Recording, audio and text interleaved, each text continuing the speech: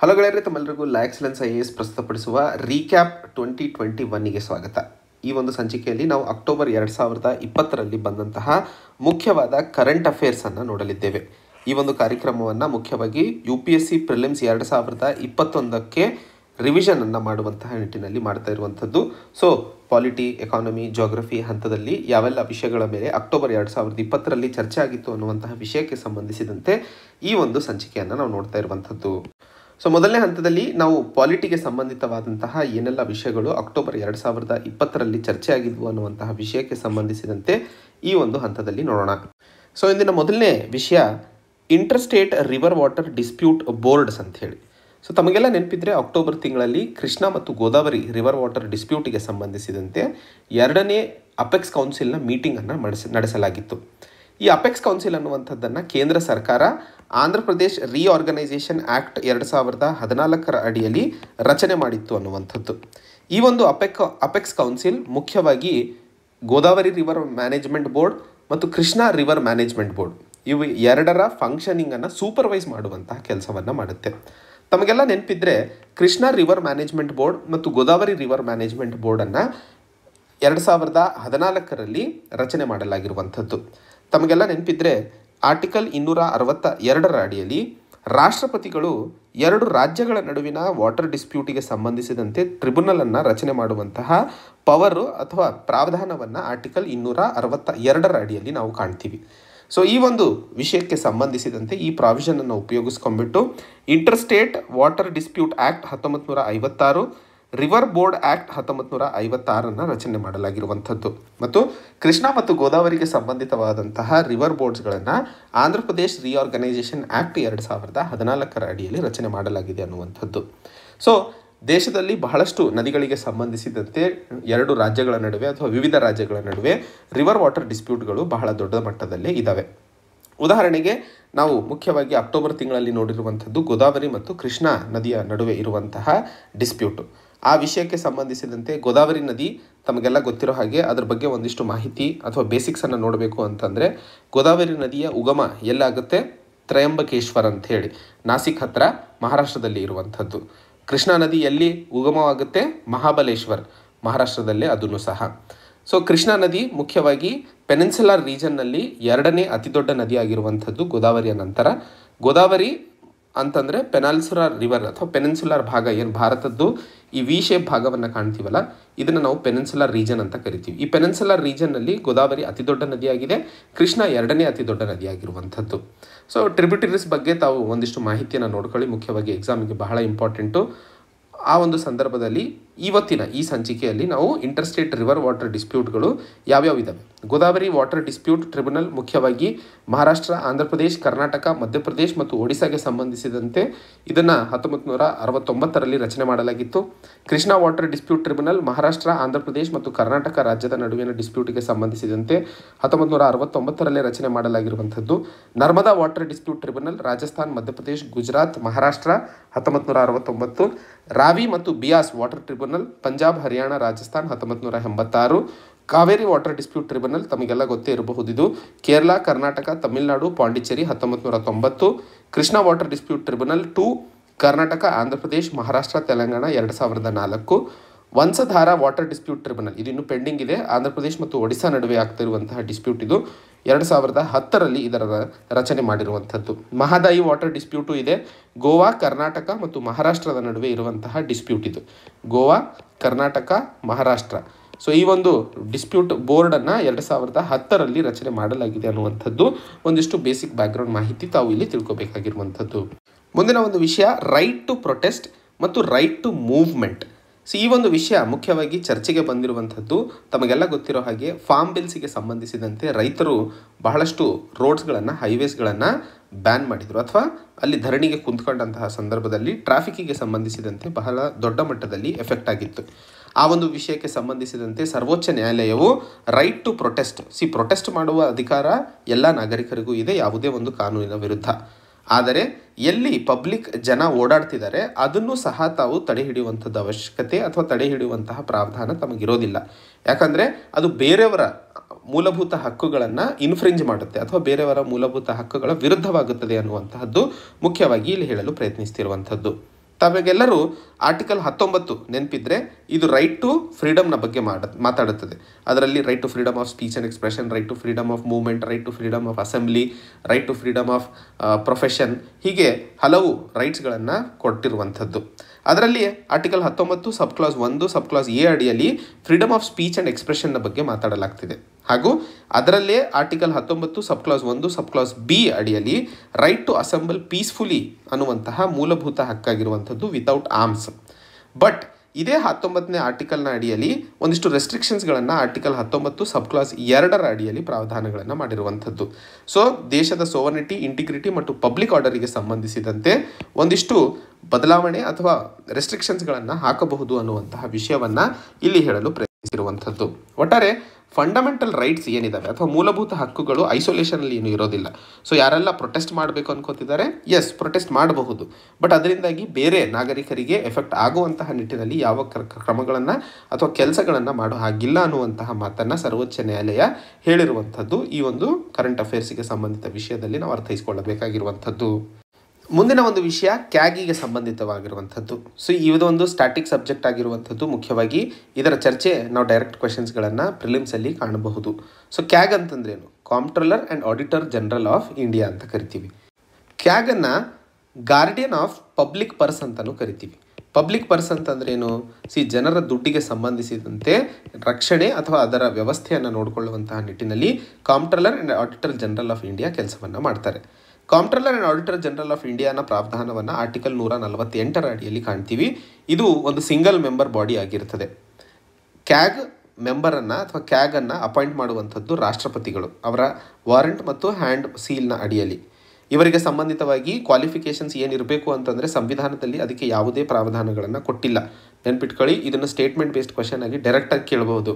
ಕ್ಯಾಗಿಗೆ ಕ್ವಾಲಿಫಿಕೇಷನನ್ನು ಸಂವಿಧಾನದಲ್ಲಿ ಕೊಟ್ಟಿದ್ದಾರಾ ಅಂಥೇಳಿ ಸೊ ಯಾವುದೇ ಸಂವಿಧಾನದಲ್ಲಿ ಕ್ವಾಲಿಫಿಕೇಷನ್ಸ್ಗಳನ್ನು ಕ್ಯಾಗಿಗೆ ಸಂಬಂಧಿಸಿದಂತೆ ಕೊಟ್ಟಿಲ್ಲ. ಟೆನ್ಯೂರ್ ಆ್ಯಂಡ್ ಸರ್ವಿಸ್ ಬಗ್ಗೆ ಮಾತಾಡಬೇಕು ಅಂತಂದರೆ, ಅವರು ಅರವತ್ತೈದು ವರ್ಷದ ಅವಧಿಯವರೆಗೂ ತಮ್ಮ ಕಾರ್ಯವನ್ನು ನಿರ್ವಹಿಸಬಹುದು. ಇಲ್ಲಾಂದರೆ ಅತಿ ಹೆಚ್ಚು ಆರು ವರ್ಷದವರೆಗೆ ಇವೆರಡರಲ್ಲಿ ಯಾವುದು ಮುಂಚೆ ಆಗುತ್ತೋ ಅವಾಗ ಅವರು ರಿಟೈರ್ ಆಗಬೇಕಾಗುತ್ತದೆ. ಆ್ಯಂಡ್ ಸರ್ವಿಸ್ ಕಂಡೀಷನ್ಸನ್ನು ಪಾರ್ಲಿಮೆಂಟ್ ಡಿಸೈಡ್ ಮಾಡುತ್ತೆ. ಕ್ಯಾಗನ್ನು ಹೇಗೆ ತೆಗೆದುಹಾಕಬಹುದು? ಪ್ರೆಸಿಡೆಂಟ್ ಆಫ್ ಇಂಡಿಯಾ ಮಾತ್ರ ಅವರನ್ನು ತೆಗೆದುಹಾಕಲು ಸಾಧ್ಯ. ಅದು judge of supreme court of India ಹೇಗೆ ತೆಗೆಯಲು ಪ್ರಾವಧಾನ ಅಥವಾ ಪ್ರೊಸೀಜರ್ ಇದೆಯೋ ಅದೇ ನಿಟ್ಟಿನಲ್ಲಿ ಕೆಲಸವನ್ನು ಮಾಡಬೇಕಾಗಿರುತ್ತದೆ ಅಥವಾ ಪ್ರೊಸೀಜರನ್ನು ಫಾಲೋ ಮಾಡಿರಬೇಕಾಗಿರುತ್ತದೆ. ಉದಾಹರಣೆಗೆ ಜಡ್ಜ್ ಆಫ್ ಸುಪ್ರೀಂ ಕೋರ್ಟ್ ಹೇಗೆ ತೆಗಿತಾರೆ? ಒಂದು ರೆಸಲ್ಯೂಷನನ್ನು ಅವರ ರಿಮೂವಲಿಗೆ ಸಂಬಂಧಿಸಿದಂತೆ ಎರಡು ಹೌಸ್ ಆಫ್ ಪಾರ್ಲಿಮೆಂಟ್ ರಾಜ್ಯಸಭೆ ಮತ್ತು ಲೋಕಸಭೆಯಲ್ಲಿ ಸ್ಪೆಷಲ್ ಮೆಜಾರಿಟಿಯಿಂದ ಪಾಸ್ ಆಗಬೇಕಾಗಿರುತ್ತದೆ. ಸ್ಪೆಷಲ್ ಮೆಜಾರಿಟಿ ಅಂದ್ರೇನು? Two third present and voting plus half of the total membership of the house so special majority ಅಂದರೆ two third present and voting ಎಷ್ಟು ಪ್ರೆಸೆಂಟ್ ಇದ್ದಾರೆ ಯಾಕಂದರೆ ಎಲ್ಲರೂ ಪ್ರೆಸೆಂಟ್ ಆಗಲ್ಲ. ಇರುವಂಥ ಐದು ಐದುನೂರ ನಲವತ್ತೈದು ಲೋಕಸಭಾ ಮೆಂಬರ್ಗಳಲ್ಲಿ ಇನ್ನೂರ ನಲವತ್ತೈದು ರಾಜ್ಯಸಭಾ ಮೆಂಬರ್ಗಳಲ್ಲಿ ಸೊ ಎಷ್ಟು ಜನ ಪ್ರೆಸೆಂಟ್ ಇದ್ದಾರೆ ಅದರ ಎರಡು ಬೈ ಮೂರರಷ್ಟು ಭಾಗ ವೋಟ್ ಮಾಡಿದವರಂಥವ್ರಲ್ಲಿ ಮತ್ತು ಇಡೀ ಹೌಸ್ನ ಅರ್ಧದಷ್ಟು ಸಹ ಸ್ಯಾಟಿಸ್ಫೈ ಆಗಬೇಕು. So two third present and voting plus half of the total membership of the ಹೌಸನ್ನು ನಾವು ಸ್ಪೆಷಲ್ ಮೆಜಾರಿಟಿ ಅಂತ ಕರಿತೀವಿ. ಸೊ ಇದು ಮುಖ್ಯವಾಗಿ ಸ್ವಲ್ಪ ಕ್ಲಿಷ್ಟಕರವಾಗಿರುವಂತಹ ಪರಿಸ್ಥಿತಿ ಆಗಿರೋದ್ರಿಂದ ಯೂಶಲಿ ಎಲ್ಲವೂ ಇಲ್ಲಿ ಮಾಡೋಕ್ಕೆ ಸಾಧ್ಯ ಇಲ್ಲ. ಆ್ಯಂಡ್ ತೆಗೆದುಹಾಕುವಂತಹ ಗ್ರೌಂಡ್ಸ್ ಏನು? ಯಾವ್ಯಾವ ಕಾರಣಗಳಿಗೆ ತೆಗೆದುಹಾಕಬಹುದು? ಪ್ರೂವ್ಡ್ ಮಿಸ್ಬಿಹೇವಿಯರ್ ಮತ್ತು ಇನ್ಕೆಪಾಸಿಟಿ ಏನಾದರೂ ನಡವಳಿಕೆಯಲ್ಲಿ ತಪ್ಪಾದಂತಹ ಸನ್ನಿವೇಶಗಳು ಅವು ಪ್ರೂವ್ ಆದಂತಹ ಸಂದರ್ಭದಲ್ಲಿ ಅವರ ಇನ್ಕೆಪಾಸಿಟಿಗೂ ಸಂಬಂಧಿಸಿದಂತೆ ತೆಗೆದುಹಾಕಬಹುದು. ರಿಟೈರ್ಮೆಂಟ್ ಆದ ನಂತರ ಯಾವುದೇ ರಾಜ್ಯ ಅಥವಾ ಕೇಂದ್ರ ಸರ್ಕಾರದಲ್ಲಿ ಉದ್ಯೋಗಾವಕಾಶಗಳನ್ನು ಮಾಡಿಕೊಡೋ ಹಾಗಿಲ್ಲ. ಅವರು ಎಲಿಜಿಬಲ್ ಇರೋದಿಲ್ಲ ಅನ್ನುವಂಥದ್ದನ್ನು ಸಹ ಕ್ಯಾಗಿಗೆ ಸಂಬಂಧಿಸಿದಂತೆ ಸ್ಟಾಟಿಕ್ ವಿಷಯವನ್ನು ಇಲ್ಲಿ ಅರ್ಥೈಸ್ಕೊಳ್ಳಬೇಕು. ಮುಂದಿನ ಹಂತದಲ್ಲಿ ಡ್ಯೂಟೀಸ್ ಆ್ಯಂಡ್ ಪವರ್ಸ್ ಏನೆಲ್ಲ ಕೆಲಸಗಳು ಮತ್ತು ಪವರ್ಸ್ಗಳು ಇರ್ತವೆ ಕ್ಯಾಗಿಗೆ ಅಂತಂತ ಮಾತಾಡಿದಾಗ, ಮೊದಲನೇ ಹಂತದಲ್ಲಿ consolidated fund of India consolidated fund of each state consolidated fund of each union territory ಎಲ್ಲೆಲ್ಲ ಲೆಜಿಸ್ಲೇಟಿವ್ ಅಸೆಂಬ್ಲಿ ಇದಾವೋ, ಇವ ಮೂರು, ಕೇಂದ್ರ, ರಾಜ್ಯ ಮತ್ತು ಯೂನಿಯನ್ ಟೆರಿಟರಿಗೆ ಸಂಬಂಧಿಸಿದಂತಹ ಕನ್ಸಾಲಿಡೇಟೆಡ್ ಫಂಡ್ಸ್ಗಳನ್ನು ಆಡಿಟ್ ಮಾಡುವಂತಹ ಕೆಲಸವನ್ನು ಕ್ಯಾಗ್ ಮಾಡುತ್ತೆ. ಮೊದಲನೇ ಇಂಪಾರ್ಟೆಂಟ್ ಪಾಯಿಂಟ್ ಎರಡನೇ ಹಂತದಲ್ಲಿ contingency fund of India public accounts of India ಹಾಗೂ contingency fund of each state ಮತ್ತು public accounts of each state ನೆನ್ಪಿಟ್ಕೊಳ್ಳಿ ಕಂಟಿಂಜೆನ್ಸಿ ಮತ್ತು ಪಬ್ಲಿಕ್ ಅಕೌಂಟ್ಸ್ ಕೇಂದ್ರ ಸರ್ಕಾರ ಕಂಟಿಂಜೆನ್ಸಿ ಆ್ಯಂಡ್ ಪಬ್ಲಿಕ್ ಅಕೌಂಟ್ಸ್ ರಾಜ್ಯ ಸರ್ಕಾರದ ಅಡಿಯಲ್ಲಿ ಇರುವಂತಹ ಎಕ್ಸ್ಪೆಂಡಿಚರನ್ನು ಸಹ ಆಡಿಟ್ ಮಾಡುವಂಥದ್ದು ಕ್ಯಾಗು ಇದು ಸಹ ಸ್ಟೇಟ್ಮೆಂಟ್ ಕೇಳಬಹುದು. Next profit and loss accounts balance ಶೀಟ್ಗಳು subsidiary accounts ಏನೆಲ್ಲ ರಾ, ಕೇಂದ್ರ ಸರ್ಕಾರ ಮತ್ತು ರಾಜ್ಯ ಸರ್ಕಾರದ ಅಡಿಯಲ್ಲಿದ್ದಾವೋ ಅವುಗಳನ್ನು ಆಡಿಟ್ ಮಾಡುತ್ತದೆ. ಇದಲ್ಲದೆ ಯಾವೆಲ್ಲ ಬಾಡೀಸು ಅಥವಾ ಅಥಾರಿಟೀಸು ಕೇಂದ್ರ ಮತ್ತು ರಾಜ್ಯ ಸರ್ಕಾರದ ರೆವಿನ್ಯೂಯಿಂದ ಫೈನಾನ್ಸ್ ಆಗ್ತಾವೋ ಆ ಒಂದು ಬಾಡೀಸು ಅಥಾರಿಟೀಸನ್ನು ಆಡಿಟ್ ಮಾಡುತ್ತೆ ಗವರ್ಮೆಂಟ್ ಕಂಪನೀಸ್ಗಳನ್ನು ಆಡಿಟ್ ಮಾಡುತ್ತೆ ಆ್ಯಂಡ್ ಕಾನೂನಿಗೆ ಅನುಗುಣವಾಗಿ ಅಥವಾ ಲಿಂಕ್ಡ್ ಇರುವಂತಹ ಕಾಪರೇಷನ್ಸ್ ಮತ್ತು ಬಾಡೀಸನ್ನು ಆಡಿಟ್ ಮಾಡುತ್ತೆ. ಆ್ಯಂಡ್ ಒಂದಿಷ್ಟು ಅಥಾರಿಟಿಗಳು ಯಾರೆಲ್ಲ ಆಡಿಟ್ ಆಗುವ ಅವಶ್ಯಕತೆ ಇದೆ ಅನ್ನುವಂತಹ ಮಾಹಿತಿಯನ್ನು ರಾಷ್ಟ್ರಪತಿಗಳು ಕ್ಯಾಗಿಗೆ ಹೇಳ್ತಾರೋ ಅವುಗಳನ್ನು ಆಡಿಟ್ ಮಾಡುತ್ತದೆ ಅನ್ನುವಂಥದ್ದು. ಉದಾಹರಣೆಗೆ panchayat raj institutions local bodies audit ಆಗಬೇಕು ಅಂತಂದರೆ ಆ ಒಂದು ಆಡಿಟನ್ನು ಕ್ಯಾಗ್ ಮಾಡಿಕೊಡುತ್ತದೆ, ರಾಷ್ಟ್ರಪತಿಗಳು ರೆಫರೆನ್ಸ್ ಮಾಡಿದ್ದಲ್ಲಿ ಮಾತ್ರ. ಇದೇ ಸಂದರ್ಭದಲ್ಲಿ ಕ್ಯಾಗನ್ನು guide friend and philosopher of public accounts committee ಅಂತ ಕರಿತೀವಿ. ಸಿ ಪಬ್ಲಿಕ್ ಅಕೌಂಟ್ಸ್ ಕಮಿಟಿಯಲ್ಲಿ ಎಷ್ಟು ಜನ ಮೆಂಬರ್ಸ್ ಇರ್ತಾರೆ, ಇದ್ರ ಬಗ್ಗೆ ನಾವು ಚರ್ಚೆ ಮಾಡಿದ್ವಿ ಆ್ಯಕ್ಚುಲಿ ಇದರಲ್ಲಿ ಇರುವಂತಹ ಎಲ್ಲ ಮೆಂಬರ್ಸು ಲೋಕಸಭೆಯ ಮೆಂಬರ್ಸ್ ಇರ್ತಾರೆ ಅನ್ನುವಂಥದ್ದು ಮೊದಲನೇ ಇಂಪಾರ್ಟೆಂಟ್ ಪಾಯಿಂಟ್ ಆಗಿತ್ತು. ರಾಜ್ಯಸಭೆಯ ಮೆಂಬರ್ಸ್ ಇದರಲ್ಲಿ ಯಾರೂ ಇರೋದಿಲ್ಲ. ಆ್ಯಂಡ್ ಈ ಪಬ್ಲಿಕ್ ಅಕೌಂಟ್ಸ್ ಕಮಿಟಿಯಲ್ಲಿ ಒಟ್ಟು ಮೂವತ್ತು ಜನ ಸದಸ್ಯರಿರ್ತಾರೆ ಅನ್ನುವಂತಹ ವಿಷಯವನ್ನು ನಾನು ಹೋದ ತಿಂಗಳು, ಅಂದರೆ ಅಕ್ಟೋಬರ್ ಎರಡು ಸಾವಿರದ ಇಪ್ಪತ್ತರ ಕರೆಂಟ್ ಅಫೇರ್ಸ್ನಲ್ಲಿ ಡಿಸ್ಕಸ್ ಮಾಡಿದ್ದೆ. ಈ ರೀತಿಯಾಗಿ ತಾವು ಲಿಂಕ್ ಮಾಡ್ಕೊಂಡಾಗ ರಿವಿಷನ್ ಮತ್ತೆ ಇನ್ನೂ ಸ್ಟ್ರಾಂಗ್ ಆಗಲು ಸಾಧ್ಯವಾಗುತ್ತದೆ ಅನ್ನುವಂಥದ್ದನ್ನು ಹೇಳುತ್ತಾ ಮುಂದಿನ ಒಂದು ವಿಷಯವನ್ನು ನೋಡೋಣ. ಎಕ್ಸಿಕ್ಯೂಟಿವ್ ಆ್ಯಂಡ್ ಜುಡಿಷರಿ ಈ ಒಂದು ವಿಷಯ ಅಥವಾ separation of executive and judiciary ಅಥವಾ ಸಪರೇಷನ್ ಆಫ್ ಪವರ್ಸ್ ಅನ್ನುವಂತಹ ವಿಷಯ ನಾವು ಯಾಕೆ ಮಾತಾಡ್ತಿದ್ದೀವಿ ಅಂತಂದರೆ ಅಕ್ಟೋಬರ್ ತಿಂಗಳಲ್ಲಿ ಆಂಧ್ರ ಪ್ರದೇಶ್ ಗವರ್ಮೆಂಟ್ ಅಥವಾ ಆಂಧ್ರ ಪ್ರದೇಶದ ಮುಖ್ಯಮಂತ್ರಿಗಳಾದ ಜಗನ್ಮೋಹನ್ ರೆಡ್ಡಿ ಅವರು ಚೀಫ್ ಜಸ್ಟಿಸ್ ಆಫ್ ಇಂಡಿಯಾಗೆ ಒಂದು ಪತ್ರವನ್ನು ಬರೆದಿದ್ದರು ಆ ಪತ್ರದಲ್ಲಿ ಅವರು ಮುಖ್ಯವಾಗಿ ಹೈಕೋರ್ಟ್ನಲ್ಲಿ ಇರುವಂತಹ ಜಡ್ಜಸ್ಗಳು ರಾಜ್ಯ ಸರ್ಕಾರದ ವಿರುದ್ಧ ಪರ್ಸನಲ್ ಅಜೆಂಡಾವನ್ನು ಇಟ್ಕೊಂಡು ಯಾವುದೇ ರಾಜ್ಯ ಸರ್ಕಾರ ತಗೊಳ್ತಾ ಇರುವಂತಹ ಕ್ರಮಗಳನ್ನು ಹೊಡೆದು ಹಾಕ್ತಾ ಇದೆ ಅಥವಾ ಹಿಂದೆ ಅನ್ಕಾನ್ಸ್ಟಿಟ್ಯೂಷನಲ್ ಅಂತ ಹೇಳಿ ನಿಲ್ಲಿಸ್ತಾ ಇದೆ ಅನ್ನುವಂತಹ ವಿಷಯಕ್ಕೆ ಸಂಬಂಧಿಸಿದಂತೆ ಅವರು ಗಂಭೀರ ಆರೋಪವನ್ನು ಮಾಡಿದರು. ಆ ಒಂದು ವಿಷಯಕ್ಕೆ ಸಂಬಂಧಿಸಿದಂತೆ ನಾವು ಡಾಕ್ಟ್ರಿನ್ ಆಫ್ ಸಪರೇಷನ್ ಆಫ್ ಪವರ್ನ ಬಗ್ಗೆ ಮಾತಾಡ್ತಾ ಇರುವಂಥದ್ದು. ಸಂವಿಧಾನದಲ್ಲಿ ಲೆಜಿಸ್ಲೇಚರ್ ಮತ್ತು ಜುಡಿಷರಿಗೆ ಸಂಬಂಧಿಸಿದಂತೆ ಕ್ಲಿಯರ್ ಆಗಿ ಪವರ್ಸ್ಗಳನ್ನು ಡಿವೈಡ್ ಮಾಡಲಾಗಿದೆ. ಉದಾಹರಣೆಗೆ ಆರ್ಟಿಕಲ್ ನೂರ ಇಪ್ಪತ್ತೊಂದು, ನೂರ ಎರಡು ನೂರ ಹನ್ನೊಂದರನ್ನು ನೋಡಿದಾಗ ಲೆಜಿಸ್ಲೇಚರಲ್ಲಿ ಯಾವುದೇ ಜಡ್ಜಸ್ಗಳಿಗೆ ಸಂಬಂಧಿಸಿದಂತಹ ಅಥವಾ ಜಡ್ಜ್ ಮಾಡ್ತಾ ಇರುವಂತಹ ಕೆಲಸಗಳಿಗೆ ಸಂಬಂಧಿಸಿದಂತೆ ಚರ್ಚೆಯನ್ನು ಮಾಡೋ ಹಾಗಿಲ್ಲ ಅನ್ನುವಂಥದ್ದು. ಆರ್ಟಿಕಲ್ ನೂರ ಇಪ್ಪತ್ತೆರಡು, ಇನ್ನೂರ ಹನ್ನೆರಡರ ಅಡಿಯಲ್ಲಿ ಕೋರ್ಟ್ಗಳು ಯಾವುದೇ ರೀತಿಯ ಲೆಜಿಸ್ಲೇಚರ್ನಲ್ಲಿ ಆಗ್ತಾ ಇರುವಂತಹ ಇಂಟರ್ನಲ್ ಪ್ರೊಸೀಡಿಂಗ್ಸ್ ಅಥವಾ ಲೆಜಿಸ್ಲೇಚರಲ್ಲಿ ಸೆಷನ್ಸ್ ಟೈಮಲ್ಲಿ ಏನೋ ಒಂದು ಕೆಲಸ ನಡೆದಿರುತ್ತೆ, ಏನೋ ಒಂದು ಚರ್ಚೆ ಆಗಿರುತ್ತೆ, ಏನೋ ಒಂದು ಬಿಲ್ ಪಾಸ್ ಆಗಿರುತ್ತೆ, ಆ ಇಂಟರ್ನಲ್ ಪ್ರೊಸೀಡಿಂಗ್ಸಿಗೆ ಸಂಬಂಧಿಸಿದಂತೆ ಕೋರ್ಟು ಅದನ್ನು ಚರ್ಚೆ ಮಾಡೋ ಹಾಗಿಲ್ಲ ಅನ್ನುವಂಥದ್ದು. ಮೂರನೇ ಹಂತದಲ್ಲಿ ಆರ್ಟಿಕಲ್ ನೂರ ಐದು ಸಬ್ ಕ್ಲಾಸ್ ಎರಡು ಆರ್ಟಿಕಲ್ ನೂರ ನಲವತ್ತೆರಡು ಸಬ್ ಕ್ಲಾಸ್ ಎರಡು, ಇದರ ಅಡಿಯಲ್ಲಿ freedom of speech and freedom of vote ಯಾವ ಒಬ್ಬ ಸದಸ್ಯ ಅವನು ಏನಾದರೂ ಮಾತಾಡಬಹುದು, ಯಾರಿಗಾದರೂ ವೋಟ್ ಮಾಡಬಹುದು. ಆ ಒಂದು ವಿಷಯಕ್ಕೆ ಸಂಬಂಧಿಸಿದಂತೆ ಪ್ರತಿನಿಧಿಗಳು ಏನು ಮಾಡಿದ್ದಾರೆ ಅನ್ನುವಂತಹದ್ದನ್ನು ಕೋರ್ಟ್ ಇಂಟರ್ಫಿಯರ್ ಮಾಡೋ ಹಾಗಿಲ್ಲ ಅನ್ನುವಂತಹ ವಿಷಯವನ್ನು ಇಲ್ಲಿ ತೋರಿಸ್ತಾ ಇರುವಂಥದ್ದು. ಹಾಗಾದರೆ ಕೋರ್ಟ್ ಕೆಲವೊಂದು ಸರಿ ಆ್ಯಕ್ಚುಲಿ ತಾನಾಗಿ ತಾನು ಇನ್ವಾಲ್ವ್ ಆಗುತ್ತೆ ಒಂದಷ್ಟು ವಿಷಯಗಳಲ್ಲಿ. ಅದನ್ನು ನಾವು ಜುಡಿಷಿಯಲ್ ಆ್ಯಕ್ಟಿವಿಸಮ್ ಅಂತ ಕರಿತೀವಿ. ಸಿ ಜುಡಿಷಿಯಲ್ ಆ್ಯಕ್ಟಿವಿಸಮ್ ಅಂತಂದರೆ ಜಡ್ಜಸ್ಗಳು ಪರ್ಸನಲ್ ವಿಸ್ಡಮ್ ಮೇಲೆ. ತಮ್ಮ ನೈತಿಕ ಸ್ವಂತ ಆಧಾರದ ಮೇಲೆ ಯಾವುದೇ ಒಂದು ವಿಷಯ ಸೋಷಲ್ ರಾಂಗ್ ಸಾಮಾಜಿಕ ತಪ್ಪು ಆಗ್ತಾ ಇರುವಂತಹದ್ದನ್ನು ಸರಿಯಾಗಿ ಜಸ್ಟಿಸ್ ಕೊಡುವಂತಹ ನಿಟ್ಟಿನಲ್ಲಿ ಬದಲಾವಣೆ ಕಡೆಗೆ ಕೋರ್ಟು ಇನ್ನು ಇಂಟರ್ಫಿಯರ್ ಆಗುವಂತಹ ಸಾಧ್ಯತೆಗಳು ಆಗ್ತವೆ ಲೆಜಿಸ್ಲೇಚರಲ್ಲಿ ಆ ಒಂದು ವಿಷಯವನ್ನು ನಾವು ಜುಡಿಷಿಯಲ್ ಆಕ್ಟಿವಿಸಮ್ ಅಂತ ಕರಿತೀವಿ. ಆ್ಯಕ್ಚುಲಿ ಈಗ ಇತ್ತೀಚಿನ ದಿನಗಳಲ್ಲಿ ಜುಡಿಷಿಯಲ್ ಆಕ್ಟಿವಿಸಮಿಗೆ ಸಂಬಂಧಿಸಿದಂತೆ ಕೋರ್ಟಿನ ಪಾತ್ರವನ್ನು ಜಾಸ್ತಿ ನೋಡ್ತಾ ಇದ್ದೀವಿ ಅನ್ನುವಂತಹ ವಿಷಯವನ್ನು ಸಹ ಇಲ್ಲಿ ಅರ್ಥೈಸಿಕೊಳ್ಳಬೇಕಾಗಿರುವಂಥದ್ದು. ಮುಂದಿನ ಹಂತದಲ್ಲಿ Gupkar declaration.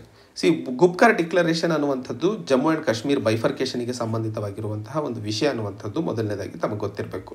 ತಮಗೆಲ್ಲ ಗೊತ್ತಿರೋ ಹಾಗೆ ಆಗಸ್ಟ್ ಎರಡು ಸಾವಿರದ ಹತ್ತೊಂಬತ್ತರಲ್ಲಿ ಆರ್ಟಿಕಲ್ ತ್ರೀ ಸೆವೆಂಟಿಯನ್ನು ತೆಗೆದುಹಾಕಿ ಆರ್ಟಿಕಲ್ ಮುನ್ನೂ ಮೂವತ್ತೈದು ಎ ಅನ್ನು ಸಹ ಏನು ಸ್ಪೆಷಲ್ ಸ್ಟೇಟಸ್ ಕೊಡುತ್ತೋ ಜಮ್ಮು ಕಾಶ್ಮೀರಿಗೆ ತೆಗೆದು union territory of Jammu Kashmir and union territory of Ladakh ಅಂತ ಡಿವೈಡ್ ಮಾಡಿರುವಂತಹದ್ದು ತಮಗೆಲ್ಲ ಗೊತ್ತಿರುವಂತಹ ಮಾಹಿತಿ. ಆ ಒಂದು ಕ್ರಮಕ್ಕೆ ಅಥವಾ ಆ ಒಂದು ನಡೆಗೆ ವಿರುದ್ಧವಾಗಿ ಪೀಪಲ್ಸ್ ಅಲಯನ್ಸ್ ಗುಪ್ಕರ್ ಡೆಕ್ಲರೇಷನ್ ಅನ್ನುವಂಥದ್ದನ್ನು ಗ್ಲುಪ್ಕರ್ ಡೆಕ್ಲರೇಷನ್ ಅಂತ ಕರೆಯಲಾಗ್ತಾ ಇರುವಂಥದ್ದು. ಇಲ್ಲಿ ಮುಖ್ಯವಾಗಿ ಒಂದಿಷ್ಟು political parties regional political parties ಏನು ಜಮ್ಮು ಕಾಶ್ಮೀರಲ್ಲಿ ಇದ್ವಲ್ಲ, ಅವರೆಲ್ಲರೂ ಈ ಆರ್ಟಿಕಲ್ ಮೂವತ್ತೈದು ಎ ಮತ್ತು ಆರ್ಟಿಕಲ್ ಮೂವತ್, ಮುನ್ನೂರ ಎಪ್ಪತ್ತನ್ನು ವಾಪಸ್ಸು ಸಂವಿಧಾನದಲ್ಲಿ ತರಬೇಕು ಜಮ್ಮು ಕಾಶ್ಮೀರಿಗೆ ಸಂಬಂಧಿಸಿದಂತೆ ಅನ್ನುವಂತಹ ವಿಷಯಕ್ಕೆ ಸಂಬಂಧಿಸಿದಂತೆ ಚರ್ಚೆಯನ್ನು ಮಾಡೋದಕ್ಕೆ ಈ ಗುಪ್ಕರ್ ಡಿಕ್ಲರೇಷನನ್ನು ತಯಾರಿ ಮಾಡಿದರು. ಸೊ ಮೊದಲನೇ ಗುಪ್ಕರ್ ಡಿಕ್ಲರೇಷನ್ ಆಗಸ್ಟ್ ಎರಡು ಸಾವಿರದ ಹತ್ತೊಂಬತ್ತರಲ್ಲಿ ರಚನೆ ಮಾಡಲಾಗಿತ್ತು. ಆ ಒಂದು ಸಂದರ್ಭದಲ್ಲಿ ಈ ಒಂದು ಚರ್ಚೆಯನ್ನು ಗುಪ್ಕರ್ ರೆಸಿಡೆನ್ಸ್ ಶ್ರೀನಗರದಲ್ಲಿ ಏನಿದೆ ಅಲ್ಲಿ ಮಾಡಿದಂತಹ ಸಂದರ್ಭದಲ್ಲಿ ಇದನ್ನು ಗುಪ್ಕರ್ ಡೆಕ್ಲರೇಷನ್ ಅಂತ ಕರೆಯಲಾಗಿತ್ತು. ಎರಡನೇ ಗುಪ್ಕರ್ ಡೆಕ್ಲರೇಷನ್ ಅನ್ನ ಇಪ್ಪತ್ತೆರಡು ಆಗಸ್ಟ್ ಎರಡು ಸಾವಿರದ ಇಪ್ಪತ್ತರಲ್ಲಿ ಆರು ರಾಜಕೀಯ ಪಾರ್ಟಿಗಳು ಸೇರಿಬಿಟ್ಟು ಈ ಗುಪ್ಕರ್ ಡೆಕ್ಲರೇಷನ್ ಅನ್ನ ಸೈನ್ ಮಾಡಿದ್ರು. ಈ ಗುಪ್ಕರ್ ಡೆಕ್ಲರೇಷನ್ ಮುಖ್ಯವಾಗಿ ಆರ್ಟಿಕಲ್ ಮುನ್ನೂರ ಎಪ್ಪತ್ತು ಮತ್ತು ಆರ್ಟಿಕಲ್ ಮುನ್ನೂರ ಮೂವತ್ತೈದು ಎಗೆ ಸಂಬಂಧಿಸಿದಂತಹ ರಿಸ್ಟೋರೇಷನ್ ಬಗ್ಗೆ ಚರ್ಚೆ ಮತ್ತು ಸಿಗ್ನೇಚರ್ ಮಾಡಿರುವಂತಹ ವಿಷಯವನ್ನು ಇಲ್ಲಿ ಅರ್ಥೈಸಿಕೊಳ್ಳಬೇಕಾಗಿರುವಂಥದ್ದು. ಮುಂದಿನ article U S A presidential elections ಈ ಒಂದು ಆರ್ಟಿಕಲಲ್ಲಿ ನಾವು ಮಾತಾಡ್ತಿರುವಂಥದ್ದು, ಭಾರತ ಮತ್ತು ಯು ಎಸ್ ಎನಲ್ಲಿ ರಾಷ್ಟ್ರಪತಿಗಳ ಆಯ್ಕೆಯಲ್ಲಿ ಏನು ಬದಲಾವಣೆ ಇದೆ ಅನ್ನುವಂಥದ್ದು. ಉದಾಹರಣೆಗೆ, ಭಾರತದಲ್ಲಿ ರಾಷ್ಟ್ರಪತಿಗಳನ್ನು ಆಯ್ಕೆ ಮಾಡುವಂಥದ್ದು ಪ್ರೋಸೆಸ್ನಲ್ಲಿ ಲೋಕಸಭೆ ಮತ್ತು ರಾಜ್ಯಸಭೆಯ ಸದಸ್ಯರು ಪಾಲ್ಗೊಳ್ತಾರೆ. ಅವರ ಜೊತೆಯಲ್ಲಿ ಸ್ಟೇಟ್ ಲೆಜಿಸ್ಲೇಟಿವ್ ಅಸೆಂಬ್ಲಿಯ ಮೆಂಬರ್ಸು ಸಹ ಪಾಲ್ಗೊಳ್ತಾರೆ. ಅದಲ್ಲದೆ, ಯಾವ ಯಾವ ಯೂನಿಯನ್ ಟೆರಿಟರಿಗಳಲ್ಲಿ ಅಸೆಂಬ್ಲಿ ಇದೆಯೋ, ಉದಾಹರಣೆಗೆ, ಡೆಲ್ಲಿಯಲ್ಲಿದೆ, ಪಾಂಡಿಚೇರಿಯಲ್ಲಿದೆ, ಈ ಒಂದು ಅಸೆಂಬ್ಲಿ ಇರುವಂತಹ ಯೂನಿಯನ್ ಟೆರಿಟರೀಸ್ಗಳೇನಿದ್ದಾವೆ ಅದರ ಸದಸ್ಯರು ಅಥವಾ ಪ್ರತಿನಿಧಿಗಳು ಪ್ರೆಸಿಡೆನ್ಷಿಯಲ್ ಎಲೆಕ್ಷನ್ನಲ್ಲಿ ಪಾಲ್ಗೊಳ್ತಾರೆ ಅನ್ನುವಂಥದ್ದು. ಸಿ ರಾಷ್ಟ್ರಪತಿಗಳಿಗೆ ಸಂಬಂಧಿಸಿದಂತೆ ಭಾರತದಲ್ಲಿ ಎಲೆಕ್ಟ್ ಮಾಡಬೇಕಾದ್ರೆ ಲೋಕಸಭೆ, ರಾಜ್ಯಸಭೆ, ರಾಜ್ಯದಲ್ಲಿ ಇರುವಂತಹ ಅಸೆಂಬ್ಲಿಗಳು ಯಾವ್ಯಾವಿದ್ದಾವೆ ಮತ್ತು ಯೂನಿಯನ್ ಟೆರಿಟರಿ ಎಲ್ಲೆಲ್ಲ ಅಸೆಂಬ್ಲಿಗಳಿದ್ದಾವೆ ಅವರೆಲ್ಲ ಪಾಲ್ಗೊಳ್ತಾರೆ. ರಿಮೂವಲ್ ಸಮಯದಲ್ಲಿ ಇವ್ರು ಯಾರೂ ಪಾಲ್ಗೊಳ್ಳಲ್ಲ, ಬರೀ ರಾಜ್ಯ ಲೋಕಸಭೆ ಮತ್ತು ರಾಜ್ಯಸಭೆಯ ಪ್ರತಿನಿಧಿಗಳು ಮಾತ್ರ ಪಾಲ್ಗೊಳ್ತಾರೆ ತೆಗೆದುಹಾಕೋ ಸಂದರ್ಭದಲ್ಲಿ. ಅಪಾಯಿಂಟ್ ಮಾಡಬೇಕಾದ್ರೆ ಇವರೆಲ್ಲ ಇರ್ತಾರೆ. ತೆಗೆದುಹಾಕೋ ಸಂದರ್ಭದಲ್ಲಿ ಇವರೆಲ್ಲ ಇರೋದಿಲ್ಲ ಅನ್ನುವಂಥದ್ದು ಇನ್ನೊಂದು ಮುಖ್ಯವಾದ ಒಂದು ವ್ಯತ್ಯಾಸವನ್ನು ನೆನ್ಪಿಟ್ಕೋಬೇಕು. ಎರಡನೇ ಹಂತದಲ್ಲಿ ಯು ಎಸ್ ಎದಲ್ಲಿ ರಾಷ್ಟ್ರಪತಿಗಳನ್ನು ಹೇಗೆ ಆಯ್ಕೆ ಮಾಡಲಾಗುತ್ತೆ? ಯು ಎಸ್ ಎದಲ್ಲಿ ಮುಖ್ಯವಾಗಿ ಐನೂರ ಮೂವತ್ತೆಂಟು ಮೆಂಬರ್ಸ್ಗಳ ಎಲೆಕ್ಟ್ರಲ್ ಕಾಲೇಜನ್ನು ರಚನೆ ಮಾಡಲಾಗುತ್ತೆ. ಅಂದರೆ ಯು ಎಸ್ ಎಲ್ಲಿ ಇರುವಂತಹ ಬೇರೆ ಬೇರೆ ಭಾಗಗಳಲ್ಲಿ ಐನೂರ ಮೂವತ್ತೆಂಟು ಎಲೆಕ್ಟರ್ಸನ್ನು ಮೊದಲಿಗೆ ಜನರಿಂದ ಎಲೆಕ್ಟ್ ಮಾಡಿಸಲಾಗುತ್ತೆ. ಈ ಐನೂರ ಮೂವತ್ತೆಂಟು ಜನ ಎಲೆಕ್ಟರ್ಸ್ಗಳು ರಾಷ್ಟ್ರಪತಿಗಳನ್ನು ಎಲೆಕ್ಟ್ ಮಾಡುವಂಥದ್ದು. ಸೊ ಬಹಳ ಇಂಪಾರ್ಟೆಂಟ್ ಇದು. ನೆನ್ಪಿಟ್ಕೊಳ್ಳಿ, ಗೊತ್ತಾಯ್ತಾ? ಐನೂರ ಮೂವತ್ತೆಂಟು ಎಲೆಕ್ಟರ್ಸ್ಗಳನ್ನು ಬೇರೆ ಬೇರೆ ರಾಜ್ಯಗಳು, ಏನು ಯು ಎಸ್ ಎಲ್ಲಿದ್ದಾವೋ ಅಲ್ಲಿಂದ ಜನರಿಂದ ಆಯ್ಕೆ ಆದಂತಹ ಎಲೆಕ್ಟರ್ಸು ರಾಷ್ಟ್ರಪತಿಗಳನ್ನು ಎಲೆಕ್ಟ್ ಮಾಡ್ತಾರೆ ಅನ್ನುವಂಥದ್ದು. ಸೊ ಈ ವರ್ಷ ಆ್ಯಕ್ಚುಲಿ ಯು ಎಸ್ ಅಲ್ಲಿ ಅಥವಾ ಎರಡು ಸಾವಿರದ ಇಪ್ಪತ್ತರಲ್ಲಿ ಮುಖ್ಯವಾಗಿ ಜೋ ಬಿಡನ್ ಸರ್ಕಾರ ಬಂದಿರುವಂಥದ್ದು ತಮಗೆಲ್ಲ ಗೊತ್ತೇ ಇದೆ. ಆ ಒಂದು ವಿಷಯಕ್ಕೆ ಸಂಬಂಧಿಸಿದಂತೆ ಈ ಒಂದು ಚರ್ಚೆಯನ್ನು ಮುಖ್ಯವಾಗಿ ನಾವು ಮಾಡ್ತಾ ಇರುವಂಥದ್ದು. ಮುಂದಿನ ಹಂತದಲ್ಲಿ ಅಕ್ಟೋಬರ್ ಎರಡು ಸಾವಿರದ ಇಪ್ಪತ್ತರಲ್ಲಿ ಜೋಗ್ರಫಿಗೆ ಸಂಬಂಧಿಸಿದಂತಹ ಮುಖ್ಯವಾದ ವಿಷಯಗಳನ್ನು ಚರ್ಚೆ ಮಾಡ್ತಾ ಇರುವಂಥದ್ದು. ಸೊ ಮೊದಲನೇ ಜೋಗ್ರಫಿ ವಿಷಯ ನಾವು ಮುಲ್ಲೈ ಪೆರಿಯಾರ್ ಡ್ಯಾಮ್ನ ಬಗ್ಗೆ ತಿಳ್ಕೊತಾ ಇದ್ದೀವಿ. ಸಿ ಮುಲ್ಲರ್ ಪೆರಿಯಾರ್ ಡ್ಯಾಮ್ ಮುಖ್ಯವಾಗಿ ಕೇರಳ ಮತ್ತು ತಮಿಳುನಾಡು ರಾಜ್ಯಗಳ ನಡುವೆ ಇರುವಂತಹ ಒಂದು ಡಿಸ್ಪ್ಯೂಟ್ ಆ್ಯಂಡ್ ಇದಕ್ಕೆ ಸಂಬಂಧಿಸಿದಂತೆ ಬಹಳಷ್ಟು ಚರ್ಚೆಗಳಾಗಿದ್ವು. ಸೊ ಈ ಒಂದು ವಿಷಯವನ್ನು ಅರ್ಥೈಸ್ಕೊಳ್ಳೋದಕ್ಕಿಂತ ಮುನ್ನ ಒಂದಿಷ್ಟು ಇತಿಹಾಸವನ್ನು ನೋಡೋಣ. ಸಿ ಮುಲ್ಲೈ ಪೆರಿಯಾರ್ ಡ್ಯಾಮ್ ನೂರ ಇಪ್ಪತ್ತು ಮೂರು ವರ್ಷಗಳ ಹಳೆಯ ಡ್ಯಾಮ್ ಆಗಿರ್ತದೆ. ಈ ಒಂದು ಡ್ಯಾಮನ್ನು ಮುಲ್ಲಯಾರ್ ಮುಲ್ಲಯಾರ್ ಮತ್ತು ಪೆರಿಯಾರ್ ನದಿಯ ಸಂಗಮದಲ್ಲಿ ಡ್ಯಾಮನ್ನು ಕಟ್ಟಲಾಗಿರುವಂಥದ್ದು. ಈ ಒಂದು ಡ್ಯಾಮ್ ಇಡುಕ್ಕಿ ಡಿಸ್ಟಿಕ್ನಲ್ಲಿದೆ. ಇಡುಕ್ಕಿಯಲ್ಲಿದೆ ಕೇರಳದಲ್ಲಿ ಇದೆ ಅನ್ನುವಂಥದ್ದು ತಮಗೆ ಗೊತ್ತಿರಬೇಕಾಗಿರುವಂಥದ್ದು. ಆದರೆ ಈ ಒಂದು ಡ್ಯಾಮನ್ನು ಬ್ರಿಟಿಷ್ ಸಮಯದಲ್ಲಿ ಬ್ರಿಟಿಷ್ ಸರ್ಕಾರ ತಮಿಳುನಾಡು ಜೊತೆಯಲ್ಲಿ ಒಂದು ಒಪ್ಪಂದವನ್ನು ಮಾಡಿಕೊಂಡಿತ್ತು. ಅದರ ಅಡಿಯಲ್ಲಿ ಒಂಬೈನೂರ ತೊಂಬತ್ತೊಂಬತ್ತು ವರ್ಷಗಳ ಲೀಸನ್ನು ತಮಿಳುನಾಡಿಗೆ ಕೊಡಲಾಗಿತ್ತು. ಆ ಒಂದು ಕಾರಣಕ್ಕೆ ಈ ಒಂದು ಡ್ಯಾಮನ್ನು ಆಪರೇಷನ್ ಮತ್ತು ಮೇಂಟೆನೆನ್ಸ್ ಎರಡೂ ಸಹ ತಮಿಳುನಾಡು ಸರ್ಕಾರ ನೋಡಿಕೊಳ್ಳುತ್ತೆ. ಡ್ಯಾಮ್ ಕೇರಳದಲ್ಲಿ ಇದೆ ಅನ್ನುವಂಥದ್ದು. ಈ ಒಂದು ಡ್ಯಾಮ್ನಲ್ಲಿ ಮುಖ್ಯವಾಗಿ ತಮಿಳುನಾಡು ಸರ್ಕಾರ ಮಾಡ್ತಾ ಇರೋದು ಏನಪ್ಪ ಅಂತಂದರೆ, ತನ್ನ ನಾರ್ತನ್ ಭಾಗದಲ್ಲಿ ಈ ಒಂದು ತಮಿಳುನಾಡು ಏನು ರೀಜನ್ ಇದೆ, ಅದರ ನಾರ್ದನ್ ಭಾಗದಲ್ಲಿ ಅರಿಡ್ ರೀಜನ್ ಇದೆ. ಅಂದರೆ ಹೆಚ್ಚಿಗೆ ಮಳೆ ಆಗೋದಿಲ್ಲ ಆ ಭಾಗದಲ್ಲಿ. ಆ ಒಂದು ಸಂದರ್ಭಕ್ಕೆ ಅಥವಾ ಆ ಒಂದು ಕಾರಣಕ್ಕೆ ಈ ನೀರನ್ನು ಅಲ್ಲಿಗೆ ಡೈವರ್ಟ್ ಮಾಡಲು ಉಪಯೋಗಿಸಲಾಗ್ತಾ ಇರುವಂಥದ್ದು. ಈಗ ಕೇರಳ ಸರ್ಕಾರ ಹೇಳ್ತಾ ಇರುವಂಥದ್ದು, ಈ ಒಂದು ಅಗ್ರಿಮೆಂಟ್ ಏನು ನೂರ ಇಪ್ಪತ್ತ್ಮೂರು ವರ್ಷ ಅಥವಾ ಗಳ ಹಿಂದೆ ಒಂಬೈನೂರ ತೊಂಬತ್ತೊಂಬತ್ತು ವರ್ಷಗಳಿಗೋಸ್ಕರ ಲೀಸ್ ಮಾಡಿಕೊಳ್ಳಲಾಗಿತ್ತು. ಮೊದಲನೇದು ಆ ಪಾಯಿಂಟು ಸರಿಯಾಗಿಲ್ಲ ಅನ್ನುವಂಥದ್ದು. ಎರಡನೇ ಹಂತದಲ್ಲಿ ನೂರ ಇಪ್ಪತ್ತ್ಮೂರು ವರ್ಷಗಳ ಹಳೆಯಾದಂತಹ ಡ್ಯಾಮ್ನಿಂದಾಗಿ ಅರ್ಥಕ್ವೇಕ್ ಮತ್ತು ಫ್ಲಡ್ ಅಥವಾ ಡ್ಯಾಮ್ ಒಡೆದಂತಹ ಸಂದರ್ಭದಲ್ಲಿ ಬಹಳ ದೊಡ್ಡ ಮಟ್ಟದಲ್ಲಿ ಜೀವಗಳಿಗೆ ರಾಶಿ, ಜೀವರಾಶಿಗಳಿಗೆ ಎಫೆಕ್ಟ್ ಆಗುವಂತಹ ಸಾಧ್ಯತೆಗಳು ಇದ್ದಾವೆ ಅನ್ನುವಂಥದ್ದು ಮುಖ್ಯವಾಗಿ ಕೇರಳ ಮತ್ತು ತಮಿಳುನಾಡು ನಡೀತಾ ಇರುವಂತಹ ಡಿಸ್ಪ್ಯೂಟ್ ಇದು ಮುಲ್ಲೈ ಪೆರಿಯಾರ್ ಡ್ಯಾಮ್ ಸೊ ಈ ಒಂದು ವಿಷಯವನ್ನು ಮುಖ್ಯವಾಗಿ ಅರ್ಥೈಸ್ಕೊಳ್ಳಬೇಕು. ಆ್ಯಂಡ್ ಈ ಮುಲ್ಲಯಾರ್ ಮತ್ತು ಪೆರಿಯಾರ್ ಎರಡೂ ಸಹ ವೆಸ್ಟ್ ಫ್ಲೋಯಿಂಗ್ ರಿವರ್ಸ್ ಆಗಿರ್ತವೆ. ನೆನ್ಪಿಟ್ಕೊಳ್ಳಿ ವೆಸ್ಟ್ ಫ್ಲೋಯಿಂಗ್ ರಿವರ್ಸ್ ಮುಲ್ಲಯಾರ್ ಮತ್ತು ಪೆರಿಯಾರ್ ಡ್ಯಾಮ್ಸ್ ಎರಡು. ಈಸ್ಟ್ ಫ್ಲೋಯಿಂಗ್ ರಿವರ್ಸ್ ಅಲ್ಲ. ವೆಸ್ಟ್ ಫ್ಲೋಯಿಂಗ್ ರಿವರ್ಸ್ ಅಂತಂದರೆ ಹೋಗಿ ಇದು ಯಾವ ಸಮುದ್ರದಲ್ಲಿ ಇವಾಗ್ತವೆ, ಮಿಲನವಾಗ್ತವೆ? ಅರೇಬಿಯನ್ ಸೀದಲ್ಲಿ ಈಸ್ಟ್ ಫ್ಲೋಯಿಂಗ್ ರಿವರ್ಸ್ಗಳು ಬೇ ಆಫ್ ಬೆಂಗಾಲಲ್ಲಿ ಹೋಗಿ ಆಗ್ತವೆ. ಸೊ ಮುಲ್ಲಯಾರ್ ಮತ್ತು ಪೆರಿಯಾರ್ ವೆಸ್ಟ್ ಫ್ಲೋಯಿಂಗ್ ರಿವರ್ಸ್ ಆಗಿದ್ದರೂ ಸಹ ತಮಿಳುನಾಡು ಸರ್ಕಾರ ವೆಸ್ಟ್ ಫ್ಲೋಯಿಂಗ್ ರಿವರ್ಸನ್ನು ಎಳ್ಕೊಂಡು ಈಸ್ಟ್ ಅರಿಡ್ ರೀಜನ್ಗೆ ಒಯ್ಯುವಂತಹ ಪ್ರಯತ್ನಗಳನ್ನು ಮಾಡ್ತಾ ಇರುವಂಥದ್ದು. ಆ್ಯಂಡ್ ಇನ್ನೊಂದು ಇಂಪಾರ್ಟೆಂಟ್ ಪಾಯಿಂಟ್ ನದಿಗಳಿಗೆ ಸಂಬಂಧಿಸಿದಂತೆ west flowing rivers east flowing rivers ಅಂತ ನಾವು ಮಾತಾಡ್ತೀವಿ. ಯಾವ ಎರಡು ಅತಿ ಮುಖ್ಯವಾದಂತಹ ನದಿಗಳು ವೆಸ್ಟ್ ಫ್ಲೋ ಅಥವಾ ದ ಪೂರ್ವ, ಪಶ್ಚಿಮ ಭಾಗಕ್ಕೆ ಹರಿತವೆ ಅನ್ನುವಂಥದ್ದನ್ನು ಮಾತಾಡಿದಾಗ ನರ್ಮದಾ ಮತ್ತು ತಾಪಿ ನದಿಯ ಬಗ್ಗೆ ಮುಖ್ಯವಾಗಿ ತಾವು ನೆನಪಿಟ್ಕೋಬೇಕು. ಉಳಿದಂಥದ್ದೆಲ್ಲ ಮುಖ್ಯವಾಗಿ ಈಸ್ಟ್ ಫ್ಲೋಯಿಂಗ್ ರಿವರ್ಸೇ ಇರ್ತವೆ. ಹೋಗು ಬೇ ಆಫ್ ಬೆಂಗಾಲಲ್ಲಿ ಮಿಲನವಾಗುವಂಥವು. ಸೊ ಮುಲ್ಲಯಾರ್ ಮತ್ತು ಪೆರಿಯಾರ್ ಎರಡೂ ನದಿಗಳು ಈಸ್ಟ್ ಫ್ಲೋಯಿಂಗ್ ಅಥವಾ ವೆಸ್ಟ್ ಫ್ಲೋಯಿಂಗ್ ರಿವರ್ಸ್ ಆಗಿದ್ದಾವೆ ಅನ್ನುವಂಥದ್ದು ಸಹ ಮುಖ್ಯವಾಗಿ ಇಲ್ಲಿ ನೆನ್ಪಿಟ್ಕೋಬೇಕಾಗಿರುವಂಥದ್ದು. ಮುಂದಿನ ಒಂದು ವಿಷಯ, ನಗೋರ್ನಾ ಕರ್ಬಾಕ್ ರೀಜನ್ ಸೊ ಈ ಒಂದು ರೀಜನ್ ಬಹಳ ಚರ್ಚೆಯಲ್ಲಿರುವಂಥದ್ದು ಮುಖ್ಯವಾಗಿ ಒಂದು ರೀತಿಯ ವಿಮರ್ಶೆ ಅಂತಲೇ ಹೇಳ್ಬೋದು ಅಥವಾ ಒಂದು ರೀತಿಯ ಉಲ್ಟಾ ಕಥೆ ಅಂತಲೇ ಹೇಳ್ಬೋದು. ಏನಿದು ಉಲ್ಟಾ ಕಥೆ ಅಂತಂದರೆ ನಗೋರ್ನಾ ಕರ್ಬಾಕ್ ರೀಜನ್ ಮೊದಲನೇದಾಗಿ ಇರುವಂಥದ್ದು ಅಜರ್ಬೈಜಾನ್ನಲ್ಲಿ. ಅಜರ್ಬೈಜಾನ್ ಒಂದು ರಾಷ್ಟ್ರ. ಆ ಅಜರ್ಬೈಜಾನ್ನಲ್ಲಿ ಇರುವಂತಹದ್ದು ನಗೋನಾ ಕರ್ಬಾಕ್ ಅನ್ನುವಂತಹ ಒಂದು ಪ್ರಾಂತ. ಆ ಒಂದು ಪ್ರಾಂತ ಅರ್ಮೇನಿಯಾಗೆ ಅಥವಾ ಅರ್ಮೇನಿಯಾದ ಎಥ್ನಿಕಲಿ ಎಥ್ನಿಕ್ ಜನಾಂಗದವರು ಆ ಒಂದು ಭಾಗದಲ್ಲಿ ನೆಲೆಸ್ಕೊಂಡಿದ್ದಾರೆ. ಈಗ ಈ ನಗೋನಾ ಕರ್ಬಾಕ್ ರೀಜನ್ ಅವರು ಹೇಳುವಂಥದ್ದು ಕಿ ನಾವು ಅಜರ್ಬೈಜಾನ್ ಜೊತೆ ಇರಲ್ಲ. ನಾವು ಅರ್ಮೇನಿಯಾ ಜೊತೆ ಸೇರ್ಕೋಬೇಕು. ಇಲ್ಲಾಂದರೆ ನಮಗೆ ಇಂಡಿಪೆಂಡೆಂಟ್ ಮಾಡಿ ಅಂತ ಹೇಳಿ ಆ ಒಂದು ವಿಷಯಕ್ಕೆ ಸಂಬಂಧಿಸಿದಂತೆ ಹತ್ತೊಂಬತ್ತು ನೂರ ತೊಂಬತ್ತರ ದಶಕದಿಂದಲೂ ಅಜರ್ಬೈಜಾನ್ ಫೋರ್ಸಸ್ಸು ಮತ್ತು ಈ ಒಂದು ನಗೋರ್ನ ಕರ್ಬಾಕ್ ರೀಜನ್ನ ಸಪರೇಟಿಸ್ಟ್ಗಳೇನಿದ್ದಾರೆ, ಅವರಿಬ್ಬರ ಮಧ್ಯವು ವೈಲೆನ್ಸ್ ನಡೀತಾ ಇರುವಂಥದ್ದು. ಹತ್ತೊಂಬತ್ತು ನೂರ ತೊಂಬತ್ನಾಲ್ಕರಲ್ಲಿ ರಷ್ಯಾ ಸೀಸ್ ಫೈರನ್ನು ಬ್ರೋಕರ್ ಮಾಡಿತ್ತು ಅಥವಾ ಮಧ್ಯಸ್ಥಿಕೆಯನ್ನು ಮಾಡಿತ್ತು. ಆ ಒಂದು ಸಂದರ್ಭದಲ್ಲಿ ಈ ಒಂದು ಅರ್ಮೇನಿಯಾದ ಎಥನಿಕ್ ಗ್ರೂಪ್ ಪೀಪಲ್ ಏನಿದ್ದಾರೆ ಸಪರೇಟಿಸ್ಟ್ಗಳು ಅವರು ಈ ರೀಜನನ್ನು ಕಾನ್ಕರ್ ಮಾಡ್ಕೊಂಡಿದ್ರು. ಈ ಮ್ಯಾಪಲ್ಲಿ ತಾವು ನೋಡಬಹುದು, ಇದು ಅಜರ್ಬೈಜಾನ್ ಆಗಿದ್ರೆ ಇದರ ಮೇಲ್ಗಡೆ ಇರುವಂಥದ್ದೇ ಅರ್ಮೇನಿಯಾ. ಈ ಒಂದು ಭಾಗವನ್ನು ನಗೋರ್ನ ಕರ್ಬಾಕ್ ರೀಜನ್ ಅಂತ ಕರಿತಿದ್ದೀವಿ. ಗೊತ್ತಾಯ್ತಲ್ಲ? ಇದು ಬಹಳ ಇಂಪಾರ್ಟೆಂಟು ಎಲ್ಲಿದೆ ಇದು? ಅಜರ್ಬೈಜಾನಲ್ಲಿದೆ. ಅರ್ಮೇನಿಯಾದಲ್ಲ ಅರ್ಮೇನಿಯಾದ ಭಾಗ ಅಂತ ಹೇಳಿ ಹೇಳ್ಕೊಳ್ತಾರೆ. ಬಟ್ ಇದು ಇಂಟರ್ನ್ಯಾಷನಲಿ ಇರುವಂಥದ್ದು, ಅಜರ್ಬೈಜಾನ್ನಲ್ಲಿ ಅನ್ನುವಂಥದ್ದು ತಾವು ನೆನ್ಪಿಟ್ಕೋಬೇಕು. ಸೊ ಮುಂದಿನ ಒಂದು ವಿಷಯ, ಹೊದೈದಾ, ಯಮೆನ್ ಅಂತ ಹೇಳಿ. ಸೊ ಹೊದೈದಾ ಅನ್ನುವಂಥದ್ದು ಒಂದು ಪೋರ್ಟ್ ಆ್ಯಕ್ಚುಲಿ ಇದು. ಇದು ರೆಡ್ ಸಿ ಕಡೆಗೆ ಇರುವಂಥದ್ದು ಯಮೆನ್ನಲ್ಲಿ. ಸಿ ಹೊದೈದಾ ಪೋರ್ಟ್ ಅಥವಾ ಹೊದೈದಾ ವಾಸ್ ರೀಸೆಂಟ್ಲಿ ನ್ಯೂಸ್ ಇದು ಎಲ್ಲಿದೆ ಅಂತ ಕೇಳ್ಬೋದು. ಯಮನ್ನಲ್ಲಿ ಇರುವಂಥದ್ದು ರೆಡ್ ಸಿ ಹತ್ರ. ಸೊ ಈ ಒಂದು ವಿಷಯವನ್ನು ಮುಖ್ಯವಾಗಿ ಮ್ಯಾಪ್ ಬೇಸ್ಡ್ ಕ್ವಶನ್ ಆಗಿ ನಾವು ಕೇಳಬಹುದು. ಈ ಹೊದೈದಾ ಪೋರ್ಟ್ ಮುಖ್ಯವಾಗಿ ಯಾವುದೇ ಒಂದು ಹ್ಯುಮನಿಟೇರಿಯನ್ ಅಸಿಸ್ಟೆನ್ಸ್ ಯಮೆನಿಗೆ ಮಾಡಬೇಕು ಅಂತಂದರೆ ಇಲ್ಲೇ ಮಾಡಬೇಕಾಗಿರ್ತದೆ. ಸುಮಾರು ಎಪ್ಪತ್ತು ಪ್ರತಿಶತ ಕಮರ್ಷಿಯಲ್ ಇಂಪೋರ್ಟ್ಸ್ ಇದೇ ಪೋರ್ಟಲ್ಲಿ ಆಗ್ತವೆ ಅನ್ನುವಂಥದ್ದು. ಈ ಒಂದು ಪೋರ್ಟಿಂದ ಮುಖ್ಯವಾಗಿ ಕಾಫಿ, ಕಾಟನ್, ಡೇಟ್ಸ್ ಇವುಗಳನ್ನು ಎಕ್ಸ್ಪೋರ್ಟ್ ಮಾಡಲಾಗ್ತಾ ಇರುವಂಥದ್ದು ಸಹ ಈ ಒಂದು ಭಾಗದಲ್ಲಿ ಅರ್ಥೈಸ್ಕೊಳ್ಳಬೇಕಾಗಿರುವಂಥದ್ದು. ಯಮನ್ ಅಂತ ಬಂದ ಕೂಡಲೇ ಆಪರೇಷನ್ ರಾಹತ್ ಬಗ್ಗೆ ತಮಗೆ ಗೊತ್ತಿರಬೇಕು. ಆಪರೇಷನ್ ರಾಹತ್ ಅಂತಂದರೆ ಎರಡು ಸಾವಿರದ ಹದಿನೈದರಲ್ಲಿ ಯಮೆನಿ ಕ್ರೈಸಿಸ್ ಕಾಣಿಸಿಕೊಂಡಿತ್ತು. ಯಮನಿ ಕ್ರೈಸಿಸ್ ಅಂದ್ರೇನು ಸೌದಿ ಅರೇಬಿಯಾದ ಏರ್ ಫೋರ್ಸಸ್ಗಳು ಮತ್ತು ಒಂದಿಷ್ಟು ಅರಬ್ ಸ್ಟೇಟ್ಸ್ಗಳ ಕೊಯಲಿಷನ್ ಅವರು ಶಿ ಶಿಯೈಟ್ ಹೌತಿ ರೆಬಲ್ಸ್ ಅಂಥೇಳಿ S H I I T E Houthi rebels ಈ ರೆಬಲ್ಸು ಯಮೆನ್ನಲ್ಲಿ ಇದ್ದಂತಹ ರಾಷ್ಟ್ರಪತಿ ಅಥವಾ ಸರ್ಕಾರವನ್ನು ಕೆಳಗುಳಿಸಿ ಆ ಸಂದರ್ಭದಲ್ಲಿ ಇದ್ದಂತಹ ಮನ್ಸೂರ್ ಹದಿ ಅನ್ನುವಂತಹ ರಾಷ್ಟ್ರಪತಿಗಳನ್ನು ಕೆಳಗಿಳಿಸಿ ಈ ರೆಬಲ್ಸು ಆ ರೀಜನನ್ನು ತಮ್ಮ ಹತೋಟಿಗೆ ತಕ್ಕೊಂಡಿದ್ರು. ಆ ರೆಬಲ್ಸ್ಗಳ ವಿರುದ್ಧ ಸೌದಿ ಅರೇಬಿಯಾ ಮತ್ತು ಕೊಯಲಿಷನ್ ಆಫ್ ಅರಬ್ ಸ್ಟೇಟ್ಸ್ ಒಂದಾಗಿ ಹೊಡೆದಾಡಲು ಯಮೆನ್ನಲ್ಲಿ ತಮ್ಮ ಕಾಲನ್ನಿಟ್ಟಿದ್ರು. ಆ ಒಂದು ಸಂದರ್ಭದಲ್ಲಿ ಭಾರತ ಸರ್ಕಾರ ಭಾರತೀಯರನ್ನು ಮತ್ತು ಬೇರೆ ಫಾರಿನ್ ನ್ಯಾಷನಲ್ಸನ್ನು ಸೌದಿ ಲೆಡ್ ಕೊಯಲಿಷನ್ ಸೌದಿಯ ಸಹಾಯದೊಂದಿಗೆ ಯಮನ್ನಿಂದ ಭಾರತೀಯರನ್ನು ವಾಪಸ್ ಭಾರತಕ್ಕೆ ಕರ್ಕೊಂಡು ಬಂದಿರುವಂತಹದ್ದೇ ಆಪರೇಷನ್ ರಾಹತ್ ಅನ್ನುವಂಥದ್ದು ನೆನ್ಪಿಟ್ಕೋಬೇಕಾಗಿರುವಂಥದ್ದು. ಮುಂದಿನ ಒಂದು ವಿಷಯ ಮ್ಯಾಪ್ ಬೇಸ್ಡ್ ಕ್ವಶನ್ ಆಗಿರುವಂಥದ್ದು. South China sea south China sea ಅಂತ ಹೇಳಿ ಬಹಳ ನ್ಯೂಸಲ್ಲಿ ನಾವು ನೋಡಿರ್ತೀವಿ. ಸೊ ಸೌತ್ ಚೈನಾ ಸಿ ಮುಖ್ಯವಾಗಿ ಏನಕ್ಕೆ ಡಿಸ್ಪ್ಯೂಟ್ ಆಗಿದೆ ಅನ್ನುವಂಥದ್ದು.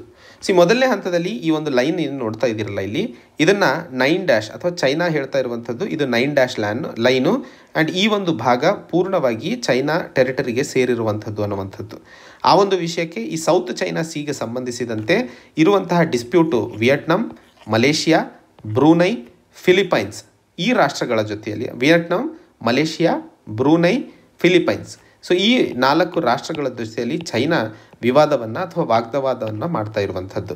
ಸೌತ್ ಚೈನಾ ಸಿ ಯಾಕೆ ಇಂಪಾರ್ಟೆಂಟ್ ಇದೆ? ಸಿ ಸೌತ್ ಚೈನಾ ಸಿ ಮುಖ್ಯವಾಗಿ ಈ ಒಂದು ಭಾಗದಲ್ಲಿ ಪ್ರತಿ ವರ್ಷ ಸುಮಾರು ಐದು ಟ್ರಿಲಿಯನ್ ಡಾಲರ್ಗಳ ಶಿಪ್ಸ್ ಕಾರ್ಗೋಗಳ ಮೂವ್ಮೆಂಟ್ ಆಗುತ್ತದೆ. ಅದಲ್ಲದೆ ಇಲ್ಲಿ ಬಹಳ ದೊಡ್ಡ ಮಟ್ಟದಲ್ಲಿ ನ್ಯಾಚುರಲ್ ರಿಸೋರ್ಸಸ್ಸು ಸಹ ಇದ್ದಾವೆ ಅನ್ನುವಂಥದ್ದು ಇಲ್ಲಿ ಗೊತ್ತಾಗ್ತಾ ಇರುವಂಥದ್ದು. ಆ್ಯಂಡ್ ಮ್ಯಾಪ್ ಬೇಸ್ಡ್ ಕ್ವೆಶನ್ ಆಗಿ ಸ್ಪಾರ್ಟ್ಲಿ ಐಲ್ಯಾಂಡ್ಸ್ ನೋಡಿ ಇದು. ಇದು ಸ್ಪಾಟ್ಲಿ ಐಲ್ಯಾಂಡ್ಸ್ ಅಂತ ಹೇಳಿ. ಯಾಕಂದರೆ ಸೌತ್ ಚೈನಾ ಸಿಯಲ್ಲೇ ಬರುವಂತಹ ಸ್ಪಾಟ್ಲಿ ಐಲ್ಯಾಂಡ್ಸು ಎಲ್ಲಿದೆ ಅನ್ನುವಂಥದ್ದು ಕೇಳಬಹುದು. ಇದರ ಜೊತೆಯಲ್ಲಿ ವಿಟ್ಸನ್ ರೀಫ್, ವಿಟ್ರನ್, ವಿಟ್ಸನ್ ರೀಫು ಸೌತ್ ಚೈನಾ ಸಿಯಲ್ಲೇ ನಾವು ಕಾಣ್ತೀವಿ. ಸೊ ಯಾವ ನಾಲ್ಕು ರಾಷ್ಟ್ರಗಳು ಡಿಸ್ಪ್ಯೂಟಲ್ಲಿದ್ದಾವೆ? ಫಿಲಿಪೀನ್ಸ್ ಮಲೇಷಿಯಾ, ಬ್ರೂನೈ ಮತ್ತು ವಿಯೆಟ್ನಾಂ. ಈ ವಿಷಯವನ್ನು ಮ್ಯಾಪ್ ಬೇಸ್ಡ್ ಕ್ವಶನ್ ಆಗಿ ಮುಖ್ಯವಾಗಿ ನೆನ್ಪಿಟ್ಕೊಳ್ಳಿ. ಮುಂದಿನ ಒಂದು ವಿಷಯ, ಕಾಲಾಪಾನಿ ರಿವರ್ಗೆ ಸಂಬಂಧಿಸವಾದಂತಹ ಒಂದು ಚರ್ಚೆ. ಸಿ, ಕಾಲಾಪಾನಿ ಅಂತ ಹೇಳಿ ತಾವು ನ್ಯೂಸಲ್ಲಿ ಕೇಳಿರ್ತೀರ? ಆದರೂ ಇಲ್ಲಿ ಇನ್ನೊಂದ್ಸರಿ ಡಿಸ್ಕಸ್ ಮಾಡೋಣ. ಕಾಲಾಪಾನಿ ಅನ್ನುವಂಥದ್ದು ಮುಖ್ಯವಾಗಿ ಪಿತೋರ್ಗರ್ ಡಿಸ್ಟಿಕಲ್ಲಿದೆ ಉತ್ತರಾಖಂಡಲ್ಲಿ. ಈ ಒಂದು ಭಾಗವನ್ನು ಭಾರತ ಅಡ್ಮಿನಿಸ್ಟ್ರೇಷನ್ ಮಾಡ್ತಾ ಇರುವಂಥದ್ದು. ಈ ಒಂದು ಹಾದಿ ಅಥವಾ ಕಾಲಾಪಾನಿ ಅನ್ನುವಂಥದ್ದು ಕೈಲಾಶ್ ಮಾನಸರೋವರ್ ರೂಟ್ನಲ್ಲಿ ಬರುತ್ತದೆ ಅನ್ನುವಂಥದ್ದು. ಸೊ ಎಲ್ಲಿದೆ? ಉತ್ತರಾಖಂಡಲ್ಲಿದೆ ಅನ್ನುವಂಥದ್ದು ಪಿತೋರ್ಗಢ್ ಡಿಸ್ಟಿಕ್ಕಲ್ಲಿ ನೆನ್ಪಿಟ್ಕೊಳ್ಳಿ. ಈ ಒಂದು ಕಾಲಾಪಾನಿ ರೀಜನ್ ಅಥವಾ ಏರಿಯಾ ಏನಿದೆ ಅಲ್ಲ, ಇಪ್ಪತ್ತು ಸಾವಿರ ಫೀಟ್ ಹೈಟಲ್ಲಿ ಇರುವಂತಹ ನಿಟ್ಟಿನಲ್ಲಿ ಈ ಭಾಗದಲ್ಲಿ ಅಬ್ಸರ್ವೇಷನ್ಗೋಸ್ಕರ ಬಹಳ ಇಂಪಾರ್ಟೆಂಟ್ ಆಗಿರುವಂತಹ ಸ್ಟ್ರಾಟಜಿಕ್ ಲೊಕೇಶನ್ ಇದು. ಈ ಕಾಲಾಪಾನಿ ರೀಜನ್ನಲ್ಲಿ ಕಾಲಿ ರಿವರ್ ಇದೆ. ಈ ಕಾಲಿ ರಿವರು ಮುಖ್ಯವಾಗಿ ನೇಪಾಲ್ ಮತ್ತು ಭಾರತದ ನಡುವಿನ ಒಂದು ಬಾರ್ಡರನ್ನು ಡಿಫೈನ್ ಮಾಡುತ್ತೆ. ಈಗ ಟ್ರೀಟಿ ಆಫ್ ಸಗೋಲಿ ನೆನ್ಪಿಟ್ಕೊಳ್ಳಿ. Treaty of Sagauli kingdom of Nepal ಮತ್ತು ಬ್ರಿಟಿಷ್ ನಡುವೆ ಹದಿನೆಂಟುನೂರ ಹದಿನಾರರಲ್ಲಿ ಆಂಗ್ಲೋ ನೇಪಾಲಿ ವಾರ್ನ ನಂತರ ಸೈನ್ ಮಾಡಿರುವಂಥದ್ದು. ಈ ಟ್ರೀಟಿ ಆಫ್ ಸಗೋಲಿಯಿಂದಾನೇ ಭಾರತ ಮತ್ತು, ಆದರೆ ಆ ಸಮಯದಲ್ಲಿ ಬ್ರಿಟಿಷ್ ಇಂಡಿಯಾ ಮತ್ತು ಕಿಂಗ್ಡಮ್ ಆಫ್ ನೇಪಾಲ್ನ ನಡುವೆ ಒಂದು ಬಾರ್ಡರನ್ನು ಡಿಫೈನ್ ಮಾಡಲಾಗಿತ್ತು. ಟ್ರೀಟಿ ಆಫ್ ಸಗೋಲಿ ಬಹಳ ಇಂಪಾರ್ಟೆಂಟು ಹದಿನೆಂಟುನೂರ ಹದಿನಾರು. ಈ ಸಂದರ್ಭದಲ್ಲಿ ಈ ಕಾಲಿ ನದಿ ಏನು ಮಾಡುತ್ತೆ? ನದಿಗಳೆಲ್ಲ ತಮಗೆ ಗೊತ್ತೇ ಇದೆ. ಅದು ತನ್ನ ದಿಕ್ಕನ್ನು ಬದಲಾಯಿಸ್ತಾ ಇರ್ತವೆ, ಸಮಯದ ಅನುಗುಣವಾಗಿ ಎರೋಷನ್ ಮತ್ತು ಡೆಪಾಸಿಷನ್ನಿಂದಾಗಿ ಈ ಎರೋಷನ್ ಮತ್ತು ಡೆಪಾಸಿಷನ್ನಿಂದಾಗಿ ಕಾಳಿ ನದಿ ತನ್ನ ದಿಕ್ಕು ಅಥವಾ ಹರಿತಾ ಇರುವಂತಹ ಹಾದಿಯನ್ನು ಬದಲಾಯಿಸ್ತಾ ಇರುವಂತಹ ನಿಟ್ಟಿನಲ್ಲಿ ಈ ಒಂದು ಬೌಂಡ್ರಿಯೂ ಸಹ ಬದಲಾಗ್ತಾ ಹೋಗ್ತಾ ಇದೆ. ಈಗ ಈ ಕಾಲಾಪಾನಿ ಏರಿಯಾ ಏನಿದೆಯಲ್ಲ ಈ ಒಂದು ಕಾಲಿ ನದಿ ಈ ಕಡೆ ಬಂದಿರುವಂತಹ ಸಂದರ್ಭದಲ್ಲಿ ನೇಪಾಲು ಕಾಲಾಪಾನಿಯು ಸಹ ಭಾರತಕ್ಕೆ ಸೇರಿದ್ದಲ್ಲ, ನೇಪಾಳಕ್ಕೆ ಸೇರಿದ್ದು ಅನ್ನುವಂತಹ ವಿಷಯವನ್ನು ಹೇಳ್ತಾ ಇರುವಂಥದ್ದು. ಸೊ ಮೊದಲನೇದಾಗಿ ಡಿಸ್ಪ್ಯೂಟ್ ಎರಡು ರಾಷ್ಟ್ರಗಳ ನಡುವೆ ಇರುವಂಥದ್ದು ಕಾಲಾಪಾನಿ ಜಾಗಕ್ಕೆ ಸಂಬಂಧಿಸಿದಂತೆ ಇದು. ಟ್ರೀಟಿ ಆಫ್ ಸಗೋಲಿಯಲ್ಲಿ ಹೇಳಿದಂಥದ್ದು ಕಾಲಿ ನದಿ ಏನು ಬಾರ್ಡರ್ ಅಂತ ಹೇಳಿ ಡಿಸೈಡ್ ಮಾಡಲಾಗಿತ್ತೋ. ಅದರ ಹಾದಿಯಲ್ಲಿ ಆಗ್ತಾ ಇರುವಂತಹ ಬದಲಾವಣೆಗಳೇ ಈ ಡಿಸ್ಪ್ಯೂಟಿಗೆ ಮುಖ್ಯ ಕಾರಣವಾಗಿದ್ದಾವೆ ಅನ್ನುವಂಥದ್ದು. ಮುಂದಿನ ಒಂದು ವಿಷಯ ಜೋಜಿಲಾ ಟನಲ್. ಈ ಈ ಜೋಜಿಲಾ ಟನಲ್ ಎಲ್ಲಿದೆ? ಅಥವಾ ಜೋಜಿಲಾ ಪಾಸ್ನ ಬಗ್ಗೆಯೂ ತಾವು ಕೇಳಿರ್ತೀರ? ಈ ಜೋಜಿಲಾ ಪಾಸ್ ನಾವು ಮುಖ್ಯವಾಗಿ ಲಡಾಖ್ ಡಿಸ್ಟಿಕ್ನಲ್ಲಿ ಕಾರ್ಗ್, ಕಾರ್ಗಿಲ್ ಡಿಸ್ಟಿಕ್ ಲಡಾಖ್ನಲ್ಲಿ ನಾವು ಈ ಜೋಜಿಲಾ ಪಾಸ್ ಅಥವಾ ಜೋಜಿಲಾ ಟನಲನ್ನು ಕಾಣ್ತಾ ಇರುವಂಥದ್ದು. ತಮಗೆಲ್ಲ ಗೊತ್ತಿರೋ ಹಾಗೆ ಜೋಜಿಲಾ ಪಾಸ್ ಲೇ ಮತ್ತು ಶ್ರೀನಗರನ್ನು ಕನೆಕ್ಟ್ ಮಾಡುತ್ತೆ. ಲೇ ಮತ್ತು ಶ್ರೀನಗರನ್ನ ಕನೆಕ್ಟ್ ಮಾಡ್ತಾ ಇರುವಂತಹ ಈ ಜೋಜಿಲಾ ಪಾಸ್ ಮುಖ್ಯವಾಗಿ ವಿಂಟರ್ ಅಥವಾ ಚಳಿಗಾಲದಲ್ಲಿ ಸ್ನೋಯಿಂದ ತುಂಬ್ಕೊತಾ ಇತ್ತು. ಸೊ ಆ ಸಂದರ್ಭದಲ್ಲಿ ಪಾಸಿಂದ ಯಾರೂ ಸಹ ಲೇ ಮತ್ತು ಶ್ರೀನಗರಿಗೆ ಹೋಗೋದು ಬರೋದು ತುಂಬ ಕಷ್ಟ ಆಗ್ತಿತ್ತು.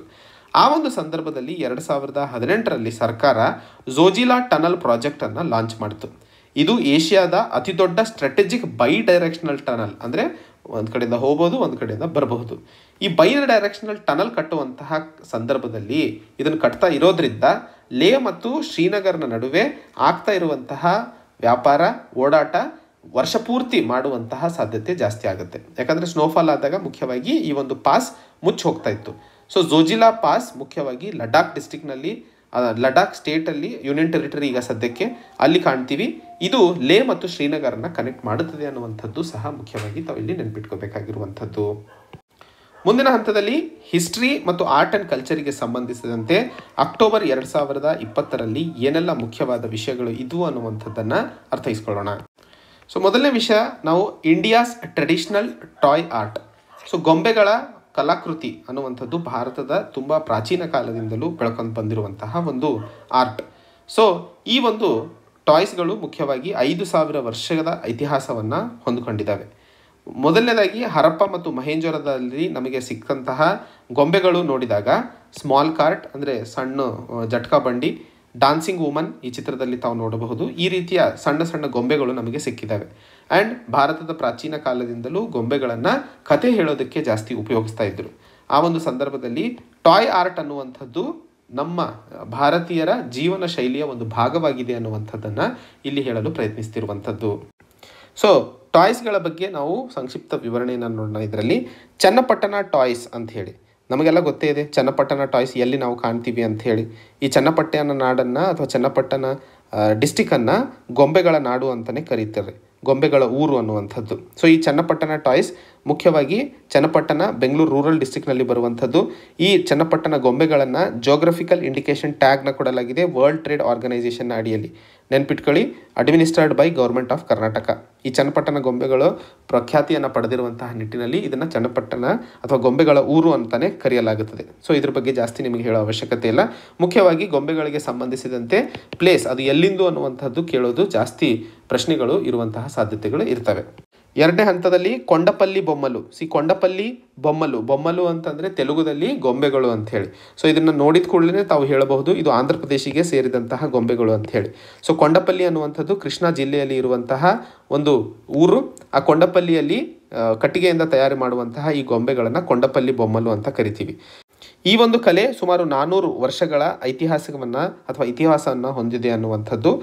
ಆ್ಯಂಡ್ ಸಂಕ್ರಾಂತಿ ಮತ್ತು ನವರಾತ್ರಿ ಸಮಯದಲ್ಲಿ ಇವುಗಳನ್ನು ಬೊಮ್ಮಲು, ಕೊಲುವು ಅಂತ ಕರೀತಾರೆ. ಅದೆಲ್ಲ ಏನು ಇಂಪಾರ್ಟೆಂಟ್ ಇಲ್ಲ. ಎಷ್ಟು ವರ್ಷಗಳ ಇತಿಹಾಸ ಇದೆ, ಅದು ಕೇಳುವಂತಹ ಸಾಧ್ಯತೆಗಳಿದ್ದಾವೆ ಯಾವ ಊರುದು ಅನ್ನುವಂಥದ್ದು ಕೇಳಬಹುದು. ಮುಂದಿನ ಒಂದು ಟಾಯ್ಸ್ ಅಥವಾ ಗೊಂಬೆಗಳು ನಿರ್ಮಲ್ ಟಾಯ್ಸ್ ಅಂತ ಹೇಳಿ. ಎಲ್ಲಿದೆ ಇದು ನಿರ್ಮಲ್ ಟಾಯ್ಸ್? ಯಾವ ರಾಜ್ಯಕ್ಕೆ ಸೇರಿದೆ? ಇದು ತೆಲಂಗಾಣ ರಾಜ್ಯಕ್ಕೆ ಸೇರಿದೆ. ಬಹುಮುಖ್ಯವಾಗಿ ನೆನ್ಪಿಟ್ಕೋಬೇಕಾಗಿರುವಂಥದ್ದು. ಈ ನಿರ್ಮಲ್ ಟಾಯ್ಸ್ಗಳಿಗೂ ಸಹ ನಾನ್ನೂರು ವರ್ಷಗಳ ಇತಿಹಾಸವಿದೆ. ಇಲ್ಲಿ ಮುಖ್ಯವಾಗಿ ಚಿತ್ರದಲ್ಲಿ ತಾವು ನೋಡಬಹುದು. ಬಹಳ ಎಕ್ಸ್ಕ್ಯೂಸಿಟ್ ಸಾಫ್ಟ್ ಗೊಂಬೆಗಳನ್ನು ರಚನೆ ಕಟ್ಟಿಗೆಯಿಂದ ಮಾಡ್ತಾ ಇರುವಂಥದ್ದು. ಇದು ಮುಖ್ಯವಾಗಿ ತೆಲಂಗಾಣದಲ್ಲಿ ನಿರ್ಮಲ್ ಅನ್ನುವಂಥದ್ದು ಒಂದು ಸಣ್ಣ ಊರು, ಆದಿಲಾಬಾದ್ ಡಿಸ್ಟಿಕ್ನಲ್ಲಿ ಇದೆ ಇದು. ನಿರ್ಮಲ್ ಅನ್ನುವಂಥದ್ದು ಒಂದು ಊರು, ಈಗ ಚನ್ನಪಟ್ಟಣ ಗೊಂಬೆಗಳು, ಕೊಂಡಪಟ್ಲಿ ಬೊಮ್ಮಲು ಅಂತ ಏನು ಹಿಂದೆ ನೋಡಿದ್ವಿ, ಕೊಂಡಪಲ್ಲಿ ಅನ್ನುವಂಥದ್ದು ಒಂದು ಊರು. ಅದೇ ರೀತಿಯಲ್ಲಿ ಇದು ನಿರ್ಮಲ್ ಅನ್ನುವಂಥದ್ದು ಆದಿಲಾಬಾದ್ ಡಿಸ್ಟಿಕ್ನಲ್ಲಿ ಇರುವಂತಹ ಒಂದು ಸ್ಮಾಲ್ ಟೌನ್ ಇದು. ಅದನ್ನು ನಿರ್ಮಲ್ ಟಾಯ್ಸ್ ಅಂತ ಇಲ್ಲಿ ಕರಿತಾ ಇರುವಂಥದ್ದು. ತೆಲಂಗಾಣ ಬಹು ಇಂಪಾರ್ಟೆಂಟ್ ಆಗಿರುವಂಥದ್ದು ನೆನ್ಪಿಟ್ಕೊಳ್ಳಿ. ಮುಂದಿನ ಒಂದು ವಿಷಯ ಗಂಜಿಫಾ ಕಾರ್ಡ್ಸ್ ಅಂತ ಹೇಳಿ. ಈ ಚಿತ್ರದಲ್ಲಿ ತಾವು ನೋಡಬಹುದು ಇವುಗಳನ್ನು ಗಂಜಿಫಾ ಕಾರ್ಡ್ಸ್ ಆಫ್ ಮೈಸೂರು ಅಂತ ಕರೆಯಲಾಗುತ್ತದೆ. ಈ ಕಾರ್ಡ್ಸ್ ಅಂತ ಬಂದ ಕೂಡಲೇ ಕರ್ನಾಟಕದ ಮೈಸೂರು ಅಂತ ಹೇಳಿ ತಾವು ನೆನ್ಪಿಟ್ಕೋಬೇಕು. ಆ್ಯಂಡ್ ಈ ಒಂದು ಕಾರ್ಡ್ಸ್ಗಳನ್ನು ಮುಖ್ಯವಾಗಿ ಹತ್ತೊಂಬತ್ತನೇ ಶತಮಾನದಲ್ಲಿ ಕೃಷ್ಣರಾಜ ಒಡೆಯರ್ ಮೂರನೇ ಏನು ಸಾಮ್ರಾಜ್ಯರಿದ್ದರೋ ಅಥವಾ ರಾಜರಿದ್ರೋ ಆ ಸಂದರ್ಭದಲ್ಲಿ ಇವುಗಳನ್ನು ಆಸ್ಪದವನ್ನು ಕೊಡಲಾಗಿತ್ತು ಅನ್ನುವಂಥದ್ದು. ಈ ಒಂದು ಕಾರ್ಡ್ಸ್ಗಳನ್ನು ಮುಖ್ಯವಾಗಿ ರಾಜಮನೆತನದವರೇ ಆಡ್ತಿದ್ರು ಅನ್ನುವಂಥದ್ದು ಬಹಳ ಇಂಪಾರ್ಟೆಂಟ್ ಆಗಿರುವಂತಹ ಮಾಹಿತಿ. ಆ್ಯಂಡ್ ಈ ಒಂದು ಗೇಮ್, ಇದೊಂದು ಆಟ ಆ್ಯಕ್ಚುಲಿ ಮುನ್ನೂರು ಕಾರ್ಡ್ಸ್ ಇರ್ತವೆ ಟೋಟಲು ಬೇರೆ ಬೇರೆ ಸೂಟ್ಸ್ ಈಗ ನಾವು ಹೆಂಗೆ ಕಾರ್ಡ್ಸ್ಗಳಲ್ಲಿ ಹದಿಮೂರು ಕಾರ್ಡ್ಸ್ಗಳದ್ದು ಒಂದೊಂದು ಸೆಟ್ ಇರುತ್ತೆ ನಾಲ್ಕು. ಸೊ ಆ ಹದಿಮೂರು ಕಾರ್ಡ್ಸ್ದು ಸೆಟ್ ನಾಲ್ಕದು ಐವತ್ತೆರಡು ಆಗ್ತವೆ. ಅದೇ ರೀತಿಯಲ್ಲಿ ಇಲ್ಲಿ ಮುನ್ನೂರ ಅರವತ್ತು ಕಾರ್ಡ್ಸ್ ಇದ್ವು, ಬೇರೆ ಬೇರೆ ಸೆಟ್ದು ಇವುಗಳನ್ನು ಮುಖ್ಯವಾಗಿ ರಾಜರು ಆಡ್ತಿದ್ರು ಅನ್ನುವಂಥದ್ದು. ಸೊ ಗಂಜಿಫಾ ಕಾರ್ಡ್ಸ್ ಮೈಸೂರು ರಾಜರು ಆಡ್ತಾ ಇದ್ದಂತಹ ಒಂದು ಆಟ. ಮುಂದಿನ ಒಂದು ವಿಷಯ leather toys of Indore Indore ಎಲ್ಲಿದೆ ತಮಗೆಲ್ಲ ಗೊತ್ತೇ ಇರುವಂತಹ ಮಾಹಿತಿ ಎಂ ಪಿಯಲ್ಲಿ ಮಧ್ಯಪ್ರದೇಶದಲ್ಲಿ. ಸೊ ಇದರ ಅಡಿಯಲ್ಲಿ ಮುಖ್ಯವಾಗಿ ಸಿಂಹ, ಆನೆ ಟೈಗರ್, ರೈನೋ ಇವುಗಳನ್ನೆಲ್ಲ ಲೆದರಿಂದ ತಯಾರು ಮಾಡಲಾಗ್ತಿತ್ತು. ಇದು ಇಂದೋರಲ್ಲಿ ನಾವು ಕಾಣ್ತೀವಿ, ಮಧ್ಯಪ್ರದೇಶ್. ಸೊ ಮುಂದಿನ ಹಂತದಲ್ಲಿ ತಂಜಾವೂರ್ ಡಾಲ್. ಸೊ ತಂಜಾವೂರ್ ಗೊಂಬೆಗಳು ಮುಖ್ಯವಾಗಿ ತಮಿಳುನಾಡು ಅಲ್ಲಿ ಬಹಳ ಇಂಪಾರ್ಟೆಂಟ್ ಆಗಿರುವಂಥದ್ದು. ಇದಕ್ಕೂ ಸಹ ಜೋಗ್ರಫಿಕಲ್ ಇಂಡಿಕೇಶನ್ ಸಿಕ್ಕಿದೆ. ಎರಡು ಸಾವಿರದ ಎಂಟು ಮತ್ತು ಒಂಬತ್ತರಲ್ಲಿ ಟೆರಾಕೋಟಾ ಮೆಟೀರಿಯಲಿಂದ ಇದನ್ನು ತಯಾರಿ ಮಾಡಲಾಗುತ್ತದೆ ಅನ್ನುವಂಥದ್ದು ಇಲ್ಲಿ ತಿಳ್ಕೊಬೇಕಾಗಿರುವಂಥದ್ದು. Next Villianur terracotta. Villianur terracotta works. ಇವು ಮುಖ್ಯವಾಗಿ ಯೂನಿಯನ್ ಟೆರಿಟರಿ ಆದಂತಹ ಪಾಂಡಿಚೇರಿಯಲ್ಲಿ ಫೇಮಸ್ ಆಗಿ ಇರುವಂತಹ ಒಂದು ಟಾಯ್ಸ್ ಈ ಒಂದು ಟಾಯ್ಸ್ಗಳಿಗೂ ಸಹ ಜಿಯೋಗ್ರಫಿಕಲ್ ಇಂಡಿಕೇಶನ್ ಸಿಕ್ಕಿದೆ. ಟ್ರಿಪ್ಸ್ನ ಅಡಿಯಲ್ಲಿ trade related intellectual property rights ಅಗ್ರಿಮೆಂಟ್ನ ಅಡಿಯಲ್ಲಿ ಈ ಹ್ಯಾಂಡಿಕ್ರಾಫ್ಟಿಗೆ ಜಿಯೋಗ್ರಫಿಕಲ್ ಇಂಡಿಕೇಶನ್ ಸಿಕ್ಕಿದೆ ಅನ್ನುವಂಥದ್ದು. ಸೊ ವಿಲಿಯಾನೂರ್ ಟೆರಾಕೋಟಾ, ಪಾಂಡಿಚೇರಿ ಅಂತೇಳಿ ನೆನ್ಪಿಟ್ಕೊಳ್ಳಿ. ಕಿನ್ಹಾಲ್ ಟಾಯ್ಸ್ ಕಿನ್ಹಾಲ್ ಗೊಂಬೆಗಳು ಏನು? ಕಿನ್ಹಾಲ್ ಅನ್ನುವಂಥದ್ದು ಸಹ ನಾರ್ತ್ ಕರ್ನಾಟಕ ಕೊಪ್ಪಳ ಡಿಸ್ಟಿಕ್ನಲ್ಲಿ ಕಿನ್ಹಾಲ್ ಅನ್ನುವಂಥದ್ದು ಒಂದು ಟೌನ್. ಸೊ, ಈ ಕಿನ್ಹಾಲ್ ಗೊಂಬೆಗಳು ಕರ್ನಾಟಕಕ್ಕೆ ಸೇರಿರುತ್ತವೆ. ಬಹಳ ಇಂಪಾರ್ಟೆಂಟು ನೆನ್ಪಿಟ್ಕೊಳ್ಳಿ. ಇವಕ್ಕೂ ಸಹ ಜೋಗ್ರಫಿಕಲ್ ಇಂಡಿಕೇಶನನ್ನು ಗ್ರ್ಯಾಂಟ್ ಮಾಡಲಾಗಿದೆ ಅನ್ನುವಂಥದ್ದು ನೆನ್ಪಿಟ್ಕೋಬೇಕು. ಮುಂದಿನ ಹಂತದಲ್ಲಿ ಎಟಿಕೊಪ್ಪ ಟಾಯ್ಸ್. ಇದನ್ನ ಎಟಿಕೊಪ್ಪ ಬೊಮ್ಮಲು ಅಂತ ಕರೀತಾರೆ. ನಾ ಹೇಳಿದ್ದೆ ಬೊಮ್ಮಲು ಅಂತ ಅಂದ್ಕೊಳ್ಳೆ ಆಂಧ್ರ ಪ್ರದೇಶ್ ತೆಲುಗು ಅಂತ ಹೇಳಿ ನಾವು ಆರಾಮಾಗಿ ಹೇಳಬಹುದು. ಆ್ಯಕ್ಚುಲಿ ತೆಲಂಗಾಣದಲ್ಲೂ ತೆಲುಗು ಮಾತಾಡ್ತಾರೆ. ಸೊ ತೆಲ, ತೆಲುಗು ವರ್ಡ್ಸ್ ಅಲ್ಲೂ ಇರ್ತವೆ. ಸೊ ಕನ್ಫ್ಯೂಸ್ ಆಗಬೇಡಿ. ಎಟಿಕೊಪ್ಪ ಟಾಯ್ಸ್ ಮುಖ್ಯವಾಗಿ ಪ್ರಾಚೀನ ಕಾಲದಿಂದಲೂ ಇರುವಂತಹ ಸಂದರ್ಭದಲ್ಲಿ ಇದು ಆಂಧ್ರ ಪ್ರದೇಶಿಗೆ ಸೇರಿರುವಂಥದ್ದು. ಈಗ ಸದ್ಯಕ್ಕೆ ಎಟಿಕೊಪ್ಪ ಅನ್ನುವಂಥದ್ದು ಸಹ ಒಂದು ಟೌನ್ ಆಗಿರುತ್ತದೆ. ಸೊ ಈ ಒಂದು ಗೊಂಬೆಗಳು ಪ್ರಾಮುಖ್ಯತೆಯನ್ನು ಮಾತಾಡಬೇಕು ಅಂತಂದರೆ ಇವು unique in shape and form ಇರ್ತವೆ. ಇದು ಕಟ್ಟಿಗೆ ಮತ್ತು ನ್ಯಾಚುರಲ್ ಡೈಸಿಂದ ಪೇಂಟ್ ಮಾಡಿರುವಂಥದ್ದು. ಯಾವುದೇ ಹೆವಿ ಮೆಟಲ್ ಅಥವಾ ಟಾಕ್ಸಿಕ್ ಕಂಟೆಂಟ್ ಈ ಒಂದು ಗೊಂಬೆಗಳಲ್ಲಿ ಇರೋದಿಲ್ಲ. ಆ್ಯಂಡ್ ಬಹಳ ಇಂಪಾರ್ಟೆಂಟ್ ಆಗಿರುವಂತಹ ಇನ್ನೊಂದು ವಿಷಯ ಏನಂತಂದರೆ, ಈ ಒಂದು ಕಟ್ಟಿಗೆ ಏನಿದೆಯಲ್ಲ ಇದು ಅನ್ಕುಡಿ ಕರ್ರ ಅನ್ನುವಂತಹ ಗಿಡದಿಂದ ಈ ಒಂದು ಕಟ್ಟಿಗೆಯನ್ನು ಪಡೆದು ತದನಂತರ ಈ ಗೊಂಬೆಗಳನ್ನು ಮಾಡಲಾಗುತ್ತದೆ. ಮುಂದಿನ ಹಂತದಲ್ಲಿ ಗುರೀನ್ ಕ್ಲೇ ಡಾಲ್ಸ್ ಸೊ ಗುರೀನ್ ಕ್ಲೇ ಡಾಲ್ಸ್ ಅಂತಂದರೆ ಕ್ಲೇ ಅಂದರೆ ಮಣ್ಣಿನಿಂದ ಮಾಡ್ತಾ ಇರುವಂಥದ್ದು. ಈ ಗುರ್ನಿ ಅನ್ನುವಂಥದ್ದು ಅಥವಾ ಗುರಿನ್ ಅನ್ನುವಂಥದ್ದು ವೆಸ್ಟ್ ಬೆಂಗಾಲ್ನಲ್ಲಿ ಇರುವಂತಹ ನಾಡಿಯಾ ಡಿಸ್ಟಿಕ್ಕಿಗೆ ಸೇರಿದಂತಹ ಕೃಷ್ಣನಗರ್ ಸಿಟಿಯಲ್ಲಿ ಇವುಗಳನ್ನು ಉತ್ಪಾದನೆ ಮಾಡ್ತಾ ಇರುವಂಥದ್ದು. ಇದಕ್ಕೆ ಯಾವುದೇ ಜಿ ಐ ಟ್ಯಾಗ್ ಇನ್ನೂ ಸಿಕ್ಕಿಲ್ಲ ಅನ್ನುವಂಥದ್ದು ಸಹ ಇಂಪಾರ್ಟೆಂಟ್ ಆಗಿ ನೆನ್ಪಿಟ್ಕೋಬೇಕು. ಮುಂದಿನ ಹಂತದಲ್ಲಿ ಕಟ್ಪುತ್ಲೀಸ್ ಆಫ್ ರಾಜಸ್ಥಾನ್. ಸಿ ಕಟ್ಪುತ್ಲಿ ಅಂತಂದರೆ ತಮಗೆಲ್ಲ ಒಂದಿಷ್ಟು ಗೊಂಬೆಗಳು, ಹಾಡುಗಳಲ್ಲಿ ಕೇಳಿರ್ತೀರ? ಹಿಂಗೆ ಹಗ್ಗ ಕಟ್ಟಿರ್ತಾರೆ, ದಾರಗಳು, ಕೈಗೆ, ಕಾಲಿಗೆ. ಅದನ್ನು ಹಿಂಗೆ ಡಾನ್ಸ್ ಮಾಡ್ತಾರೆ. ಅದನ್ನು ನಾವು ಕಟ್ಪುತ್ಲೀಸ್ ಅಂತ ಕರಿತೀವಿ. ಇದು ಹಿಂದಿಯಲ್ಲಿ ಉಪಯೋಗಿಸುವಂತಹ ಪದ. ಇದು ರಾಜಸ್ಥಾನದ ಆರ್ಟ್ ಆಗಿರುವಂತಹ ನಿಟ್ಟಿನಲ್ಲಿ ಈ ಒಂದು ವಿಷಯವನ್ನು ತಾವು ಮುಖ್ಯವಾಗಿ ನೆನ್ಪಿಟ್ಕೋಬೇಕು. ರಾಜಸ್ಥಾನದಲ್ಲಿ ಇರುವಂತಹ ಕೃಷಿ ಸಮುದಾಯಕ್ಕೆ ಸೇರಿದಂತಹ ಸಮಾಜಗಳು ಅಥವಾ ಕಮ್ಯುನಿಟಿಗಳು ಈ ಒಂದು ಕಟ್ಪುತ್ಲೀಸನ್ನು ಮಾಡ್ತಾ ಇರುವಂಥದ್ದು ಹಾಗೂ ಕಟ್ಪುತ್ಲಿ ಆಟಗಳನ್ನು ತೋರಿಸ್ತಾರೆ ಅನ್ನುವಂಥದ್ದು ಸಹ ಮುಖ್ಯವಾಗಿರುವಾಗ ನೆನ್ಪಿಟ್ಕೋಬೇಕಾಗಿರುವಂತಹ ಮಾಹಿತಿ. ಮುಂದಿನ ಹಂತದಲ್ಲಿ Andhra Pradesh leather puppetry see ಈ ಒಂದು ಆರ್ಟಿಕಲ್ ಅಥವಾ ಈ ಒಂದು ವಿಷಯ ಮುಖ್ಯವಾಗಿ ತಾವು ನೋಡಿರ್ಬೋದು, ಒಂದು ಸ್ಕ್ರೀನ್ ಅಥವಾ ವೈಟ್ ಸ್ಕ್ರೀನ್ ಕಟ್ಬಿಟ್ಟು ಅದ್ರ ಹಿಂದ್ಗಡೆ ಶ್ಯಾಡೋ ಪಪ್ಪೆಟ್ರಿ ಅಂತ ಕರಿತೀವಿ. ಅಂದರೆ ಗೊಂಬೆಗಳನ್ನು ಲೆದರ್ ಪಪ್ಪೆಟ್ರಿ ಅಥವಾ ಲೆದರಿಂದ ತಯಾರು ಮಾಡಿದಂತಹ ಗೊಂಬೆಗಳನ್ನು ಉಪಯೋಗಿಸ್ಬಿಟ್ಟು ಅದ್ರ ಮೇಲೆ ಲೈಟ್ ಬಿಟ್ಟು ಅದರಿಂದ ಬರುವಂತಹ ಶ್ಯಾಡೋವನ್ನು ಆಧರಿಸಿ ಈ ಥರ ಆಟವನ್ನು ತೋರಿಸ್ತಾರೆ. ಇದನ್ನು ತೊಲು ಬೊಮ್ಮಲಾಟ ಅಂತ ಕರಿತೀವಿ ಆಂಧ್ರ ಪ್ರದೇಶದಲ್ಲಿ. ಸೊ ಇದು ಆಂಧ್ರ ಪ್ರದೇಶಕ್ಕೆ ಸೇರಿದಂತಹ ಒಂದು ಕಲೆಯಾಗಿರುತ್ತದೆ ಇದಲ್ಲದೆ ತೊಲು ಬೊಮ್ಮಲಾಟ ಅಲ್ಲದೆ ಇರುವಂತಹ ಇನ್ನೂ ಎರಡು ಮುಖ್ಯವಾದ ಶ್ಯಾಡೋ ಪಪ್ಪೆಟ್ರಿಗಳು ಯಾವ್ಯಾವು ಅಂತಂದರೆ ಸುತ್ರಂ ಬೊಮ್ಮಲಾಟ ಮತ್ತು ಕೊಯ್ಯಾ ಬೊಮ್ಮಲಾಟ ಅನ್ನುವಂಥದ್ದು ಎರಡು ಇನ್ನು ಬೇರೆ ಮುಖ್ಯವಾಗಿರುವಂತಹ ಶ್ಯಾಡೋ ಪಪೆಟ್ರಿಗೆ ಸೇರಿದಂತಹ ಮಾಹಿತಿಯನ್ನು ಇಲ್ಲಿ ಅರ್ಥೈಸ್ಕೊಳ್ಳಬೇಕಾಗಿರುವಂಥದ್ದು. ಮುಂದಿನ ಒಂದು ಟಾಪಿಕ್ ರಾಷ್ಟ್ರೀಯ ಏಕತಾ ದಿವಸ್. ತಮಗೆಲ್ಲ ನೆನಪಿದ್ರೆ ರಾಷ್ಟ್ರೀಯ ಏಕತಾ ದಿವಸನ ನಾವು ಮೂವತ್ತೊಂದು ಅಕ್ಟೋಬರ್ ಅಂದು ಆಚರಿಸ್ತೀವಿ. ರಾಷ್ಟ್ರೀಯ ಏಕತಾ ದಿವಸ್ ಮುಖ್ಯವಾಗಿ ಸರ್ದಾರ್ ವಲ್ಲಭಾಯ್ ಪಟೇಲ್ ಅವರ ಜನ್ಮದಿನವನ್ನು ಆಚರಣೆ ಮಾಡ್ತಾ ಇರುವಂಥದ್ದು. ಇದನ್ನು ರಾಷ್ಟ್ರೀಯ ಏಕತಾ ದಿವಸ್ ಅನ್ನುವಂಥದ್ದು ಎರಡು ಸಾವಿರದ ಹದಿನಾಲ್ಕರಲ್ಲಿ ಸರ್ಕಾರ ಘೋಷಣೆ ಮಾಡಿರುವಂಥದ್ದು. ಆ ದಿನ run for you unity national integration ಮತ್ತು ಇಂಟಿಗ್ರಿಟಿಗೆ ಸಂಬಂಧಿಸಿದಂತೆ ಒಂದಿಷ್ಟು ಅವೇರ್ನೆಸ್ ಕಾರ್ಯಕ್ರಮಗಳನ್ನು ಭಾರತದಲ್ಲಿ ಲಾಂಚ್ ಮಾಡಲಾಗುತ್ತದೆ. ಎರಡು ಸಾವಿರದ ಹದಿನೆಂಟರಲ್ಲಿ ಭಾರತ ಸರ್ಕಾರ ಸ್ಟ್ಯಾಚ್ಯೂ ಆಫ್ ಯೂನಿಟಿ ಅಂತ ಹೇಳಿ ಗುಜರಾತ್ನಲ್ಲಿ ಸರ್ದಾರ್ ವಲ್ಲಭಾಯ್ ಪಟೇಲ್ ಅವರ ಪುತ್ಥಳಿಯನ್ನು ಸ್ಟ ಎಸ್ಟಾಬ್ಲಿಷ್ ಮಾಡಿತ್ತು. ಅದು ಇವತ್ತು ಪ್ರಪಂಚದಲ್ಲಿ ಅತಿ ದೊಡ್ಡದಾದ ಸ್ಟ್ಯಾಚ್ಯೂ ಆಗಿದೆ ಅನ್ನುವಂಥದ್ದು ಸಹ ಇಲ್ಲಿ ಅರ್ಥೈಸಿಕೊಳ್ಳಬೇಕಾಗಿರುವಂಥದ್ದು. ಸರ್ದಾರ್ ವಲ್ಲಭಾಯ್ ಪಟೇಲ್ ಅವರ ಬಗ್ಗೆ ಒಂದಿಷ್ಟು ಮಾತಾಡಬೇಕು ಅಂತಂದರೆ, ಪಟೇಲರು ಮೂವತ್ತೊಂದು ಅಕ್ಟೋಬರ್ ಹದಿನೆಂಟುನೂರ ಎಪ್ಪತ್ತೈದರಲ್ಲಿ ಜನಿಸಿದರು ನದಿಯಾಡ್ ಗುಜರಾತ್ನಲ್ಲಿ. ಇವರು ಭಾರತದ ಮೊದಲನೇ ಹೋಮ್ ಮಿನಿಸ್ಟರ್ ಮತ್ತು deputy prime minister of India ಆಗಿದ್ದರು ನೆನ್ಪಿಟ್ಕೊಳ್ಳಿ, ಭಾರತದ ಮೊದಲನೇ ಹೋಮ್ ಮಿನಿಸ್ಟರ್ ಮತ್ತು deputy prime minister of India ಆಗಿದ್ದರು ಇವರು ಪ್ರಿನ್ಸ್ಲಿ ಸ್ಟೇಟ್ಸ್ಗಳನ್ನು ಭಾರತದೊಂದಿಗೆ ಏಕೀಕರಣ ಫೆಡರೇಷನಲ್ಲಿ ಸೇರಿಸಿಕೊಳ್ಳೋದಕ್ಕೆ ಬಹಳ ಮಹತ್ತರವಾದ ಪಾತ್ರವನ್ನು ವಹಿಸಿದರು. ತಮಗೆಲ್ಲ ಗೊತ್ತಿದ್ರೆ, ಹೈದರಾಬಾದು, ಜೂನಾಗರು ಜಮ್ಮು ಕಾಶ್ಮೀರ ಇವೆಲ್ಲ ಭಾರತಕ್ಕೆ ಅಥವಾ ಪ್ರಿನ್ಸ್ಲಿ ಸ್ಟೇಟ್ಸ್ಗಳು ಏನಿದ್ದಾವಲ್ಲ, ಅವು ಭಾರತಕ್ಕೆ ಪಾಲ್ಗೊಂಡಿದ್ದಿಲ್ಲ. ಬ್ರಿಟಿಷ್ ಬಿಟ್ಟು ಹೋಗಬೇಕಾದ್ರೆ ಮೂರು ಆಪ್ಷನ್ಗಳನ್ನು ಕೊಟ್ಟಿದ್ರು. ಒಂದು ಐದರ್ ನೀವು ಪಾಕಿಸ್ತಾನ್ ಜಾಯ್ನ್ ಆಗಿ, ಇಲ್ಲ ಭಾರತ ಜಾಯ್ನ್ ಆಗಿ, ಇಲ್ಲ ಇಂಡಿಪೆಂಡೆಂಟ್ ಆಗಿರಿ ಅನ್ನುವಂತಹ. ಸೊ ಆ ಒಂದು ಸಂದರ್ಭದಲ್ಲಿ ಈ ಕೆಲವೊಂದು ಪ್ರಿನ್ಸ್ಲಿ ಸ್ಟೇಟ್ಸ್ಗಳು ಯಾವ ಜಾಯ್ನ್ ಆಗಲ್ಲ ಅಂತ ಹೇಳಿದ್ವಲ್ಲ ಭಾರತಕ್ಕೆ, ಅವುಗಳನ್ನು ಇಂಟಿಗ್ರೇಟ್ ಮಾಡೋದರಲ್ಲಿ ಬಹಳ ದೊಡ್ಡ ಮಟ್ಟದಲ್ಲಿ ವರದ ಸರ್ಬದಾರ್ ವಲ್ಲಭಾಯ್ ಪಟೇಲ್ ಅವರ ಪಾತ್ರ ಇವತ್ತಿಗೂ ನೆನಪಿಸಿಕೊಳ್ಳಲಾಗುತ್ತದೆ. ಇವರಿಗೆ ಸರ್ದಾರ್ ಅನ್ನುವಂತಹ ಟೈಟಲ್ ಯಾವಾಗ ಸಿಕ್ತು? ಸಿ ಬಾರ್ಡೋಲಿ ಸತ್ಯಾಗ್ರಹ ತಮಗೆಲ್ಲ ನೆನಪಿದ್ರೆ, ಆ ಬಾರ್ಡೋಲಿ ಸತ್ಯಾಗ್ರಹದಲ್ಲಿ ಸರ್ದಾರ್ ವಲ್ಲಭಾಯ್ ಪಟೇಲ್ ಅವರು ಮುಂದಾಳತ್ವವನ್ನು ವಹಿಸಿದರು.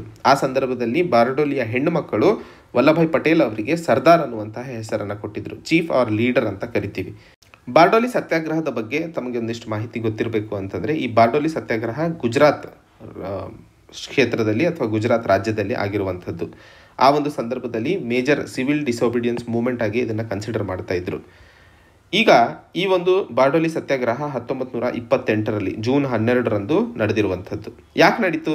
ಹತ್ತೊಂಬತ್ತು ನೂರ ಇಪ್ಪತ್ತೈದರಲ್ಲಿ ಆ್ಯಕ್ಚುಲಿ ಈ ಬಾರ್ಡೋಲಿ ಅನ್ನುವಂತಹ ತಾಲೂಕ ಏನು ಗುಜರಾತಲ್ಲಿ ಇದೆಯಲ್ಲ, ಇದು ಬಹಳ ಆರ್ಥಿಕವಾಗಿ ಹೊಡೆತ ತಿಂದಿತ್ತು. ಕೃಷಿ ಕ್ಷೇತ್ರದಲ್ಲಿ ಯಾವುದೇ ಒಂದು ಬೆಳವಣಿಗೆ ಇಲ್ಲದಂತಹ ಸಂದರ್ಭದಲ್ಲಿ ಬಾಂಬೆ ಪ್ರೆಸಿಡೆನ್ಸಿ ಈ ಭಾಗದಲ್ಲಿ ಇಪ್ಪತ್ತೆರಡು ಪ್ರತಿಶತ ಟ್ಯಾಕ್ಸನ್ನು ಹೆಚ್ಚಿಗೆ ಮಾಡಿತ್ತು.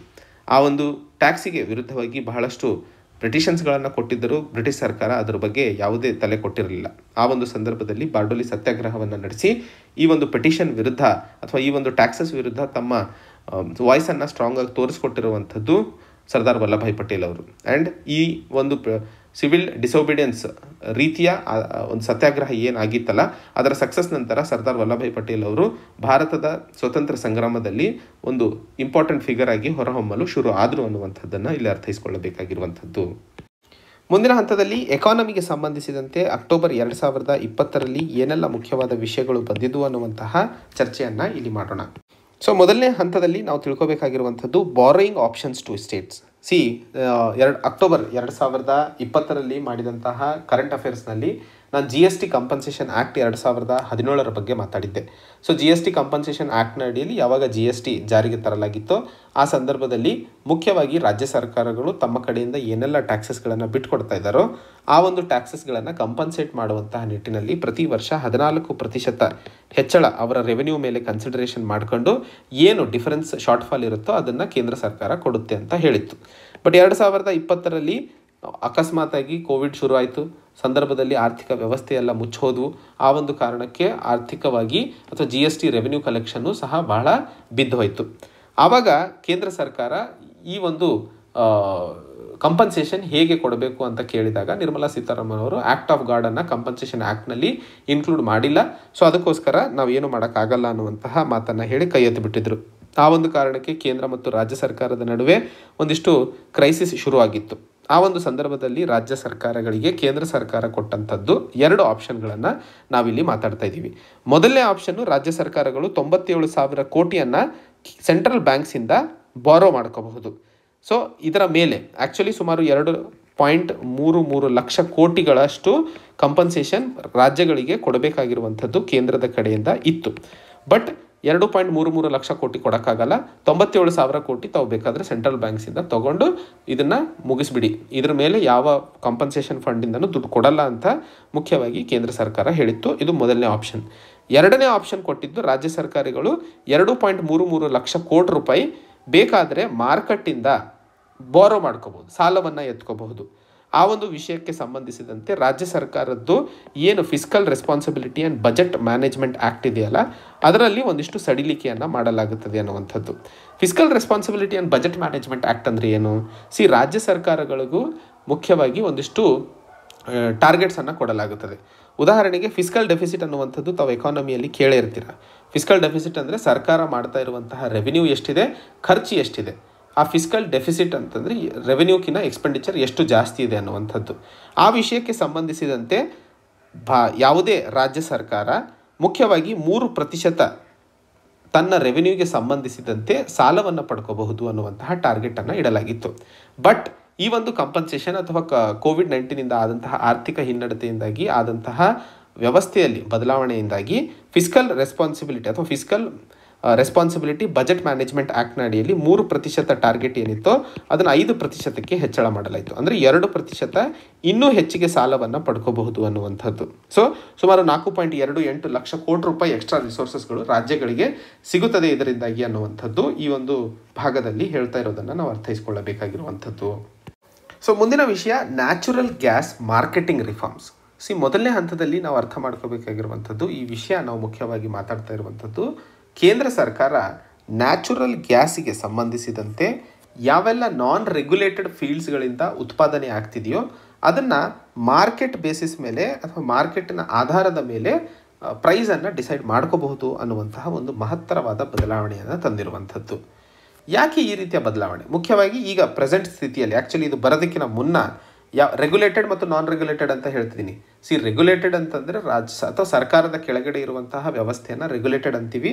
ಸರ್ಕಾರದ ವ್ಯವಸ್ಥೆ ಕೆಳಗಡೆ ಇಲ್ಲದೆ ಇರುವಂಥದ್ದನ್ನು ನಾನ್ ರೆಗ್ಯುಲೇಟೆಡ್ ಅಂತ ಕರಿತೀವಿ. ಸೊ ಯಾವೆಲ್ಲ ರೆಗ್ಯುಲೇಟೆಡ್ ಫೀಲ್ಡ್ಸ್ಗಳು ಇದಾವೋ, ಅವುಗಳಲ್ಲಿ ಮುಖ್ಯವಾಗಿ O N G C oil and natural gas corporation and oil India limited ಏನಿದಾವೋ, ಅವು ನಾಮಿನೇಷನ್ ಬೇಸಿಸ್ ಮೇಲೆ ಪ್ರೈಸನ್ನು ಡಿಸೈಡ್ ಮಾಡ್ಕೋತವೆ. ಅದು ಪ್ರೊಸೆಸ್ ಹಾಗೆ ಕಂಟಿನ್ಯೂ ಆಗುತ್ತೆ. ಯಾವೆಲ್ಲ ನಾನ್ ರೆಗ್ಯುಲೇಟೆಡ್ ಫೀಲ್ಡ್ಸ್ಗಳಿದಾವಲ್ಲ ಅಲ್ಲಿ ಮಾರ್ಕೆಟ್ ಆಧಾರದ ಮೇಲೆ ಬೆಲೆಯನ್ನು ಡಿಸೈಡ್ ಮಾಡ್ಕೋಬಹುದು ಅನ್ನುವಂತಹ ಮಹತ್ತರವಾದ ಬದಲಾವಣೆಯನ್ನು ತಂದಿತ್ತು. ಮೊದಲನೇ ಹಂತದಲ್ಲಿ ಒ ಎನ್ ಜಿ ಸಿ ಬಗ್ಗೆ ತಿಳ್ಕೊಳ್ಳೋಣ. ಫ್ಯಾಕ್ಟ್ಸ್ಗಳು ಒ ಎನ್ ಜಿ ಸಿ ಒಂದು Maharatna public sector undertaking company ಆಗಿರುತ್ತದೆ. ಮಹಾರತ್ನ ನೆನ್ಪಿಟ್ಕೊಳ್ಳಿ, ಬಹಳ important O N G C Maharatna public sector undertaking company ಆಗಿರುತ್ತದೆ. ಇದನ್ನು ಹತ್ತೊಂಬತ್ತು ನೂರ ತೊಂಬತ್ತೈದರಲ್ಲಿ ministry of petroleum and large natural gas ರಚನೆ ಮಾಡಿರುವಂಥದ್ದು. ಇದು ದೇಶದಲ್ಲಿ ಅತಿದೊಡ್ಡ ಕ್ರೂಡ್ ಆಯಿಲ್ ಮತ್ತು ನ್ಯಾಚುರಲ್ ಗ್ಯಾಸ್ ಕಂಪನಿ ಆಗಿರುತ್ತದೆ ಭಾರತದ ಡೊಮೆಸ್ಟಿಕ್ ಪ್ರೊಡಕ್ಷನಿನ ಎಪ್ಪತ್ತು ಪ್ರತಿಶತ ಭಾಗವನ್ನು ಒ ಎನ್ ಜಿ ಸಿಯೇ ಉತ್ಪಾದನೆ ಮಾಡ್ತಾ ಇರುವಂಥದ್ದು ನೆನ್ಪಿಟ್ಕೋಬೇಕು. ಈಗ ನ್ಯಾಚುರಲ್ ಗ್ಯಾಸಸ್ಸಿಗೆ ಯಾಕೆ ಕೇಂದ್ರ ಸರ್ಕಾರ ಇಷ್ಟೊಂದು ಆಸ್ಪದ ಕೊಡ್ತಾ ಇದೆ ಅನ್ನುವಂಥದ್ದನ್ನು ಮಾತಾಡಿದಾಗ, ನ್ಯಾಚುರಲ್ ಗ್ಯಾಸ್ ಮೊದಲನೇದಾಗಿ ಎಲ್ಲಿ ಸಿಗುತ್ತೆ? ನಾವು ಪೆಟ್ರೋಲಿಯಂ ಡೆಪಾಸಿಟ್ಸ್ಗಳು ಎಲ್ಲಿ ಕಾಣ್ತೀವಲ್ಲ? ಭೂಮಿಯಲ್ಲಿ ಪೆಟ್ರೋಲಿಯಂ ನಾವು ತೆಗಿತೀವಿ. ಆ ಪೆಟ್ರೋಲಿಯಂ ಡೆಪಾಸಿಟ್ಸ್ ತೆಗೆದಾದ ನಂತರ ಬರುವಂಥದ್ದೇ ನ್ಯಾಚುರಲ್ ಗ್ಯಾಸ್. ಈ ನ್ಯಾಚುರಲ್ ಗ್ಯಾಸನ್ನು ನಾವು ಆ್ಯಕ್ಚುಲಿ ಮನೆಯಲ್ಲಿ ಮತ್ತು ಇಂಡಸ್ಟ್ರೀಸ್ಗಳಿಗೆ ಉಪಯೋಗಿಸುವಂತಹ ಸಾಧ್ಯತೆಗಳು ತುಂಬ ಜಾಸ್ತಿ ಇದ್ದಾವೆ ಈಗ ಭಾರತದಲ್ಲಿ ನಾವು ನ್ಯಾಚುರಲ್ ಗ್ಯಾಸ್ ಡೆಪಾಸಿಟ್ಸ್ಗಳನ್ನು ಜೈಸಲ್ಮೇರ್, ಕೃಷ್ಣ ಗೋದಾವರಿ ಡೆಲ್ಟಾ, ತ್ರಿಪುರಾ ಭಾಗಗಳಲ್ಲಿ ಹಾಗೂ ಮುಂಬೈನ ಆಫ್ಶೋರ್ ರೀಜನ್ನಲ್ಲೂ ನ್ಯಾಚುರಲ್ ಗ್ಯಾಸ್ ರಿಸೋರ್ಸಸನ್ನು ನಾವು ಕಾಣ್ತಾ ಇರುವಂಥದ್ದು. ಯಾಕೆ ಇದ್ರ ಮೇಲೆ ಇಷ್ಟು ಚರ್ಚೆ ಮಾಡ್ತಿದ್ದೀವಿ ಸಿ ಪ್ರಪಂಚದಲ್ಲಿ ಇರುವಂತಹ ನ್ಯಾಚುರಲ್ ಗ್ಯಾಸಸ್ನ ಆರ್ಥಿಕ ವ್ಯವಸ್ಥೆಯಲ್ಲಿ ಕೊಡ್ತಾ ಇರುವಂತಹ ಕೊಡುಗೆಯನ್ನು ನೋಡಿದಾಗ ಇಪ್ಪತ್ತ್ಮೂರು ಪ್ರತಿಶತ ಇದೆ ಬೇರೆ ರಾಷ್ಟ್ರಗಳಲ್ಲಿ. ಆದರೆ ಭಾರತದಲ್ಲಿ ಇರುವಂಥದ್ದು ಆರು ಪ್ರತಿಶತ ಮಾತ್ರ. ಸೊ ಈ ಆರು ಪ್ರತಿಶತದಿಂದ ಹೆಚ್ಚಳ ಮಾಡಬೇಕಾಗಿರುವಂಥದ್ದು ಮೊದಲನೇದು. ಆ್ಯಂಡ್ ನ್ಯಾಚುರಲ್ ಗ್ಯಾಸ್ನಲ್ಲಿ ನಾವು ಡೊಮೆಸ್ಟಿಕ್ ಮತ್ತು ಇಂಡಸ್ಟ್ರೀಸ್ಗಳನ್ನು ನಡೆಸಲು ಶುರು ಮಾಡಿದ್ವಿ ಅಂದರೆ ಫೋಸಿಲ್ ಫ್ಯೂಲ್ಸ್ ಅಥವಾ ಕ್ರೂಡ್ ಆಯಿಲ್ ಮೇಲೆ ಡಿಪೆಂಡ್ ಆಗುವಂತಹ ಸಾಧ್ಯತೆಗಳು ಕಡಿಮೆ ಆಗ್ತವೆ ಅನ್ನುವಂಥದ್ದು. ಸೊ ಆ ಒಂದು ಕಾರಣಕ್ಕೆ ನ್ಯಾಚುರಲ್ ಗ್ಯಾಸ್ ಮೊದಲನೇದು ಚೀಪರ್ ಆಗಿರುತ್ತೆ. ಎರಡನೇದು ಅದು ಬಹಳ ದೊಡ್ಡ ಮಟ್ಟದಲ್ಲಿ ಹೆಚ್ಚಿನ ಅನುಕೂಲಗಳನ್ನು ಆರ್ಥಿಕ ವ್ಯವಸ್ಥೆಯಲ್ಲಿ ಮಾಡಿಕೊಡುತ್ತೆ ಅನ್ನುವಂಥದ್ದು. ಸೊ ಆ ಒಂದು ನಿಟ್ಟಿನಲ್ಲಿ ಮಾರ್ಕೆಟಿಂಗ್ ರಿಫಾರ್ಮ್ಸನ್ನು ಇಲ್ಲಿ ತಂದಿರುವಂಥದ್ದು ಮುಖ್ಯವಾಗಿ ಇಲ್ಲಿ ಅರ್ಥೈಸ್ಕೊಳ್ಳಬೇಕು. ಸೊ ಮಾರ್ಕೆಟ್ ಆಧಾರದ ಮೇಲೆ ಗ್ಯಾಸ್ ಬೇಸ್ಡ್ ಎಕಾನಮಿಯನ್ನು ರಿಫಾರ್ಮ್ ಮಾಡ್ತಾ ಇರುವಂಥದ್ದು ಮುಖ್ಯವಾಗಿ ಇಲ್ಲಿ ಅರ್ಥೈಸ್ಕೊಳ್ಳಬೇಕಾಗಿರುವಂಥದ್ದು. ಮುಂದಿನ ಒಂದು ವಿಷಯ Google anti trust case, smart T V apps see, ನಮಗೆಲ್ಲ ಗೊತ್ತಿರೋ ಹಾಗೆ ನಾವು ಫೋನ್ಸಲ್ಲಿ ಉಪಯೋಗಿಸ ಮಾಡ್ತಾ ಇರುವಂಥದ್ದು ಆ್ಯಂಡ್ರಾಯ್ಡ್ ಆ್ಯಪ್ ಏನಿದೆ, ಅದು ಗೂಗಲ್ದು ಲೈಸೆನ್ಸ್ಡ್ ಆಪರೇಟಿಂಗ್ ಸಿಸ್ಟಮ್ ಆಗಿರುತ್ತದೆ. ಆ್ಯಂಡ್ ಇದು ಬಹಳಷ್ಟು ಸ್ಮಾರ್ಟ್ಫೋನ್ಗಳಲ್ಲಿ ಆ್ಯಂಡ್ರಾಯ್ಡ್ ಆ್ಯಪನ್ನೇ ಅಥವಾ ಆ್ಯಂಡ್ರಾಯ್ಡ್ ಸಾಫ್ಟ್ವೇರನ್ನೇ ಉಪಯೋಗಿಸ್ತಾ ಇರುವಂಥದ್ದು. ಆ್ಯಂಡ್ ಕ್ರೋಮ್ ಬ್ರೌಸರ್ ಅಂತ ಇದೆ. ಇದು ಮುಖ್ಯವಾಗಿ ಡೆಸ್ಕ್ಟಾಪ್ ಮತ್ತು ಮೊಬೈಲ್ಗಳಲ್ಲಿ ಇದೇ ಡಾಮಿನೆಂಟ್ ಮಾರ್ಕೆಟ್ ಶೇರನ್ನು ಪಡ್ಕೊಂಡಿದೆ. ಈಗ ಆ್ಯಂಡ್ರಾಯ್ಡ್ ಫೋನ್ಗಳು ಎಲ್ಲ ಫೋನ್ಗಳಲ್ಲಿ ಉಪಯೋಗಿಸ್ತಾ ಇರುವಂಥದ್ರಿಂದ ಇನ್ ಆ್ಯಪ್ ಅಥವಾ ಇನ್ ಆ್ಯಪ್ ಪರ್ಚೇಸಸ್ ಅಂತ ಇರ್ತವೆ. ಅಂದರೆ ಒಂದಿಷ್ಟು ಆ್ಯಪ್ಗಳನ್ನು ತಾವು ಖರೀದಿ ಮಾಡಬೇಕು ಅಂದರೆ ಹಣವನ್ನು ಕಟ್ಟಬೇಕಾಗಿರುತ್ತದೆ. ಆ ಒಂದು ಆ್ಯಪ್ಗಳಿಗೆ ಹಣವನ್ನು ಕಟ್ಟಬೇಕಾದ್ರೆ ಆ್ಯಂಡ್ರಾಯ್ಡ್ ಅಥವಾ ಗೂಗಲ್ಲು ಮೂವತ್ತು ಪ್ರತಿಶತ ಕಮಿಷನನ್ನು ತಗೊಳ್ಳುತ್ತದೆ. ಅದಲ್ಲದೆ ಕೆಲವೊಂದು ಬಿಸ್ನೆಸ್ಗಳಿಗೆ ಕಟ್ಟದೇ ಇದ್ದಂತಹ ಸಂದರ್ಭದಲ್ಲಿ ಅಥವಾ ಡಾಮಿನೆನ್ಸ್ ಇರುವಂತಹ ಸಂದರ್ಭದಲ್ಲಿ ಬೇರೆ ಆ್ಯಪ್ ಕಂಪನಿಗಳಿಗೆ ಒಂದಿಷ್ಟು ಅನುಕೂಲವನ್ನು ಮಾಡಿಕೊಡ್ತಾ ಇತ್ತು. ಆ ಒಂದು ವಿಷಯಕ್ಕೆ ಸಂಬಂಧಿಸಿದಂತೆ ಯುರೋಪಿಯನ್ ಯೂನಿಯನ್ನು ಗೂಗಲ್ ವಿರುದ್ಧ ನಾನ್ ನಾಲ್ಕು ಪಾಯಿಂಟ್ ಮೂರು ಬಿಲಿಯನ್ ಯೂರೋಸ್ಗಳ ಆ್ಯಂಟಿ ಕಾಂಪಿಟೇಟಿವ್ ಪ್ರಾಕ್ಟೀಸಸ್ ವಿರುದ್ಧ ಫೈನ್ ಹಾಕಿತ್ತು. ಯಾಕಂದರೆ ಡಿಫಾಲ್ಟ್ ಬ್ರೌಸರ್ ಆಗಿ ಬರೀ ಗೂಗಲ್ ಕ್ರೋಮನ್ನೇ ಎತ್ತಿ ಹಿಡಿತಾ ಇರುವಂಥದ್ದು ಗೂಗಲ್ನ ಕೆಲಸವಾಗಿತ್ತು. ಬೇರೆ ಬ್ರೌಸರ್ಸ್ಗಳಿಗೆ ಇಲ್ಲಿ ಕಾಂಪಿಟೇಟಿವ್ಲಿ ಹಿಂದೆ ಇಡ್ತಾ ಇರುವಂತಹ ಸನ್ನಿವೇಶವನ್ನು ಉದ್ಭವ ಮಾಡಿದ್ದು ಗೂಗಲ್ ಅಂತ ಹೇಳಿ ಅದರ ವಿರುದ್ಧ ಈ ಕ್ರಮವನ್ನು ಕೈಗೊಂಡಿತ್ತು. ಭಾರತವು ಸಹ ಎರಡು ಸಾವಿರದ ಹತ್ತೊಂಬತ್ತರಲ್ಲಿ ಕಾಂಪಿಟೇಷನ್ ಕಮಿಷನ್ ಆಫ್ ಇಂಡಿಯಾ ಗೂಗಲನ್ನು ಡಾಮಿನೆಂಟ್ ಪೊಸಿಷನನ್ನು ಮಿಸ್ಯೂಸ್ ಮಾಡ್ತಾ ಇದೆ ಆಂಡ್ರಾಯ್ಡ್ ಮಾರ್ಕೆಟಲ್ಲಿ ಅನ್ನುವಂತಹ ವಿಷಯಕ್ಕೆ ಸಂಬಂಧಿಸಿದಂತೆ ತನ್ನ ವರದಿಯನ್ನು ಕೊಟ್ಟಿತ್ತು. ಆ್ಯಂಟಿ ಟ್ರಸ್ಟ್ ಲಾ ಅಂದ್ರೆ ಏನು? ಸೊ ಅಪನಂಬಿಕೆ. ನಂಬಿಕೆ ಇಲ್ಲದೆ ಇರುವಂಥದ್ದು ಕಾನೂನು ಅಂತೇಳಿ ಸೊ ಆ್ಯಂಟಿ ಟ್ರಸ್ಟ್ ಲಾ ಭಾರತದಲ್ಲಿ ಕಾಂಪಿಟೇಷನ್ ಆ್ಯಕ್ಟ್ ಎರಡು ಸಾವಿರದ ಎರಡನ್ನು ಭಾರತದ ಆ್ಯಂಟಿ ಟ್ರಸ್ಟ್ ಲಾ ಅಂತ ಕರಿತೀವಿ. ಸೊ ದೇಶದಲ್ಲಿ ಯಾವುದೇ ಒಂದು ರೀತಿಯ ಅಪನಂಬಿಕೆ ಅಥವಾ ಆಂಟಿ ಕಾಂಪಿಟೇಟಿವ್ ಕೆಲಸ ನಡೀತಾ ಇದ್ದಂತಹ ಸಂದರ್ಭದಲ್ಲಿ ಕಾಂಪಿಟಿಷನ್ ಆ್ಯಕ್ಟ್ ಎರಡು ಸಾವಿರದ ಎರಡರಲ್ಲಿ ಅವರಿಗೆ ಹಿಡ್ಕೊಳ್ಳಲಾಗುತ್ತದೆ. ಆ್ಯಂಡ್ ಈ ಒಂದು ಕಾನೂನನ್ನು ಮುಖ್ಯವಾಗಿ monopolies and restrictive trade practices act ಹತ್ತೊಂಬತ್ತು ನೂರ ಅರವತ್ತೊಂಬತ್ತನ್ನು ತೆಗೆದು ಇದನ್ನು ಎರಡು ಸಾವಿರದ ಎರಡರಲ್ಲಿ ಜಾರಿಗೆ ತರಲಾಗಿರುವಂಥದ್ದು ರಾಘವನ್ ಕಮಿಟಿಯ ರೆಕಮೆಂಡೇಷನ್ಸ್ನ ಆಧಾರದ ಮೇಲೆ. ರಾಘವನ್ ಕಮಿಟಿಯ ರೆಕಮೆಂಡೇಷನ್ಸ್ನ ಆಧಾರದ ಮೇಲೆ competition commission of India act ಅಥವಾ ಕಾಂಪಿಟಿಷನ್ ಆ್ಯಕ್ಟ್ ಎರಡು ಸಾವಿರದ ಎರಡನ್ನು ಜಾರಿಗೆ ತರಲಾಯಿತು. ಈ ಕಾಂಪಿಟಿಷನ್ ಆ್ಯಕ್ಟ್ ಎರಡು ಸಾವಿರದ ಎರಡರ ಅಡಿಯಲ್ಲಿ ಕಾಂಪಿಟಿಷನ್ ಕಮಿಷನ್ ಆಫ್ ಇಂಡಿಯಾದ ರಚನೆ ಮಾಡಿರುವಂಥದ್ದು. ಮುಖ್ಯವಾಗಿ ಇದು ದೇಶದಲ್ಲಿ ಕಾಂಪಿಟಿಷನ್ ಲಾ ಟ್ರೇಡ್ ಮತ್ತು ಕಾಮರ್ಸಸ್ಗೆ ಸಂಬಂಧಿಸಿದಂತೆ ಅನ್ಫೇರ್ ಪ್ರಾಕ್ಟೀಸಸ್ಗಳನ್ನು ತಡೆ ಹಿಡಿಯುವಂಥದ್ದು ಮುಖ್ಯವಾಗಿ ಈ ಒಂದು ಕಾಂಪಿಟಿಷನ್ ಕಮಿಷನ್ ಆಫ್ ಇಂಡಿಯಾ ತನ್ನ ಕೆಲಸವನ್ನು ಮಾಡುತ್ತದೆ ಅನ್ನುವಂಥದ್ದು ನೆನ್ಪಿಟ್ಕೋಬೇಕಾಗಿರುವಂಥದ್ದು. ರಾಘವನ್ ಕಮಿಟಿ ಬಹಳ ಇಂಪಾರ್ಟೆಂಟ್ ನೆನ್ಪಿಟ್ಕೊಳ್ಳಿ. ಸೊ ಮುಂದಿನ ಒಂದು topic accommodative monetary policy see monetary ಪಾಲಿಸಿಗೂ ಮತ್ತು ಫಿಸಿಕಲ್ ಪಾಲಿಸಿಗೂ ಏನು ವ್ಯತ್ಯಾಸ ಇದೆ ಅನ್ನುವಂಥದ್ದು ಇವತ್ತಿನ ವಿಡಿಯೋದಲ್ಲಿ ಮಾಡಿದ್ದೀನಿ. ಸೊ ಅದು ನಿಮಗೇನಾದರೂ ಮುಂಚೆ ನೋಡಿದ್ದಲ್ಲಿ ತಮಗೆ ಗೊತ್ತಿರಬಹುದು ಮಾನಿಟರಿ ಪಾಲಿಸಿ ಅಂತಂದರೆ ಮುಖ್ಯವಾಗಿ ಸೆಂಟ್ರಲ್ ಬ್ಯಾಂಕ್ ಹತ್ರ ಇರುವಂತಹ ಒಂದು ಅಸ್ತ್ರ. ಇದರ ಅಡಿಯಲ್ಲಿ ಮುಖ್ಯವಾಗಿ ಮಾರುಕಟ್ಟೆಯಲ್ಲಿ ಮನಿ ಸಪ್ಲೈ ಎಷ್ಟರ ಮಟ್ಟಿಗೆ ಇದೆ ಅನ್ನುವಂಥದ್ದನ್ನು ಕಂಟ್ರೋಲ್ ಮಾಡುವಂತಹ ಅಸ್ತ್ರವಾಗಿ ರಿಸರ್ವ್ ಬ್ಯಾಂಕ್ ಆಫ್ ಇಂಡಿಯಾ ಇದನ್ನು ಉಪಯೋಗಿಸುತ್ತದೆ. ಸೊ ಮಾನಿಟರಿ ಪಾಲಿಸಿ ಅಡಿಯಲ್ಲಿ ರೆಪೋ ರೇಟ್ ಅಥವಾ ಇಂಟ್ರೆಸ್ಟ್ ರೇಟ್ಗಳನ್ನು ಮ್ಯಾನುಪುಲೇಟ್ ಮಾಡುವಂಥದ್ದು ಆರ್ ಬಿ ಐ ಮುಖ್ಯವಾಗಿ ಮಾಡುವಂತಹ ಕೆಲಸ ಓಪನ್ ಮಾರ್ಕೆಟ್ ಆಪರೇಷನ್ಸ್ನ ಅಡಿಯಲ್ಲಿ. ಸೊ ಅಕಮಡೇಟಿವ್ ಮಾನಿಟರಿ ಪಾಲಿಸಿ ಅಂದ್ರೆ ಏನು ಅಕೊಮಡೇಟಿವ್ ಮಾನಿಟರಿ ಪಾಲಿಸಿ ಅಂತಂದರೆ ಎಲ್ಲಿ ಆರ್ಥಿಕ ವ್ಯವಸ್ಥೆ ಮಂದಿಗೆ ಹೋಗುತ್ತೋ ಅಥವಾ ಸ್ಲೋ ಡೌನ್ ಆಗುತ್ತೋ ಆ ಸಂದರ್ಭದಲ್ಲಿ ಆರ್ಥಿಕ ವ್ಯವಸ್ಥೆಯನ್ನು ಬೂಸ್ಟ್ ಮಾಡೋದಕ್ಕೆ ಎಕನಾಮಿಕ್ ಗ್ರೋತನ್ನು ಕಾಣಿಸೋದಕ್ಕೆ ಅಥವಾ ಇನ್ಕ್ರೀಸ್ ಮಾಡೋದಕ್ಕೆ ಸೊ ಜನ ಖರ್ಚು ಮಾಡೋದು ಜಾಸ್ತಿ ಆಗಬೇಕಾಗಿರ್ತದೆ. ಆವಾಗಲೇ ಕನ್ಸಂಪ್ಷನ್ ಲೆಡ್ ಡಿಮ್ಯಾಂಡನ್ನು ಮಾರುಕಟ್ಟೆಯಲ್ಲಿ ಹೆಚ್ಚಿಸಲು ಸಾಧ್ಯವಾಗುತ್ತದೆ. ಆ ಒಂದು ನಿಟ್ಟಿನಲ್ಲಿ ಒಂದಿಷ್ಟು ಇಂಟ್ರೆಸ್ಟನ್ನು ಕಡಿಮೆ ಮಾಡಿಬಿಟ್ಟು ಬಾರೋಯಿಂಗನ್ನು ಚೀಪ್ ಮಾಡುತ್ತೆ. ಅಂದರೆ ಬಾರೋಯಿಂಗ್ ಕಡಿಮೆ ಆಗುತ್ತೆ. ಇಂಟ್ರೆಸ್ಟ್ ಕಡಿಮೆ ಇದೆ ಅಂತಂದರೆ ಆಬ್ವಿಯಸ್ಲಿ ಲೋನ್ ತಗೊಳ್ಳೋರು ಜಾಸ್ತಿ ಆಗ್ತಾರೆ. ಆ ರೀತಿಯ ಒಂದು ಪ್ರಾವಧಾನವನ್ನು ಅಕೊಮಡೇಟಿವ್ ಮಾನಿಟರಿ ಪಾಲಿಸಿ ಸ್ಟಾನ್ಸ್ ಅಂತ ಕರಿತೀವಿ. ಅರ್ಥ ಆಯ್ತಲ್ಲ? ಸೊ ಅಕಾಮಡೇಟಿವ್ ಮಾನಿಟರಿ ಪಾಲಿಸಿ ಅಥವಾ ಸ್ಟಾನ್ಸ್ ಅಂತಂದರೆ ಮುಖ್ಯವಾಗಿ ಮಾರುಕಟ್ಟೆಯಲ್ಲಿ ರಿಸರ್ವ್ ಬ್ಯಾಂಕ್ ಆಫ್ ಇಂಡಿಯಾ ಒಂದಿಷ್ಟು ಸಡಿಲಿಕೆಯನ್ನು ಮಾಡುತ್ತದೆ ಇಂಟ್ರೆಸ್ಟ್ ರೇಟ್ಸ್ಗಳಿಗೆ ಸಂಬಂಧಿಸಿದಂತೆ. ಸೊ ದಟ್ ಬಾರೋಯಿಂಗ್ ಜಾಸ್ತಿ ಆಗೋದ್ರಿಂದ ಮಾರುಕಟ್ಟೆಯಲ್ಲಿ ಎಕನಾಮಿಕ್ ಆಕ್ಟಿವಿಟಿ ಮತ್ತೆ ಬೂಸ್ಟ್ ಆಗಲು ಕಾರಣವಾಗುತ್ತದೆ ಅನ್ನುವಂಥದ್ದು. ಮುಂದಿನ ಒಂದು ವಿಷಯ fiscal stimulus see fiscal stimulus ಅನ್ನುವಂಥದ್ದು ಬಹಳ ಜಾಸ್ತಿ ಚರ್ಚೆಯಲ್ಲೇ ಇತ್ತು. ಯಾಕಂದರೆ ಕೋವಿಡ್ ನೈನ್ಟೀನಿಂದಾಗಿ ಆದಂತಹ ಆರ್ಥಿಕ ವ್ಯವಸ್ಥೆ ಹಿಂಜರಿತದಿಂದಾಗಿ ಕನ್ಸಂಪ್ಷನ್ ಅನ್ನುವಂಥದ್ದು ಮಾರುಕಟ್ಟೆಯಲ್ಲಿ ತುಂಬ ಕಡಿಮೆ ಆಗಿತ್ತು. ಈ ಕನ್ಸಂಪ್ಷನನ್ನು ಹೆಚ್ಚು ಮಾಡಬೇಕು ಅಂತಂದರೆ ಜನರ ಕೈಯಲ್ಲಿ ದುಡ್ಡು ಬರಬೇಕು. ದುಡ್ಡು ಇದ್ದಾಗಲೇ ತಾನೇ ಜನ ಕನ್ಸಂಪ್ಷನನ್ನು ಜಾಸ್ತಿ ಮಾಡೋದು ಅಥವಾ ಕನ್ಸ್ಯೂಮ್ ಮಾಡೋದನ್ನು ಜಾಸ್ತಿ ಮಾಡೋದು. ಆ ಒಂದು ವಿಷಯಕ್ಕೆ ಸಂಬಂಧಿಸಿದಂತೆ ಫಿಸಿಕಲ್ ಸ್ಟಿಮ್ಯುಲಸನ್ನು ಭಾರತ ಸರ್ಕಾರ ಕೈಗೊಳ್ಳಬೇಕಾಗುತ್ತದೆ. ಸೊ ಈ ಒಂದು ವಿಷಯದಲ್ಲಿ ಅಥವಾ ಟಾಪಿಕಲ್ಲಿ ನಾವು ಫಿಸಿಕಲ್ ಸ್ಟಿಮ್ಯುಲಸ್ ಮತ್ತು ಮಾನಿಟರಿ ಸ್ಟಿಮ್ಯುಲಸ್ನ ವ್ಯತ್ಯಾಸವನ್ನು ಸಹ ಅರ್ಥೈಸ್ಕೊಳ್ಳೋಣ. ಫಿಸಿಕಲ್ ಸ್ಟಿಮ್ಯುಲಸ್ ಅಂತಂದರೆ ಮುಖ್ಯವಾಗಿ ಡಿಮಾಂಡನ್ನು ಮಾರುಕಟ್ಟೆಯಲ್ಲಿ ಹೆಚ್ಚಿಸುವಂಥದ್ದು. ಅದಕ್ಕೋಸ್ಕರ ಏನು ಮಾಡಬೇಕು? ಮುಖ್ಯವಾಗಿ ಟ್ಯಾಕ್ಸಸನ್ನು ಕಟ್ ಮಾಡಬೇಕು. ಯಾಕಂದರೆ ಟ್ಯಾಕ್ಸ್ ಜಾಸ್ತಿ ಕಟ್ಟಿದಾಗ ಜನರ ಕೈಯಲ್ಲಿ ದುಡ್ಡು ಸಹ ಇರಲ್ಲ ಜಾಸ್ತಿ. ಸೊ ಟ್ಯಾಕ್ಸ್ ಕಡಿಮೆ ಆದಾಗ ಜಾಸ್ತಿ ದುಡ್ಡಿರುತ್ತೆ ಖರ್ಚು ಮಾಡೋದಕ್ಕೆ. ಸೊ ಟ್ಯಾಕ್ಸಸ್ಗಳನ್ನು ಕಟ್ ಮಾಡುವಂಥದ್ದು. ಎರಡನೇ ಹಂತದಲ್ಲಿ ಗವರ್ಮೆಂಟ್ ಸ್ಪೆಂಡಿಂಗನ್ನು ಜಾಸ್ತಿ ಮಾಡಬೇಕು. ಸಬ್ಸಿಡಿಗಳನ್ನು ಕೊಡುವಂಥದ್ದಾಗಿರ್ಬೋದು, ಅಥವಾ ಸೋಷಲ್ ಸೆಕ್ಯೂರಿಟಿ ಪ್ರಾಜೆಕ್ಟ್ಸ್ ಅಥವಾ ಸ್ಕೀಮ್ಸ್ಗಳಲ್ಲಿ ಹೆಚ್ಚಿನ ಆಸ್ಪದ ಅಥವಾ ಪ್ರಾವಧಾನಗಳನ್ನು ಮಾಡುವಂಥದ್ದು. ಇವೆಲ್ಲದರಿಂದ ಜನರ ಕೈಯಲ್ಲಿ ದುಡ್ಡು ಜಾಸ್ತಿ ಆಗುತ್ತೆ. ಅದರಿಂದಾಗಿ ಕನ್ಸಂಪ್ಷನ್ ಲೆಡ್ ಡಿಮಾಂಡ್ ಜಾಸ್ತಿ ಆದಂತಹ ಸಂದರ್ಭದಲ್ಲಿ ಆರ್ಥಿಕ ವ್ಯವಸ್ಥೆ ಬೆಳೆಯುತ್ತದೆ ಅನ್ನುವಂಥದ್ದು. ಸೊ ಫಿಸ್ಕಲ್ ಸ್ಟಿಮ್ಯುಲಸ್ ಮುಖ್ಯವಾಗಿ ಭಾರತ ಸರ್ಕಾರದ ಅಥವಾ ಕೇಂದ್ರ ಸರ್ಕಾರದ ಕಡೆಯಿಂದ ಬರುವಂತಹ ಒಂದು ಪ್ರಾವಧಾನವಾಗಿರುತ್ತದೆ ಅನ್ನುವಂಥದ್ದು ತಮಗಿಲ್ಲಿ ಗೊತ್ತಾಗಿದೆ ಅಂತ ಅನ್ಕೋತೀನಿ. ಮುಂದೆ ಫಿಸ್ಕಲ್ ಸ್ಟಿಮ್ಯುಲಸ್ ಅಂತಂದರೆ ಸರ್ಕಾರದ ಒಂದು ಮುಖ್ಯವಾದ ಅಸ್ತ್ರವಾಗಿರುತ್ತದೆ, ಆರ್ಥಿಕ ವ್ಯವಸ್ಥೆಯನ್ನು ಮರುಕಳಿಸಲು.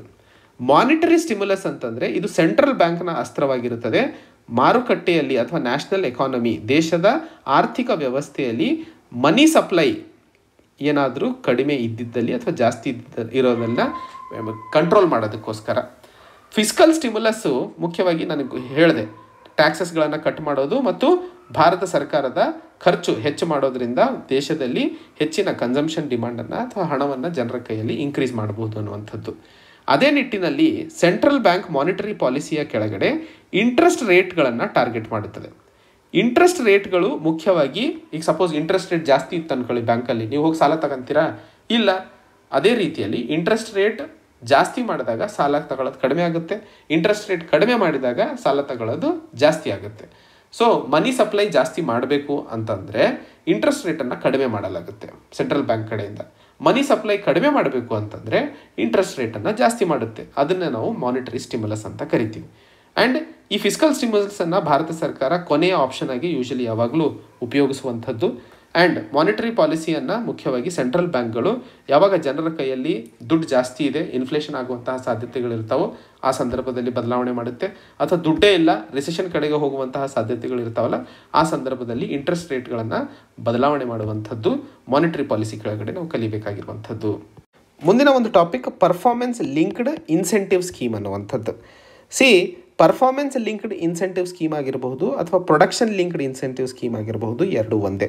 ನಾನು ಆ್ಯಕ್ಚುಲಿ ಅಕ್ಟೋಬರ್ ಎರಡು ಸಾವಿರದ ಇಪ್ಪತ್ತರ ಕರೆಂಟ್ ಅಫೇರ್ಸ್ ಡಿಸ್ಕಸ್ ಮಾಡ್ತಾ ಇರಬೇಕಾದ್ರೆ ಪ್ರೊಡಕ್ಷನ್ ಲಿಂಕ್ಡ್ ಇನ್ಸೆಂಟಿವ್ ಸ್ಕೀಮ್ನ ಬಗ್ಗೆ ಮಾತಾಡಿದ್ದೆ.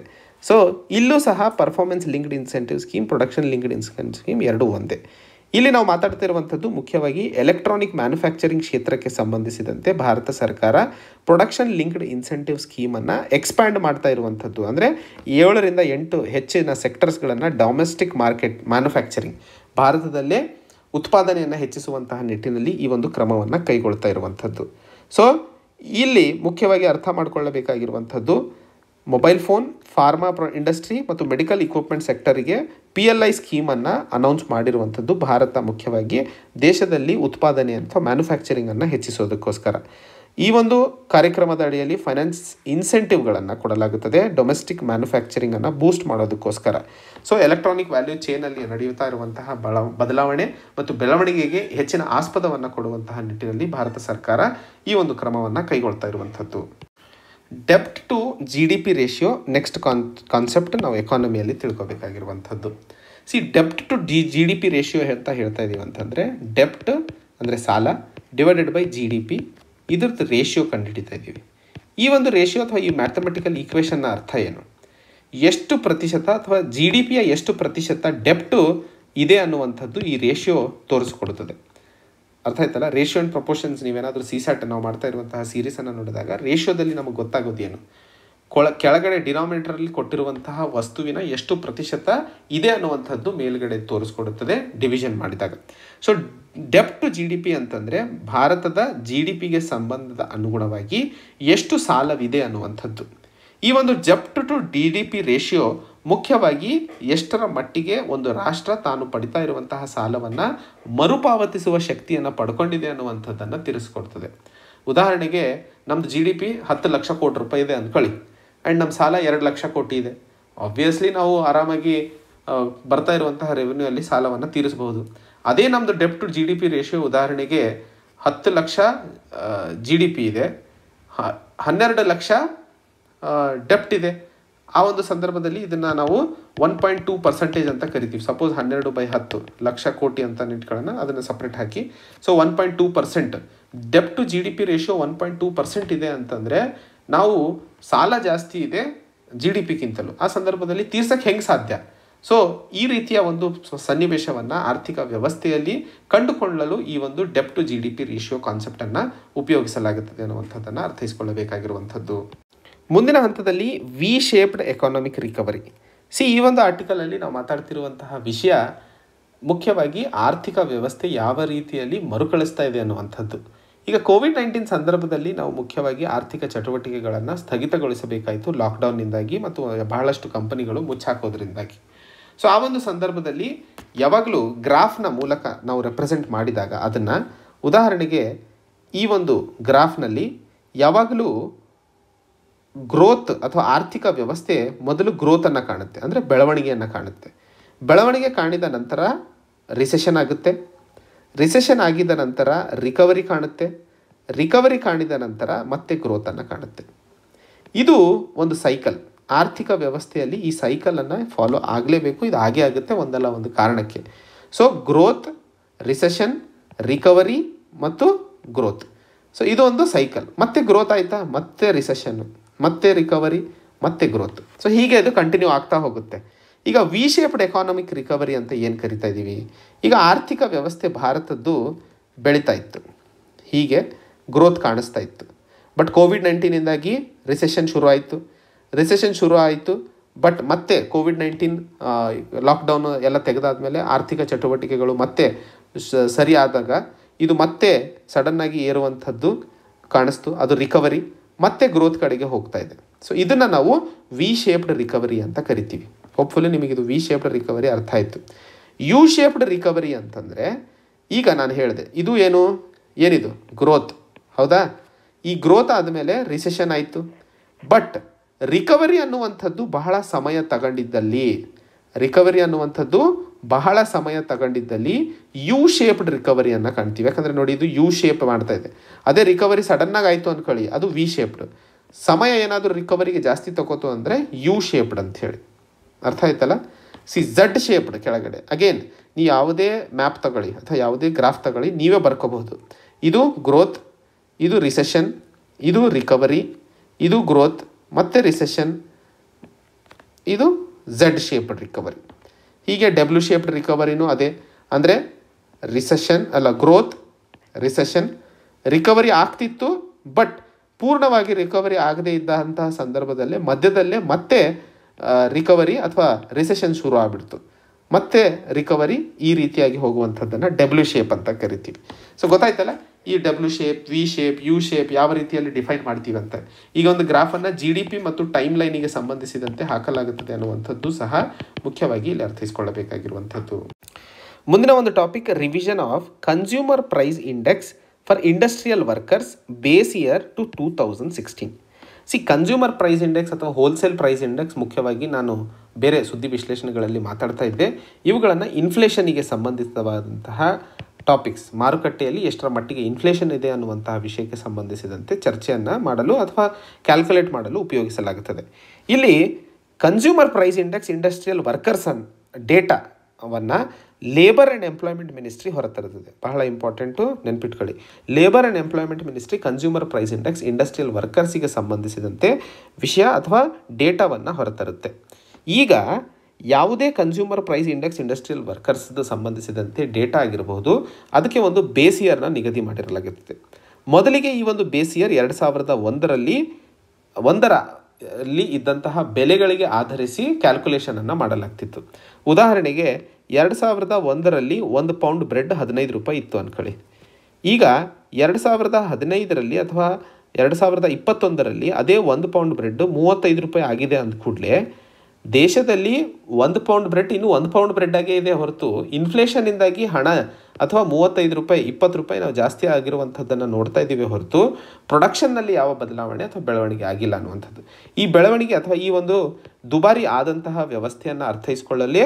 ಕನ್ಸ್ಯೂಮರ್ ಪ್ರೈಸ್ ಇಂಡೆಕ್ಸ್ ಇನ್ಫ್ ಇಂಡಸ್ಟ್ರಿಯಲ್ ವರ್ಕರ್ಸ್ಗೆ ಸಂಬಂಧಿಸಿದಂತೆ ನಾವು ಚರ್ಚೆಯನ್ನು ಮಾಡುವಂಥದ್ದು. ಸೊ ಈ ಒಂದು ರೆಫರೆನ್ಸ್ ಇಯರ್ ಎರಡು ಸಾವಿರದ ಒಂದು ಏನಿತ್ತಲ್ಲ ಇದನ್ನು ಬದಲಾಯಿಸಿ ಎರಡು ಸಾವಿರದ ಹದಿನಾರಕ್ಕೆ ತಂದಿರುವಂಥದ್ದು. ಆ್ಯಂಡ್ ಈ ಒಂದು ಹೊಸ ಇಂಡೆಕ್ಸ್ನಲ್ಲಿ ಮುಖ್ಯವಾಗಿ ಆರೋಗ್ಯ, ಶಿಕ್ಷಣ ರಿಕ್ರಿಯೇಷನಿಗೆ ಹೆಚ್ಚಿನ ವೇಟೇಜನ್ನು ಕೊಡಲಾಗಿದೆ ಫುಡ್ ಆ್ಯಂಡ್ ಬ್ಯಾವ್ರೇಜಸ್ಸಿಗೆ ಕಂಪೇರ್ ಮಾಡಿದರೆ. ಈ ಸಿ ಪಿ ಐ ಅಂತಂದರೆ ಒಂದು ಬಾಸ್ಕೆಟ್ ಆಫ್ ಗೂಡ್ಸಲ್ಲಿ ಅಲ್ಲಿ. ಆರೋಗ್ಯ, ಶಿಕ್ಷಣ ರಿಕ್ರಿಯೇಷನ್ ಬೇರೆ miscellaneous activities food and beverages ಇವನ್ನೆಲ್ಲ ಒಂದು ಪಟ್ಟಿ ಮಾಡ್ಕೋತಾರೆ. ಫುಡ್ ಆ್ಯಂಡ್ ಬ್ಯಾವ್ರೇಜಸ್ ಅಂತಂದರೆ ನಾವು ಊಟ ಮಾಡೋದು, ಕುಡಿಯೋದು, ತಿನ್ನೋದು ಇವುಗಳನ್ನು ಫುಡ್ ಆ್ಯಂಡ್ ಬ್ಯಾವ್ರೇಜಸ್ ಅಂತ ಕರಿತೀವಿ. ಈ ಒಂದು ಸಿ ಪಿ ಐ ಇಂಡಸ್ಟ್ರಿಯಲ್ ವರ್ಕರ್ಸ್ನ ಬಾರ್ಕೆ ಬಾಸ್ಕೆಟ್ನಲ್ಲಿ ಮುಖ್ಯವಾಗಿ ನೋಡ್ತಾ ಇರುವಂಥದ್ದು ಆರೋಗ್ಯ, ಶಿಕ್ಷಣ ಮತ್ತು ರೀಕ್ರಿಯೇಷನ್ ಮೇಲೆ ಜನ ಹೆಚ್ಚಿಗೆ ಖರ್ಚು ಮಾಡ್ತಾ ಇದ್ದಾರೆ. ಊಟ ಕುಡಿಯೋದಕ್ಕೆ, ತಿನ್ನೋದಕ್ಕೆ ನೋಡಿದರೆ. ಈ ಒಂದು ಕಾರಣದಿಂದಾಗಿ ಅಥವಾ ಈ ರೀತಿಯ ಸನ್ನಿವೇಶದಲ್ಲಿ ಜನರ ಡಿಸ್ಪೋಸಬಲ್ ಇನ್ಕಮ್ ಜಾಸ್ತಿ ಆಗಿದೆ ಅನ್ನುವಂಥದ್ದು. ಈಗ ಊಟ ಮಾಡೋದು ತಿನ್ನೋದಕ್ಕಿಂತ ಜನ ಜಾಸ್ತಿ ಖರ್ಚು ಓಡಾಡೋದಕ್ಕೆ ಅಥವಾ ಶಿಕ್ಷಣಕ್ಕೆ, ಆರೋಗ್ಯಕ್ಕೆ ಖರ್ಚು ಯಾವಾಗ ಮಾಡ್ತಾರೆ? ಅವ್ರ ಕೈಯಲ್ಲಿ ದುಡ್ಡು ಜಾಸ್ತಿ ಇದ್ದಾಗ ಇಲ್ಲಾಂದರೆ ಮನೇಲಿ ಊಟ ಮಾಡೋದೇ ಜಾಸ್ತಿ ಕಷ್ಟ ಆಯಿತು ಅಂತಂದರೆ ಇನ್ನೆಲ್ಲ ಅವನು ಹೋಗಿ ಮನಾಲಿ ಅಥವಾ ಮಡಿಕೇರಿ ಸುತ್ತಕ್ಕೆ ಹೋಗ್ತಾನೆ. ಸೊ ಹಂಗೆ ನೋಡ್ಕೊಂಡಾಗ ರೀಕ್ರಿಯೇಷನ್ನು ಅವೆಲ್ಲ ಮಾಡ್ತಿದ್ದಾನೆ ಅಂದರೆ ಜನರ ಕೈಯಲ್ಲಿ ದುಡ್ಡು ಜಾಸ್ತಿ ಆಗಿದೆ ಅನ್ನುವಂಥದ್ದು. ಮುಂದಿನ ದಿನಗಳಲ್ಲಿ ಸಿ ಪಿ ಐ ಅಗ್ರಿಕಲ್ಚರ್ ವರ್ಕರ್ಸಿಗೂ ಸಂಬಂಧಿಸಿದಂತೆ ಬೇಸಿಯರನ್ನು ಬದಲಾವಣೆ ಮಾಡೋದಕ್ಕೆ ಆಲೋಚನೆ ಮಾಡ್ತಾ ಇದ್ದಾರೆ. ಈಗ ಸದ್ಯಕ್ಕೆ ಇರುವಂಥದ್ದು ಹತ್ತೊಂಬತ್ತು ನೂರ ಎಂಬತ್ತಾರು, ಎಂಬತ್ತೇಳು ಬೇಸಿಯರ್ ಆಗಿರುತ್ತದೆ ಅದನ್ನು ಆಗಸ್ಟ್ ತಿಂಗಳಷ್ಟಿಗೆ ಬದಲಾವಣೆ ಮಾಡುತ್ತೇವೆ ಅನ್ನುವಂತಹ ಮಾತನ್ನು ಹೇಳಿತ್ತು. ಮುಂದಿನ ದಿನಗಳಲ್ಲಿ ನೋಡೋಣ ಅದು ಏನಾಗುತ್ತೆ ಅನ್ನುವಂಥದ್ದು. ಮುಂದಿನ ಹಂತದಲ್ಲಿ ಹೋಲ್ಸೇಲ್ ಪ್ರೈಸ್ ಇಂಡೆಕ್ಸಿಗೂ ಕನ್ಸ್ಯೂಮರ್ ಪ್ರೈಸ್ ಇಂಡೆಕ್ಸಿಗೂ ಇರುವಂತಹ ವ್ಯತ್ಯಾಸಗಳನ್ನು ಅರ್ಥೈಸ್ಕೊಳ್ಳೋಣ. ಬಹಳ ಇಂಪಾರ್ಟೆಂಟ್ ಯಾಕಂದರೆ ಎರಡು ಸಾವಿರದ ಇಪ್ಪತ್ತರಲ್ಲಿ ಇದರ ಬೇಸ್ ಇಯರ್ನಲ್ಲಿ ಮಾಡಿದಂತಹ ಬದಲಾವಣೆಗಳಿಂದಾಗಿ ಇದು ಬಹಳ ಇಂಪಾರ್ಟೆಂಟ್ ಆಗಿರುತ್ತದೆ ಅನ್ನುವಂಥದ್ದು. ಇಲ್ಲಿ ಹೋಲ್ಸೇಲ್ ಪ್ರೈಸ್ ಇಂಡೆಕ್ಸ್ ಅಂದರೆ ಏನು? ಹೋಲ್ಸೇಲ್ ಪ್ರೈಸಸ್ಗಳಲ್ಲಿ ಆದಂತಹ ಆವರೇಜ್ ಬದಲಾವಣೆ ಏನಾಗಿದೆ? ಪ್ರೈಸ್ ಲೆವೆಲಿಗೆ ಸಂಬಂಧಿಸಿದಂತೆ ಅದನ್ನು ನಾವು ಹೋಲ್ಸೇಲ್ ಪ್ರೈಸ್ ಇಂಡೆಕ್ಸ್ ಕರಿತೀವಿ. ಅದೇ ಕನ್ಸ್ಯೂಮರ್ ಪ್ರೈಸ್ ಇಂಡೆಕ್ಸ್ ಅಂತಂದರೆ ರೀಟೇಲ್ ಲೆವೆಲಲ್ಲಿ ಬೆಲೆ ಆವ್ರೇಜ್ ಆಗಿ ಎಷ್ಟು ಬದಲಾ ಬದಲಾವಣೆ ಆಗಿದೆ ಅನ್ನುವಂಥದ್ದು. ಸಿ ಹೋಲ್ಸೇಲ್ ಮತ್ತು ರೀಟೇಲ್ ರೀಟೇಲ್ ಅಂತಂದರೆ ತಾವು ತಮ್ಮ ಗಲ್ಲಿಯಲ್ಲಿರುವಂತಹ ಅಂಗಡಿಗೆ ಹೋಗ್ತಿರಲ್ಲ, ಅದು ರೀಟೇಲ್ ಶಾಪ್ ಅಂತ ಕರಿತೀವಿ. ಹೋಲ್ಸೇಲ್ ಶಾಪ್ ಅಂತಂದರೆ ಮಾರ್ಕೆಟಿಗೆ ಹೋಗಿ ಖರೀದಿ ಮಾಡ್ತಿದ್ರಲ್ಲ, ಅದನ್ನು ಹೋಲ್ಸೇಲ್ ಶಾಪ್ ಅಂತ ಕರಿತೀವಿ. ಸೊ ಹೋಲ್ಸೇಲ್ ಪ್ರೈಸಸ್ ಮತ್ತು ರೀಟೇಲ್ ಪ್ರೈಸಸ್ ಅಂತ ಅದನ್ನು ಹೇಳ್ತಾ ಇರುವಂಥದ್ದು. ಈ ಒಂದು wholesale price ಇಂಡೆಕ್ಸನ್ನು office of economic adviser ministry of commerce and ಇಂಡಸ್ಟ್ರಿಯಿಂದ publish ಮಾಡಲಾಗುತ್ತೆ. Consumer price ಇಂಡೆಕ್ಸನ್ನು national statistical office ministry of statistics and programme implementation ಅಡಿಯಲ್ಲಿ ಪಬ್ಲಿಷ್ ಮಾಡ್ತಾ ಇರುವಂಥದ್ದು. So wholesale price index ಆಫಿ office of economic adviser consumer price index national statistical office ಅನ್ನುವಂಥದ್ದು. ಇಲ್ಲಿ ಏನನ್ನು measure ಮಾಡಲಾಗುತ್ತದೆ? Wholesale price ಇಂಡೆಕ್ಸ್ನ ಅಡಿಯಲ್ಲಿ ಬರೀ ಗೂಡ್ಸ್ಗಳನ್ನು ಇಲ್ಲಿ ಮೆಜರ್ ಮಾಡಲಾಗುತ್ತದೆ. ಕನ್ಸ್ಯೂಮರ್ ಪ್ರೈಸ್ ಇಂಡೆಕ್ಸ್ನಲ್ಲಿ ಗೂಡ್ಸ್ ಆ್ಯಂಡ್ ಸರ್ವಿಸಸ್ ಎರಡೂ ಇದ್ದಾವೆ ಬಹಳ ಇಂಪಾರ್ಟೆಂಟ್ ಡಿಫರೆನ್ಸ್ ನೆನ್ಪಿಟ್ಕೊಳ್ಳಿ. ಗೂಡ್ಸ್ ಆ್ಯಂಡ್ ಸರ್ವಿಸಸ್ ಎರಡೂ ಇನ್ಕ್ಲೂಡ್ ಆಗಿರುವಂಥದ್ದು ಕನ್ಸ್ಯೂಮರ್ ಪ್ರೈಸ್ ಇಂಡೆಕ್ಸ್ನಲ್ಲಿ ಹೋಲ್ಸೇಲ್ ಪ್ರೈಸ್ ಇಂಡೆಕ್ಸ್ನಲ್ಲಿ ಒಟ್ಟು ಆರುನೂರ ತೊಂಬತ್ತೇಳು primary articles fuel power manufactured ಗೂಡ್ಸ್ಗಳ ಮೇ, ಬಗ್ಗೆ ಈ ಬಾಸ್ಕೆಟಲ್ಲಿ ಹಾಕಲಾಗುತ್ತದೆ. ಸೊ ಒಟ್ಟು ಎಷ್ಟು ಗೂಡ್ಸ್ ಇದ್ದಾವೆ ಆರುನೂರ ತೊಂಬತ್ತೇಳು ಅದೇ ಕನ್ಸ್ಯೂಮರ್ ಪ್ರೈಸ್ ಇಂಡೆಕ್ಸ್ನಲ್ಲಿ ರೂರಲಲ್ಲಿ ನಾನ್ನೂರ ನಲವತ್ತೆಂಟು ಅರ್ಬನ್ನಲ್ಲಿ ನಾನ್ನೂರ ಅರವತ್ತು ಗೂಡ್ಸ್ಗಳು ಇರುವಂಥದ್ದು. ಬೇಸ್ ಇಯರಿಗೆ ಕಂಪೇರ್ ಮಾಡಿದರೆ ಹೋಲ್ಸೇಲ್ ಪ್ರೈಸ್ ಇಂಡೆಕ್ಸ್ ಎರಡು ಸಾವಿರದ ಹನ್ನೊಂದು, ಹನ್ನೆರಡಕ್ಕೆ ಸಂಬಂಧಿಸಿದಂತೆ ಕ್ಯಾಲ್ಕುಲೇಟ್ ಮಾಡಲಾಗುತ್ತದೆ. ಕನ್ಸ್ಯೂಮರ್ ಪ್ರೈಸ್ ಇಂಡೆಕ್ಸ್ನ ಎರಡು ಸಾವಿರದ ಹನ್ನೆರಡಕ್ಕೆ ಸಂಬಂಧಿಸಿದಂತೆ ಕ್ಯಾಲ್ಕುಲೇಟ್ ಮಾಡಲಾಗುತ್ತದೆ. ಈ ಒಂದು ಸಂದರ್ಭದಲ್ಲಿ ಹೋಲ್ಸೇಲ್ ಪ್ರೈಸ್ ಇಂಡೆಕ್ಸನ್ನು ಯಾವಾಗ ರಿಲೀಸ್ ಮಾಡ್ತಾರೆ? ಸಿ ಪ್ರೈಮರಿ ಆರ್ಟಿಕಲ್ಸ್ ಮತ್ತು ಫ್ಯೂಲ್ಸನ್ನು ವೀಕ್ಲಿ ಆಧಾರದ ಮೇಲೆ ರಿಲೀಸ್ ಮಾಡ್ತಾರೆ. ಪ್ರೈಮರಿ ಆರ್ಟಿಕಲ್ಸ್ ಆ್ಯಂಡ್ ಫ್ಯೂಲ್ ಎರಡನ್ನು ವೀಕ್ಲಿ ಆಧಾರದ ಮೇಲೆ ರಿಲೀಸ್ ಮಾಡುವಂಥದ್ದು. ಉಳಿದಂಥದ್ದನ್ನು ಮಂತ್ಲಿ ಆಧಾರದ ಮೇಲೆ. ನೆನ್ಪಿಟ್ಕೊಳ್ಳಿ. ಕನ್ಸ್ಯೂಮರ್ ಪ್ರೈಸ್ ಇಂಡೆಕ್ಸನ್ನು ಮಂತ್ಲಿ ಆಧಾರದ ಮೇಲೆ ಹದಿನಾಲ್ಕು ದಿನಗಳ ಲ್ಯಾಗ್ನೊಂದಿಗೆ ರಿಲೀಸ್ ಮಾಡಲಾಗುತ್ತದೆ ಅನ್ನುವಂಥದ್ದು ಸಹ ಇಲ್ಲಿ ಮುಖ್ಯವಾಗಿ ತಾವು ನೆನ್ಪಿಟ್ಕೋಬೇಕಾಗಿರುವಂಥದ್ದು. ಮುಂದಿನ ಒಂದು ಟಾಪಿಕ್ ಕ್ರೆಡಿಟ್ ಡಿಫಾಲ್ಟ್ ಸ್ವ್ಯಾಪ್ ಅಂತ ಹೇಳಿ. ಸಿ ಕ್ರೆಡಿಟ್ ಡಿಫಾಲ್ಟ್ ಸ್ವ್ಯಾಪ್ ಅನ್ನುವಂಥದ್ದು ಒಂದು ರೀತಿಯ ಇನ್ಶೂರೆನ್ಸ್ ಇದ್ದ ಹಾಗೆ ಪ್ರೈವೇಟ್ ಕಂಪನೀಸ್ಗಳಿಗೆ ಅಥವಾ ಒಂದು ಕಂಪನಿಗಳಿಗೆ ಒಂದು ಇನ್ಶೂರೆನ್ಸ್ ಇದ್ದಂಗೆ. ಇದರ ಅಡಿಯಲ್ಲಿ ಮುಖ್ಯವಾಗಿ ರಿಸ್ಕ್. ಯಾಕಂದರೆ ಸಿ ಪ್ರೈವೇಟ್ ಕಂಪನಿ ಆಗಿರ್ಬೋದು, ಯಾವುದೇ ಸ್ಟಾರ್ಟಪ್ಗಳಾಗಿರ್ಬೋದು ಮುಖ್ಯವಾಗಿ ತಮ್ಮ ಆಪ್ರೇಷನ್ಸನ್ನು ಶುರು ಮಾಡಿದಾಗ ಮಾರ್ಕೆಟಲ್ಲಿ ಇರುವಂತಹ ಬೇರೆ ಬೇರೆ ಪ್ಯಾರಾಮೀಟರ್ಸ್ಗಳಿಂದ ಅದು ಲಾಸ್ ಆಗ್ಬೋದು ಪ್ರಾಫಿಟ್ ಆಗಬಹುದು ಲಾಸ್ ಆದಾಗ ಮುಖ್ಯವಾಗಿ ಈಗ ಗಾಡಿಗಳಿಗೆ ಇನ್ಶೂರೆನ್ಸ್ ಇದೆ, ಏನಾದರೂ ಹೊಡೆತ ಬಿತ್ತು, ಮನುಷ್ಯನ ದೇಹಕ್ಕೆ ಇನ್ಶೂರೆನ್ಸ್ ಇದೆ, ಏನಾದರೂ ಆಯಿತು. ಅದೇ ರೀತಿಯಲ್ಲಿ ಕಂಪನಿಗಳು ಮಾಡ್ತಾ ಇರುವಂತಹ ವ್ಯವಹಾರಕ್ಕೆ ಸಂಬಂಧಿಸಿದಂತೆ ಇನ್ಶೂರೆನ್ಸನ್ನು ಕೊಡುವಂತಹ ನಿಟ್ಟಿನಲ್ಲಿ ಕ್ರೆಡಿಟ್ ಡಿಫಾಲ್ಟ್ ಸ್ವಾಪ್ ಅಗ್ರಿಮೆಂಟ್ ಕೆಲಸ ಮಾಡುತ್ತದೆ. ಇಲ್ಲಿ ರೆಫರೆನ್ಸ್ ಎಂಟಿಟಿ ಅಂತಂದರೆ ಕಂಪನಿ ಅಂತ ಕರಿತಾ ಇದ್ದೀವಿ ಕಂಪನಿಯನ್ನು ಒಂದು ರೆಫರೆನ್ಸ್ ಎಂಟಿಟಿ ಅಂತ ಹೆಸರಿಡ್ತಾ ಇದ್ದೀವಿ ಎರಡನೇ ಹಂತದಲ್ಲಿ ಕ್ರೆಡಿಟ್ ಈವೆಂಟ್ ಅಂತ ಉಪಯೋಗಿಸಲಾಗ್ತದೆ ಕ್ರೆಡಿಟ್ ಈವೆಂಟ್ ಅಂತಂದರೆ ಒಂದು ವೇಳೆ ಕಂಪನಿ ಹಣವನ್ನು ಪಾವತಿಸೋದ್ರಲ್ಲಿ ಡಿಫಾಲ್ಟ್ ಆದರೆ, ಈಗ ತಾವು ಲೋನ್ ತೊಗೊಂಡಿರ್ತೀರ? ಲೋನನ್ನು ಸಪೋಸ್ ತಿಂಗಳ ತಿಂಗಳ ಹತ್ತು ಸಾವಿರ ಕಂತು ಕಟ್ಟಬೇಕು ಒಂದು ತಿಂಗಳು ಕಂತು ಕಟ್ಟಿಲ್ಲ ಅನ್ಕೊಳ್ಳಿ.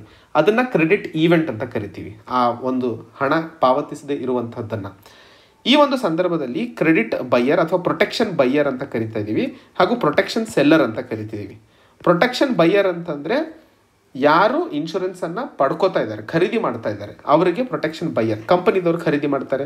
ಪ್ರೊಟೆಕ್ಷನ್ ಸೆಲ್ಲರ್ ಅಂತಂದರೆ ಈ ಒಂದು ಇನ್ಶೂರೆನ್ಸನ್ನು ಮಾರ್ತಾ ಇರುವಂಥವ್ರು. ಸೊ ಪ್ರೊಟೆಕ್ಷನ್ ಬೈಯರು, ಪ್ರೊಟೆಕ್ಷನ್ ಸೆಲ್ಲರಿಗೆ ತಿಂಗಳ ತಿಂಗಳ ಒಂದಿಷ್ಟು ಕಂತಿನಲ್ಲಿ ಹಣವನ್ನು ಪೇ ಮಾಡ್ತಾ ಇರ್ತಾನೆ.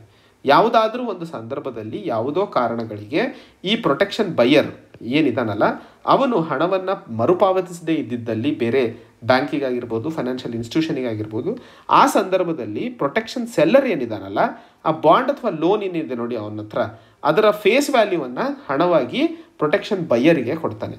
ಸೊ ಮುಖ್ಯವಾಗಿ ಕ್ರೆಡಿಟ್ ಈವೆಂಟ್ನ ಸಂದರ್ಭದಲ್ಲಿ ಕ್ರೆಡಿಟ್ ಈವೆಂಟ್ ಅಂದರೆ ಡಿಫಾಲ್ಟ್ ಆದಂತಹ ಸಂದರ್ಭದಲ್ಲಿ ಇನ್ಶೂರೆನ್ಸ್ ಕಂಪನಿಯವರು ಮುಖ್ಯವಾಗಿ ಪ್ರೊಡಕ್ಟ್ ಪ್ರೊಟೆಕ್ಷನ್ ಬೈಯರಿಗೆ ಒಂದಿಷ್ಟು ಹಣವನ್ನು ಕೊಡ್ತಾ ಇರುವಂತಹ ವಿಷಯವನ್ನು ಕ್ರೆಡಿಟ್ ಡಿಫಾಲ್ಟ್ ಸ್ವಾಪ್ ಮಾತಾಡುತ್ತದೆ. ಸೊ ಅರ್ಥ ಆಯ್ತಲ್ಲ ಈ ಕಾನ್ಸೆಪ್ಟ್ ಕ್ಲಿಯರ್ ಆಗಿ? ಸೊ ಮುಂದಿನ ಹಂತದಲ್ಲಿ multi modal logistics parks in Assam. ಈ ಒಂದು ಆರ್ಟಿಕಲಲ್ಲಿ ನಾವು ಮಾತಾಡ್ತಿರುವಂಥದ್ದು ಮೊದಲನೇ ಹಂತದಲ್ಲಿ multi model see multi model ಅಂತ ಕೂಡಲೇ ಇಲ್ಲಿ ಅರ್ಥ ಮಾಡ್ಕೋಬೇಕು. ಇಲ್ಲಿ ವಿವಿಧ ರೀತಿಯ ಲಾಜಿಸ್ಟಿಕ್ಸ್ಗಳನ್ನು ಅನುಕೂಲ ಮಾಡಿಕೊಡ್ತಾ ಇರುವಂಥದ್ದು. ಯಾವ್ಯಾವ ರೀತಿಯ ಲಾಜಿಸ್ಟಿಕ್ಸ್ ಇದ್ದಾವೆ ರೋಡ್ ರೇಲ್ ಏರ್ಪೋರ್ಟ್ ಹಾಗೂ ಸಮುದ್ರದ ಹಾದಿ ಅಥವಾ ನೀರಿನ ಹಾದಿ. ಸೊ ಈ ನಾಲ್ಕು ದಿಕ್ಕುಗಳಲ್ಲಿ ವ್ಯವಸ್ಥೆಯನ್ನು ಮಾಡ್ತಾ ಇರುವಂಥದ್ದು multi modal logistics parks so union minister for road transport and highways ದೇಶದ ಮೊಟ್ಟ ಮೊದಲನೇ ಮಲ್ಟಿ ಮೋಡಲ್ ಲಾಜಿಸ್ಟಿಕ್ಸ್ ಪಾರ್ಕನ್ನು ಅಸ್ಸಾಂನ ಜೋಗಿ ಹೋಪಾ ಅನ್ನುವಂತಹ ಜಾಗದಲ್ಲಿ ಶುರು ಮಾಡ್ತಾ ಇದೆ. ಈ ಒಂದು Jogighopa multi modal logistics ಪಾರ್ಕ್ಸಿಂದ national highway seventeen Jogighopa waterway terminal Brahmaputra ಹಾಗೂ ರೂಪ್ಸಿ ಮತ್ತು ಗುವಾಹಟಿ ಏರ್ಪೋರ್ಟ್ಗಳು ಮತ್ತು ರೇಲ್ ರೂಟಿಗೆ ಡೈರೆಕ್ಟ್ ಕನೆಕ್ಟಿವಿಟಿ ಸಿಗುವಂಥದ್ದೇ ನಾನು ಇಲ್ಲಿ ಹೇಳ್ತಾ ಇದ್ದುವಂಥದ್ದು ಮಲ್ಟಿ ಮೋಡಲ್ ಲಾಜಿಸ್ಟಿಕ್ಸ್ ಪಾರ್ಕ್ ಅನ್ನುವಂಥದ್ದು. ಈ ಒಂದು ಮಲ್ಟಿ ಮೋಡಲ್ ಲಾಜಿಸ್ಟಿಕ್ ಪಾರ್ಕನ್ನು ಭಾರತ್ ಮಾಲಾ ಪರಿಯೋಜನಾ, ಭಾರತ ಸರ್ಕಾರದ ಒಂದು ಪ್ರಮುಖ ಸ್ಕೀಮ್ನ ಅಡಿಯಲ್ಲಿ ಶುರು ಮಾಡಲಾಗಿದೆ. ಈ ಒಂದು ಭಾರತ್ಮಾಲಾ ಪರಿಯೋಜನಾ ಅನ್ನುವಂಥದ್ದು ಹೈವೇ ಕ್ಷೇತ್ರಕ್ಕೆ ಸಂಬಂಧಿಸಿದಂತೆ ಒಂದು ಮುಖ್ಯವಾದ ಕಾರ್ಯಕ್ರಮ ಆಗಿರುತ್ತದೆ ministry of road transport and highways ಕೆಳಗಡೆ. ದೇಶದಲ್ಲಿ ಸುಮಾರು ಮೂವತ್ತೈದು ಲೊಕೇಶನ್ಸ್ಗಳಲ್ಲಿ ಈ ರೀತಿಯ ಮಲ್ಟಿ ಮೋಡಲ್ ಲಾಜಿಸ್ಟಿಕ್ಸ್ ಪಾರ್ಕ್ಗಳನ್ನು ಮುಂದಿನ ದಿನಗಳಲ್ಲಿ ಡೆವಲಪ್ ಮಾಡಲಾಗುವುದು ಅನ್ನುವಂತಹ ಮಾತನ್ನು ಸಹ ಇಲ್ಲಿ ಅರ್ಥೈಸಿಕೊಳ್ಳಬೇಕಾಗಿರುವಂಥದ್ದು. ಮುಂದಿನ ಹಂತದಲ್ಲಿ ಸೊಸೈಟಿ ಮತ್ತು ಸೋಷಿಯಲ್ ಇಶ್ಯೂಸಿಗೆ ಸಂಬಂಧಿಸಿದಂತೆ ಅಕ್ಟೋಬರ್ ಎರಡು ಸಾವಿರದ ಇಪ್ಪತ್ತರಲ್ಲಿ ಬಂದಂತಹ ಮುಖ್ಯವಾದ ಸುದ್ದಿಗಳನ್ನು ನೋಡೋಣ. ಸೊ ಮೊದಲನೇ ಟಾಪಿಕ್ ಶ್ಯಾಡೋ ಪ್ಯಾಂಡಮಿಕ್ ಇಲ್ಲಿ laws to protect woman against domestic violence ಅಂತ ಮಾತಾಡ್ತಿದ್ದೀವಿ. ಯಾಕೆ ಡೊಮೆಸ್ಟಿಕ್ ವೈಲೆನ್ಸಿಗೆ ಸಂಬಂಧಿಸಿದಂತೆ ಕಾನೂನುಗಳನ್ನು ಎರಡು ಅಕ್ಟೋಬರ್ ಎರಡು ಸಾವಿರದ ಇಪ್ಪತ್ತರಲ್ಲಿ ಡಿಸ್ಕಸ್ ಮಾಡಿದ್ವಿ ಅಂತಂದರೆ, ತಮಗೆಲ್ಲ ಗೊತ್ತಿರೋ ಹಾಗೆ ಕೋವಿಡ್ ನೈನ್ಟೀನಿಂದಾಗಿ ಆದಂತಹ ಲಾಕ್ಡೌನ್ ಮೂಲದಿಂದಾಗಿ ಎಲ್ಲರೂ ವರ್ಕ್ ಫ್ರಮ್ ಹೋಮ್ ಮಾಡ್ತಾಯಿದ್ರು ಮನೆಯಲ್ಲೇ ಇದ್ದಂತಹ ಕಾರಣಕ್ಕೆ ಹೆಣ್ಣು ಮಕ್ಕಳ ಮೇಲೆ ಆಗ್ತಾ ಇರುವಂತಹ ದೈಹಿಕ ಹಾಗೂ ಮಾನಸಿಕ ದೌರ್ಜನ್ಯ ಜಾಸ್ತಿ ಆಗಿಬಿಟ್ಟಿದೆ ಮುಂಚೆಯಿಂದಲೂ ಅಂತ ಹೇಳುವಂತಹ ಮಾತನ್ನು ಯು ಎನ್ ಸೆಕ್ರೆಟರಿ ಜನರಲ್ ಅವರು ಭಾರತ ಸರ್ಕಾರಕ್ಕೆ ಅಪೀಲ್ ಮಾಡಿರುವಂತಹ ಸನ್ನಿವೇಶವನ್ನು ನೋಡಿದಾಗ ಹೇಳಬಹುದು. ಯು ಸೆಕ್ರೆಟರಿ ಜನರಲ್ ಅಲ್ಲದೆ ನ್ಯಾಷನಲ್ ಕಮಿಷನ್ ಫಾರ್ ವುಮೆನು ಸಹ ಕೋವಿಡ್ ನೈನ್ಟೀನ್ ಪ್ಯಾಂಡಮಿಕ್ನಿಂದಾಗಿ ಎಲ್ಲರೂ ಮನೆಯಲ್ಲೇ ಇದ್ದಂತಹ ಸಂದರ್ಭದಲ್ಲಿ ಹೆಣ್ಣು ಮಕ್ಕಳ ಮೇಲೆ ಆಗ್ತಾ ಇರುವಂತಹ ವೈಲೆನ್ಸ್ ತುಂಬ ಜಾಸ್ತಿ ಆಗಿದೆ ಡೊಮೆಸ್ಟಿಕ್ ವೈಲೆನ್ಸ್ ಅನ್ನುವಂತಹ ಮಾತನ್ನು ಸಹ ಹೇಳಿದರು. ಆ ಒಂದು ವಿಷಯಕ್ಕೆ ಸಂಬಂಧಿಸಿದಂತೆ ಭಾರತದಲ್ಲಿ ಏನೆಲ್ಲ ಕಾನೂನುಗಳಿದ್ದಾವೆ ಹೆಣ್ಣು ಮಕ್ಕಳ ಸಂರಕ್ಷಣೆಗೋಸ್ಕರ ಅಂತ ಅನ್ನುವಂಥದ್ದನ್ನು ನೋಡಿದಾಗ ಮೊದಲನೇ ಹಂತದಲ್ಲಿ protection for women from domestic violence act ಎರಡು ಸಾವಿರದ ಐದು. ಇದೊಂದು ಕಂಪ್ರಹೆನ್ಸಿವ್ ಲೆಜಿಸ್ಲೇಷನ್ ಇದರ ಅಡಿಯಲ್ಲಿ ಹೆಣ್ಣು ಮಕ್ಕಳನ್ನು ಯಾರಾದರೂ ದೈಹಿಕವಾಗಿ sexually mentally verbally or emotionally abuse ಮಾಡಿದರೆ ಅವರ ವಿರುದ್ಧ ಕ್ರಮವನ್ನು ತಗೊಳ್ಳುವಂತಹ ಪ್ರಾವಧಾನವನ್ನು ಇದರ ಅಡಿಯಲ್ಲಿ ಮಾಡಿರುವಂಥದ್ದು.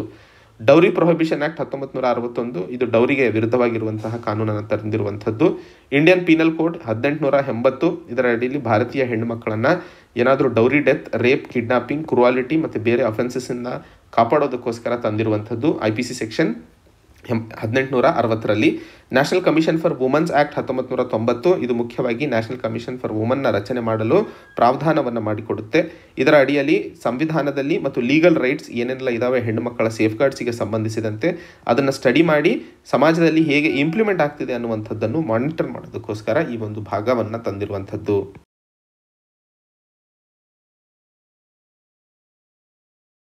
ಸೊ ಮುಂದಿನ ಹಂತದಲ್ಲಿ ನಾವು ಅಕ್ಟೋಬರ್ ಎರಡು ಸಾವಿರದ ಇಪ್ಪತ್ತರಲ್ಲಿ ಇಂಟರ್ನ್ಯಾಷನಲ್ ರಿಲೇಷನ್ಸ್ಗೆ ಸಂಬಂಧಿಸಿದಂತೆ ಏನೆಲ್ಲ ಮುಖ್ಯವಾದ ವಿಷಯಗಳನ್ನು ಚರ್ಚೆ ಮಾಡಿದ್ವಿ ಅಥವಾ ಇತ್ತು ಅನ್ನುವಂಥದ್ದನ್ನು ನೋಡೋಣ. ಸೊ ಮೊದಲನೇ ಹಂತದಲ್ಲಿ ಗ್ರೇಟರ್ ಮಾಲೆ ಕನೆಕ್ಟಿವಿಟಿ ಪ್ರಾಜೆಕ್ಟ್ ಸಿ ಮಾಲೆ ಅಂತಂದರೆ ಮೊದಲನೇದಾಗಿ ಇದು ಮಾಲ್ಡೀವ್ಸ್ದು ಒಂದು ಕ್ಯಾಪಿಟಲ್ ಸಿಟಿ ಆಗಿರುತ್ತದೆ. ಇಲ್ಲಿ ಗ್ರೇಟರ್ ಮಾಲೆ ಕನೆಕ್ಟಿವಿಟಿ ಪ್ರಾಜೆಕ್ಟ್ ಅಂತಂದರೆ ಮಾಲೆ ಜೊತೆಯಲ್ಲಿ ಅಥವಾ ಮಾಲೆ ಅಕ್ಕಪಕ್ಕ ಇರುವಂತಹ ವಿಲ್ಲಿಂಗಿಲಿ ಗುಲ್ಹಿಫಾಸು ಅನ್ನುವಂತಹ ಎರಡು ಮುಖ್ಯವಾದ ಐಲ್ಯಾಂಡ್ಸ್ಗಳ ನಡುವೆ ಒಂದು ಬ್ರಿಡ್ಜನ್ನು ಕಟ್ಟೋದಕ್ಕೆ ಭಾರತ ಸರ್ಕಾರ ಐನೂರು ಮಿಲಿಯನ್ ಯು ಎಸ್ ಡಾಲರ್ಸ್ಗಳ ಕ್ರೆಡಿಟನ್ನು ಕೊಡ್ತಾ ಇರುವಂಥದ್ದು. ಸೊ ಕನೆಕ್ಟಿವಿಟಿ ಪ್ರಾಜೆಕ್ಟ್ ಅಂದರೆ ಈ ಒಂದು ಮಾಲೆ ಸಿಟಿಯ ಜೊತೆಯಲ್ಲಿ ವಿಲಿಗಿಲಿ ಮತ್ತು ಗುಲ್ಹಿಫಾಸು ಈ ಐಲ್ಯಾಂಡ್ಸ್ ಎಲ್ಲಿದ್ದಾವೆ ಅನ್ನುವಂತಹ ಪ್ರಶ್ನೆ ಪ್ರಿಲಿಮ್ಸಲ್ಲಿ ಕೇಳಬಹುದು. ಸೊ ಈ ವಿಲ್ಲಿಂಗಿಲಿ ಮತ್ತು ಗುಲ್ಹಿ ಫಾಸಿ ಅನ್ನುವಂತಹ ಐಲ್ಯಾಂಡ್ಸು ಮಾಲ್ಡೀವ್ಸ್ ಪಕ್ಕದಲ್ಲಿರುವಂಥದ್ದು. ಸೊ ಈ ಒಂದು ಪ್ರಾಜೆಕ್ಟ್ಸ್ ಅಥವಾ ಈ ಒಂದು ಭಾಗದಲ್ಲಿ ಬ್ರಿಡ್ಜ್ ಕಟ್ಟೋದಕ್ಕೆ ಸುಮಾರು ಆರು ಪಾಯಿಂಟ್ ಏಳು ನಾಲ್ಕು ಕಿಲೋಮೀಟರ್ ಬ್ರಿಡ್ಜನ್ನು ಭಾರತ ಸರ್ಕಾರ ಕಟ್ಟಲು ಇನ್ಫ್ರಾಸ್ಟ್ರಕ್ಚರ್ ಡೆವಲಪ್ಮೆಂಟಿಗೆ ಹಣ ಅಥವಾ ಲೈನ್ ಆಫ್ ಕ್ರೆಡಿಟನ್ನು ಕೊಡ್ತಾ ಇರುವಂಥದ್ದು. ಇದು ಭಾರತದ ಕಡೆಯಿಂದ ಅತಿ ದೊಡ್ಡ ಪ್ರಾಜೆಕ್ಟ್ ಆಗಿ ಮಾಲ್ಡೀವ್ಸಲ್ಲಿ ಇಂಪ್ಲಿಮೆಂಟ್ ಆಗಲಿದೆ. ಅತಿ ದೊಡ್ಡ ಇನ್ಫ್ರಾಸ್ಟ್ರಕ್ಚರ್ ಪ್ರಾಜೆಕ್ಟು ಆಗಿರುತ್ತದೆ. ಮಾಲ್ಡೀವ್ಸಲ್ಲಿ ಚೈನಾವು ಸಹ ಇನ್ವೆಸ್ಟ್ ಮಾಡಿದೆ.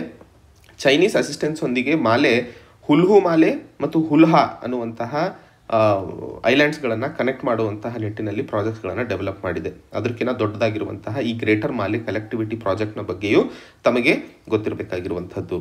ಮುಂದಿನ ಒಂದು ವಿಷಯ ಟೂ ಸ್ಟೇಟ್ ಸೊಲ್ಯೂಷನ್ ಇಲ್ಲಿ ಮಾತಾಡ್ತಿರುವಂತಹ ವಿಷಯ ಟೂ ಸ್ಟೇಟ್ ಅಂತ ಬಂದ ಕೂಡಲೇ ನಮಗೆ ಗೊತ್ತಾಗಬೇಕಾಗಿರುವಂಥದ್ದು. ಇದು ಇಸ್ರೇಲ್ ಮತ್ತು ಪ್ಯಾಲೆಸ್ಟೀನ್ನ ಒಂದು ಕಾನ್ಫ್ಲಿಕ್ಟ್ ಆಗಿರುತ್ತದೆ ಅನ್ನುವಂಥದ್ದು. ಯಾಕೆ ಈ ಕಾನ್ಫ್ಲಿಕ್ಟ್ ಶುರು ಆಯಿತು ಅಂತಂದರೆ, ಐತಿಹಾಸಿಕವಾಗಿ ನೋಡಿದಾಗ ಹತ್ತೊಂಬತ್ತು ನೂರ ಹದಿನೇಳರಲ್ಲಿ ಬ್ರಿಟಿಷ್ ಫಾರಿನ್ ಸೆಕ್ರೆಟರಿ ಆದಂತಹ Arthur James Balfour. Balfour declaration ಅಂತಲೇ ಬಹಳ ಇಂಪಾರ್ಟೆಂಟ್ ಆಗಿರುವಂಥದ್ದು. ಇಸ್ರೇಲ್ನ ಉಗಮವಾಗೋದಕ್ಕೆ ಮುಖ್ಯ ಕಾರಣ ಇದು. ಸೊ, ಆರ್ಥರ್ ಬೆಲ್ಫರ್ ಏನು ಬ್ರಿಟಿಷ್ ಫಾರಿನ್ ಸೆಕ್ರೆಟರಿ ಆಗಿದ್ರಲ್ಲ, ಅವರು ಈ ಜೂಯಿಷ್ ಕಮ್ಯುನಿಟಿಗೆ ಒಂದು ರಾಷ್ಟ್ರವನ್ನು ಅಥವಾ ನ್ಯಾಷನಲ್ ಹೋಮನ್ನು ಕೊಡುವಂತಹ ನಿಟ್ಟಿನಲ್ಲಿ ಪ್ಯಾಲೆಸ್ಟೀನ್ನಲ್ಲಿ ಈ ಬೆಲ್ಫರ್ ಡಿಕ್ಲರೇಷನನ್ನು ಮಾಡಿಬಿಟ್ಟು ಜೂಯಿಷು ಮತ್ತು ನಾನ್ ಜೂಯಿಶ್ ಆದಂತಹ ಅರಬ್ಸಿಗೆ ಸಂಬಂಧಿಸಿದಂತೆ ಈ ರಾಷ್ಟ್ರವನ್ನು ಬರ್ಕೊಟ್ಟಿತ್ತು. ಯಾಕಂದರೆ ಈ ಏರಿಯಾ ಅಥವಾ ಇದು ಇಸ್ರೇಲ್ ಅಂತ ಏನು ಕರಿತಾ ಇದ್ದೀವಲ್ಲ ಈ ಒಂದು ಭಾಗ ಪ್ಯಾಲೆಸ್ಟೀನ್ ಮುಖ್ಯವಾಗಿ, ಅದು ಬ್ರಿಟಿಷ್ನ ಆಡಳಿತದಲ್ಲಿ ಇತ್ತು. ಆದರೆ ಹತ್ತೊಂಬತ್ತು ನೂರ ನಲವತ್ತೆಂಟರ ನಂತರ ಇಸ್ರೇಲೀಸ್ ಮತ್ತು ಅಂದರೆ ಜೂಯಿಷ್ ಮತ್ತು ಅರಬ್ ರಾಷ್ಟ್ರದ ಜನರ ನಡುವೆ ಆದಂತಹ ಘೋರ ಸಂಘರ್ಷ ಅಥವಾ ವೈಲೆನ್ಸ್ ಎರಪ್ಟ್ ಆದಂಗೆ ಬ್ರಿಟಿಷರು ಬಿಟ್ಟು ಯು ಎನ್ನಿಗೆ ಕೊಟ್ಟುಬಿಡ್ತಾರೆ ಆಗಿನ ಸಂದರ್ಭದಲ್ಲಿ, ಯಾಕಂದರೆ ಹತ್ತೊಂಬತ್ತು ನೂರ ನಲವತ್ತೈದರಲ್ಲಿ ಯು ಎನ್ ರಚನೆ ಆಗಿತ್ತು. ಇನ್ನು ಹತ್ತೊಂಬತ್ತು ನೂರ ನಲವತ್ತೆಂಟರಲ್ಲಿ ಈ ಸಮಸ್ಯೆ ಸ್ಟಾರ್ಟ್ ಆದಾಗ ಯು ಎನ್ ಇದನ್ನು ಮೀಡಿಯೇಟ್ ಮಾಡಿ ಸರಿ ಮಾಡಬೇಕು ಅನ್ನುವಂತಹ ವಿಷಯವನ್ನು ಹೇಳಿ ಬಿಟ್ಕೊಟ್ಟಿತ್ತು. ಆದರೆ ಈ ಒಂದು ಸಂದರ್ಭದಲ್ಲಿ ಯು ಎನ್ ಹೇಳಿದಂತಹ ಪಾರ್ಟಿಷನ್ ಪ್ಲ್ಯಾನನ್ನು ಇಸ್ರೇಲೀಸ್ ಏನೋ ಅಥವಾ ಜೂಯಿಷ್ ಏನೋ ಒಪ್ಕೊಂಡಿದ್ರು. ಬಟ್ ಪ್ಯಾಲೆಸ್ಟೀನಿಯರು ಒಪ್ಕೊಳ್ಳೋದಕ್ಕೆ ತಯಾರಿರಲಿಲ್ಲ. ಆ ಒಂದು ಸಂದರ್ಭದಲ್ಲಿ ಆ ಘರ್ಷಣೆ ಇವತ್ತಿಗೂ ನಡೀತಾ ಇದೆ. ಸೊ ಆ ಒಂದು ವಿಷಯಕ್ಕೆ ಸಂಬಂಧಿಸಿದಂತೆ ಟೂ ಸ್ಟೇಟ್ ಸೊಲ್ಯೂಷನ್ ಅಂತ ಅಂದ್ಕೂಡಲೇ ತಮಗೆ ನೆನಪಾಗಬೇಕಾಗಿರುವಂಥದ್ದು ಇದೊಂದು ಇಸ್ರೇಲ್ ಪ್ಯಾಲೆಸ್ಟೀನ್ ಕಾನ್ಫ್ಲಿಕ್ಟ್ ಅನ್ನುವಂಥದ್ದು. ಮುಂದಿನ ಒಂದು ಆರ್ಟಿಕಲ್ ಬೆಕಾ ಅಗ್ರಿಮೆಂಟ್ ಸಿ ಈ ಒಂದು ಬೆಕಾ ಅಗ್ರಿಮೆಂಟ್ ಮುಖ್ಯವಾಗಿ ಭಾರತ ಮತ್ತು ಯು ಎಸ್ ನಡುವೆ ಆದಂತಹ ಒಂದು ಅಗ್ರಿಮೆಂಟ್ ಏನಿದು BECA agreement basic exchange and cooperation agreement ನೆನ್ಪಿಟ್ಕೊಳ್ಳಿ, ಬಹಳ ಇಂಪಾರ್ಟೆಂಟು ಆ್ಯಂಡ್ ಭಾರತ ಮತ್ತು ಯು ಎಸ್ ನಡುವೆ ಆದಂತಹ ಇನ್ನು ಮೂರು ಇದನ್ನು ಬಿಟ್ಟು ಬೆಕಾ ಇದನ್ನು ಬಿಟ್ಟು ಮೂರು ಇಂಪಾರ್ಟೆಂಟ್ ಅಗ್ರಿಮೆಂಟ್ಸ್ಗಳನ್ನು ಸೈನ್ ಮಾಡಿರೋದನ್ನು ತಾವು ತಿಳ್ಕೊಬೇಕಾಗಿರುವಂಥದ್ದು. General security of military information agreement logistic exchange memorandum of agreement LEMOA ಅಂತ ಹೇಳ್ತೀವಿ the communication compatibility and security agreement COMCASA ಹೇಳಿ.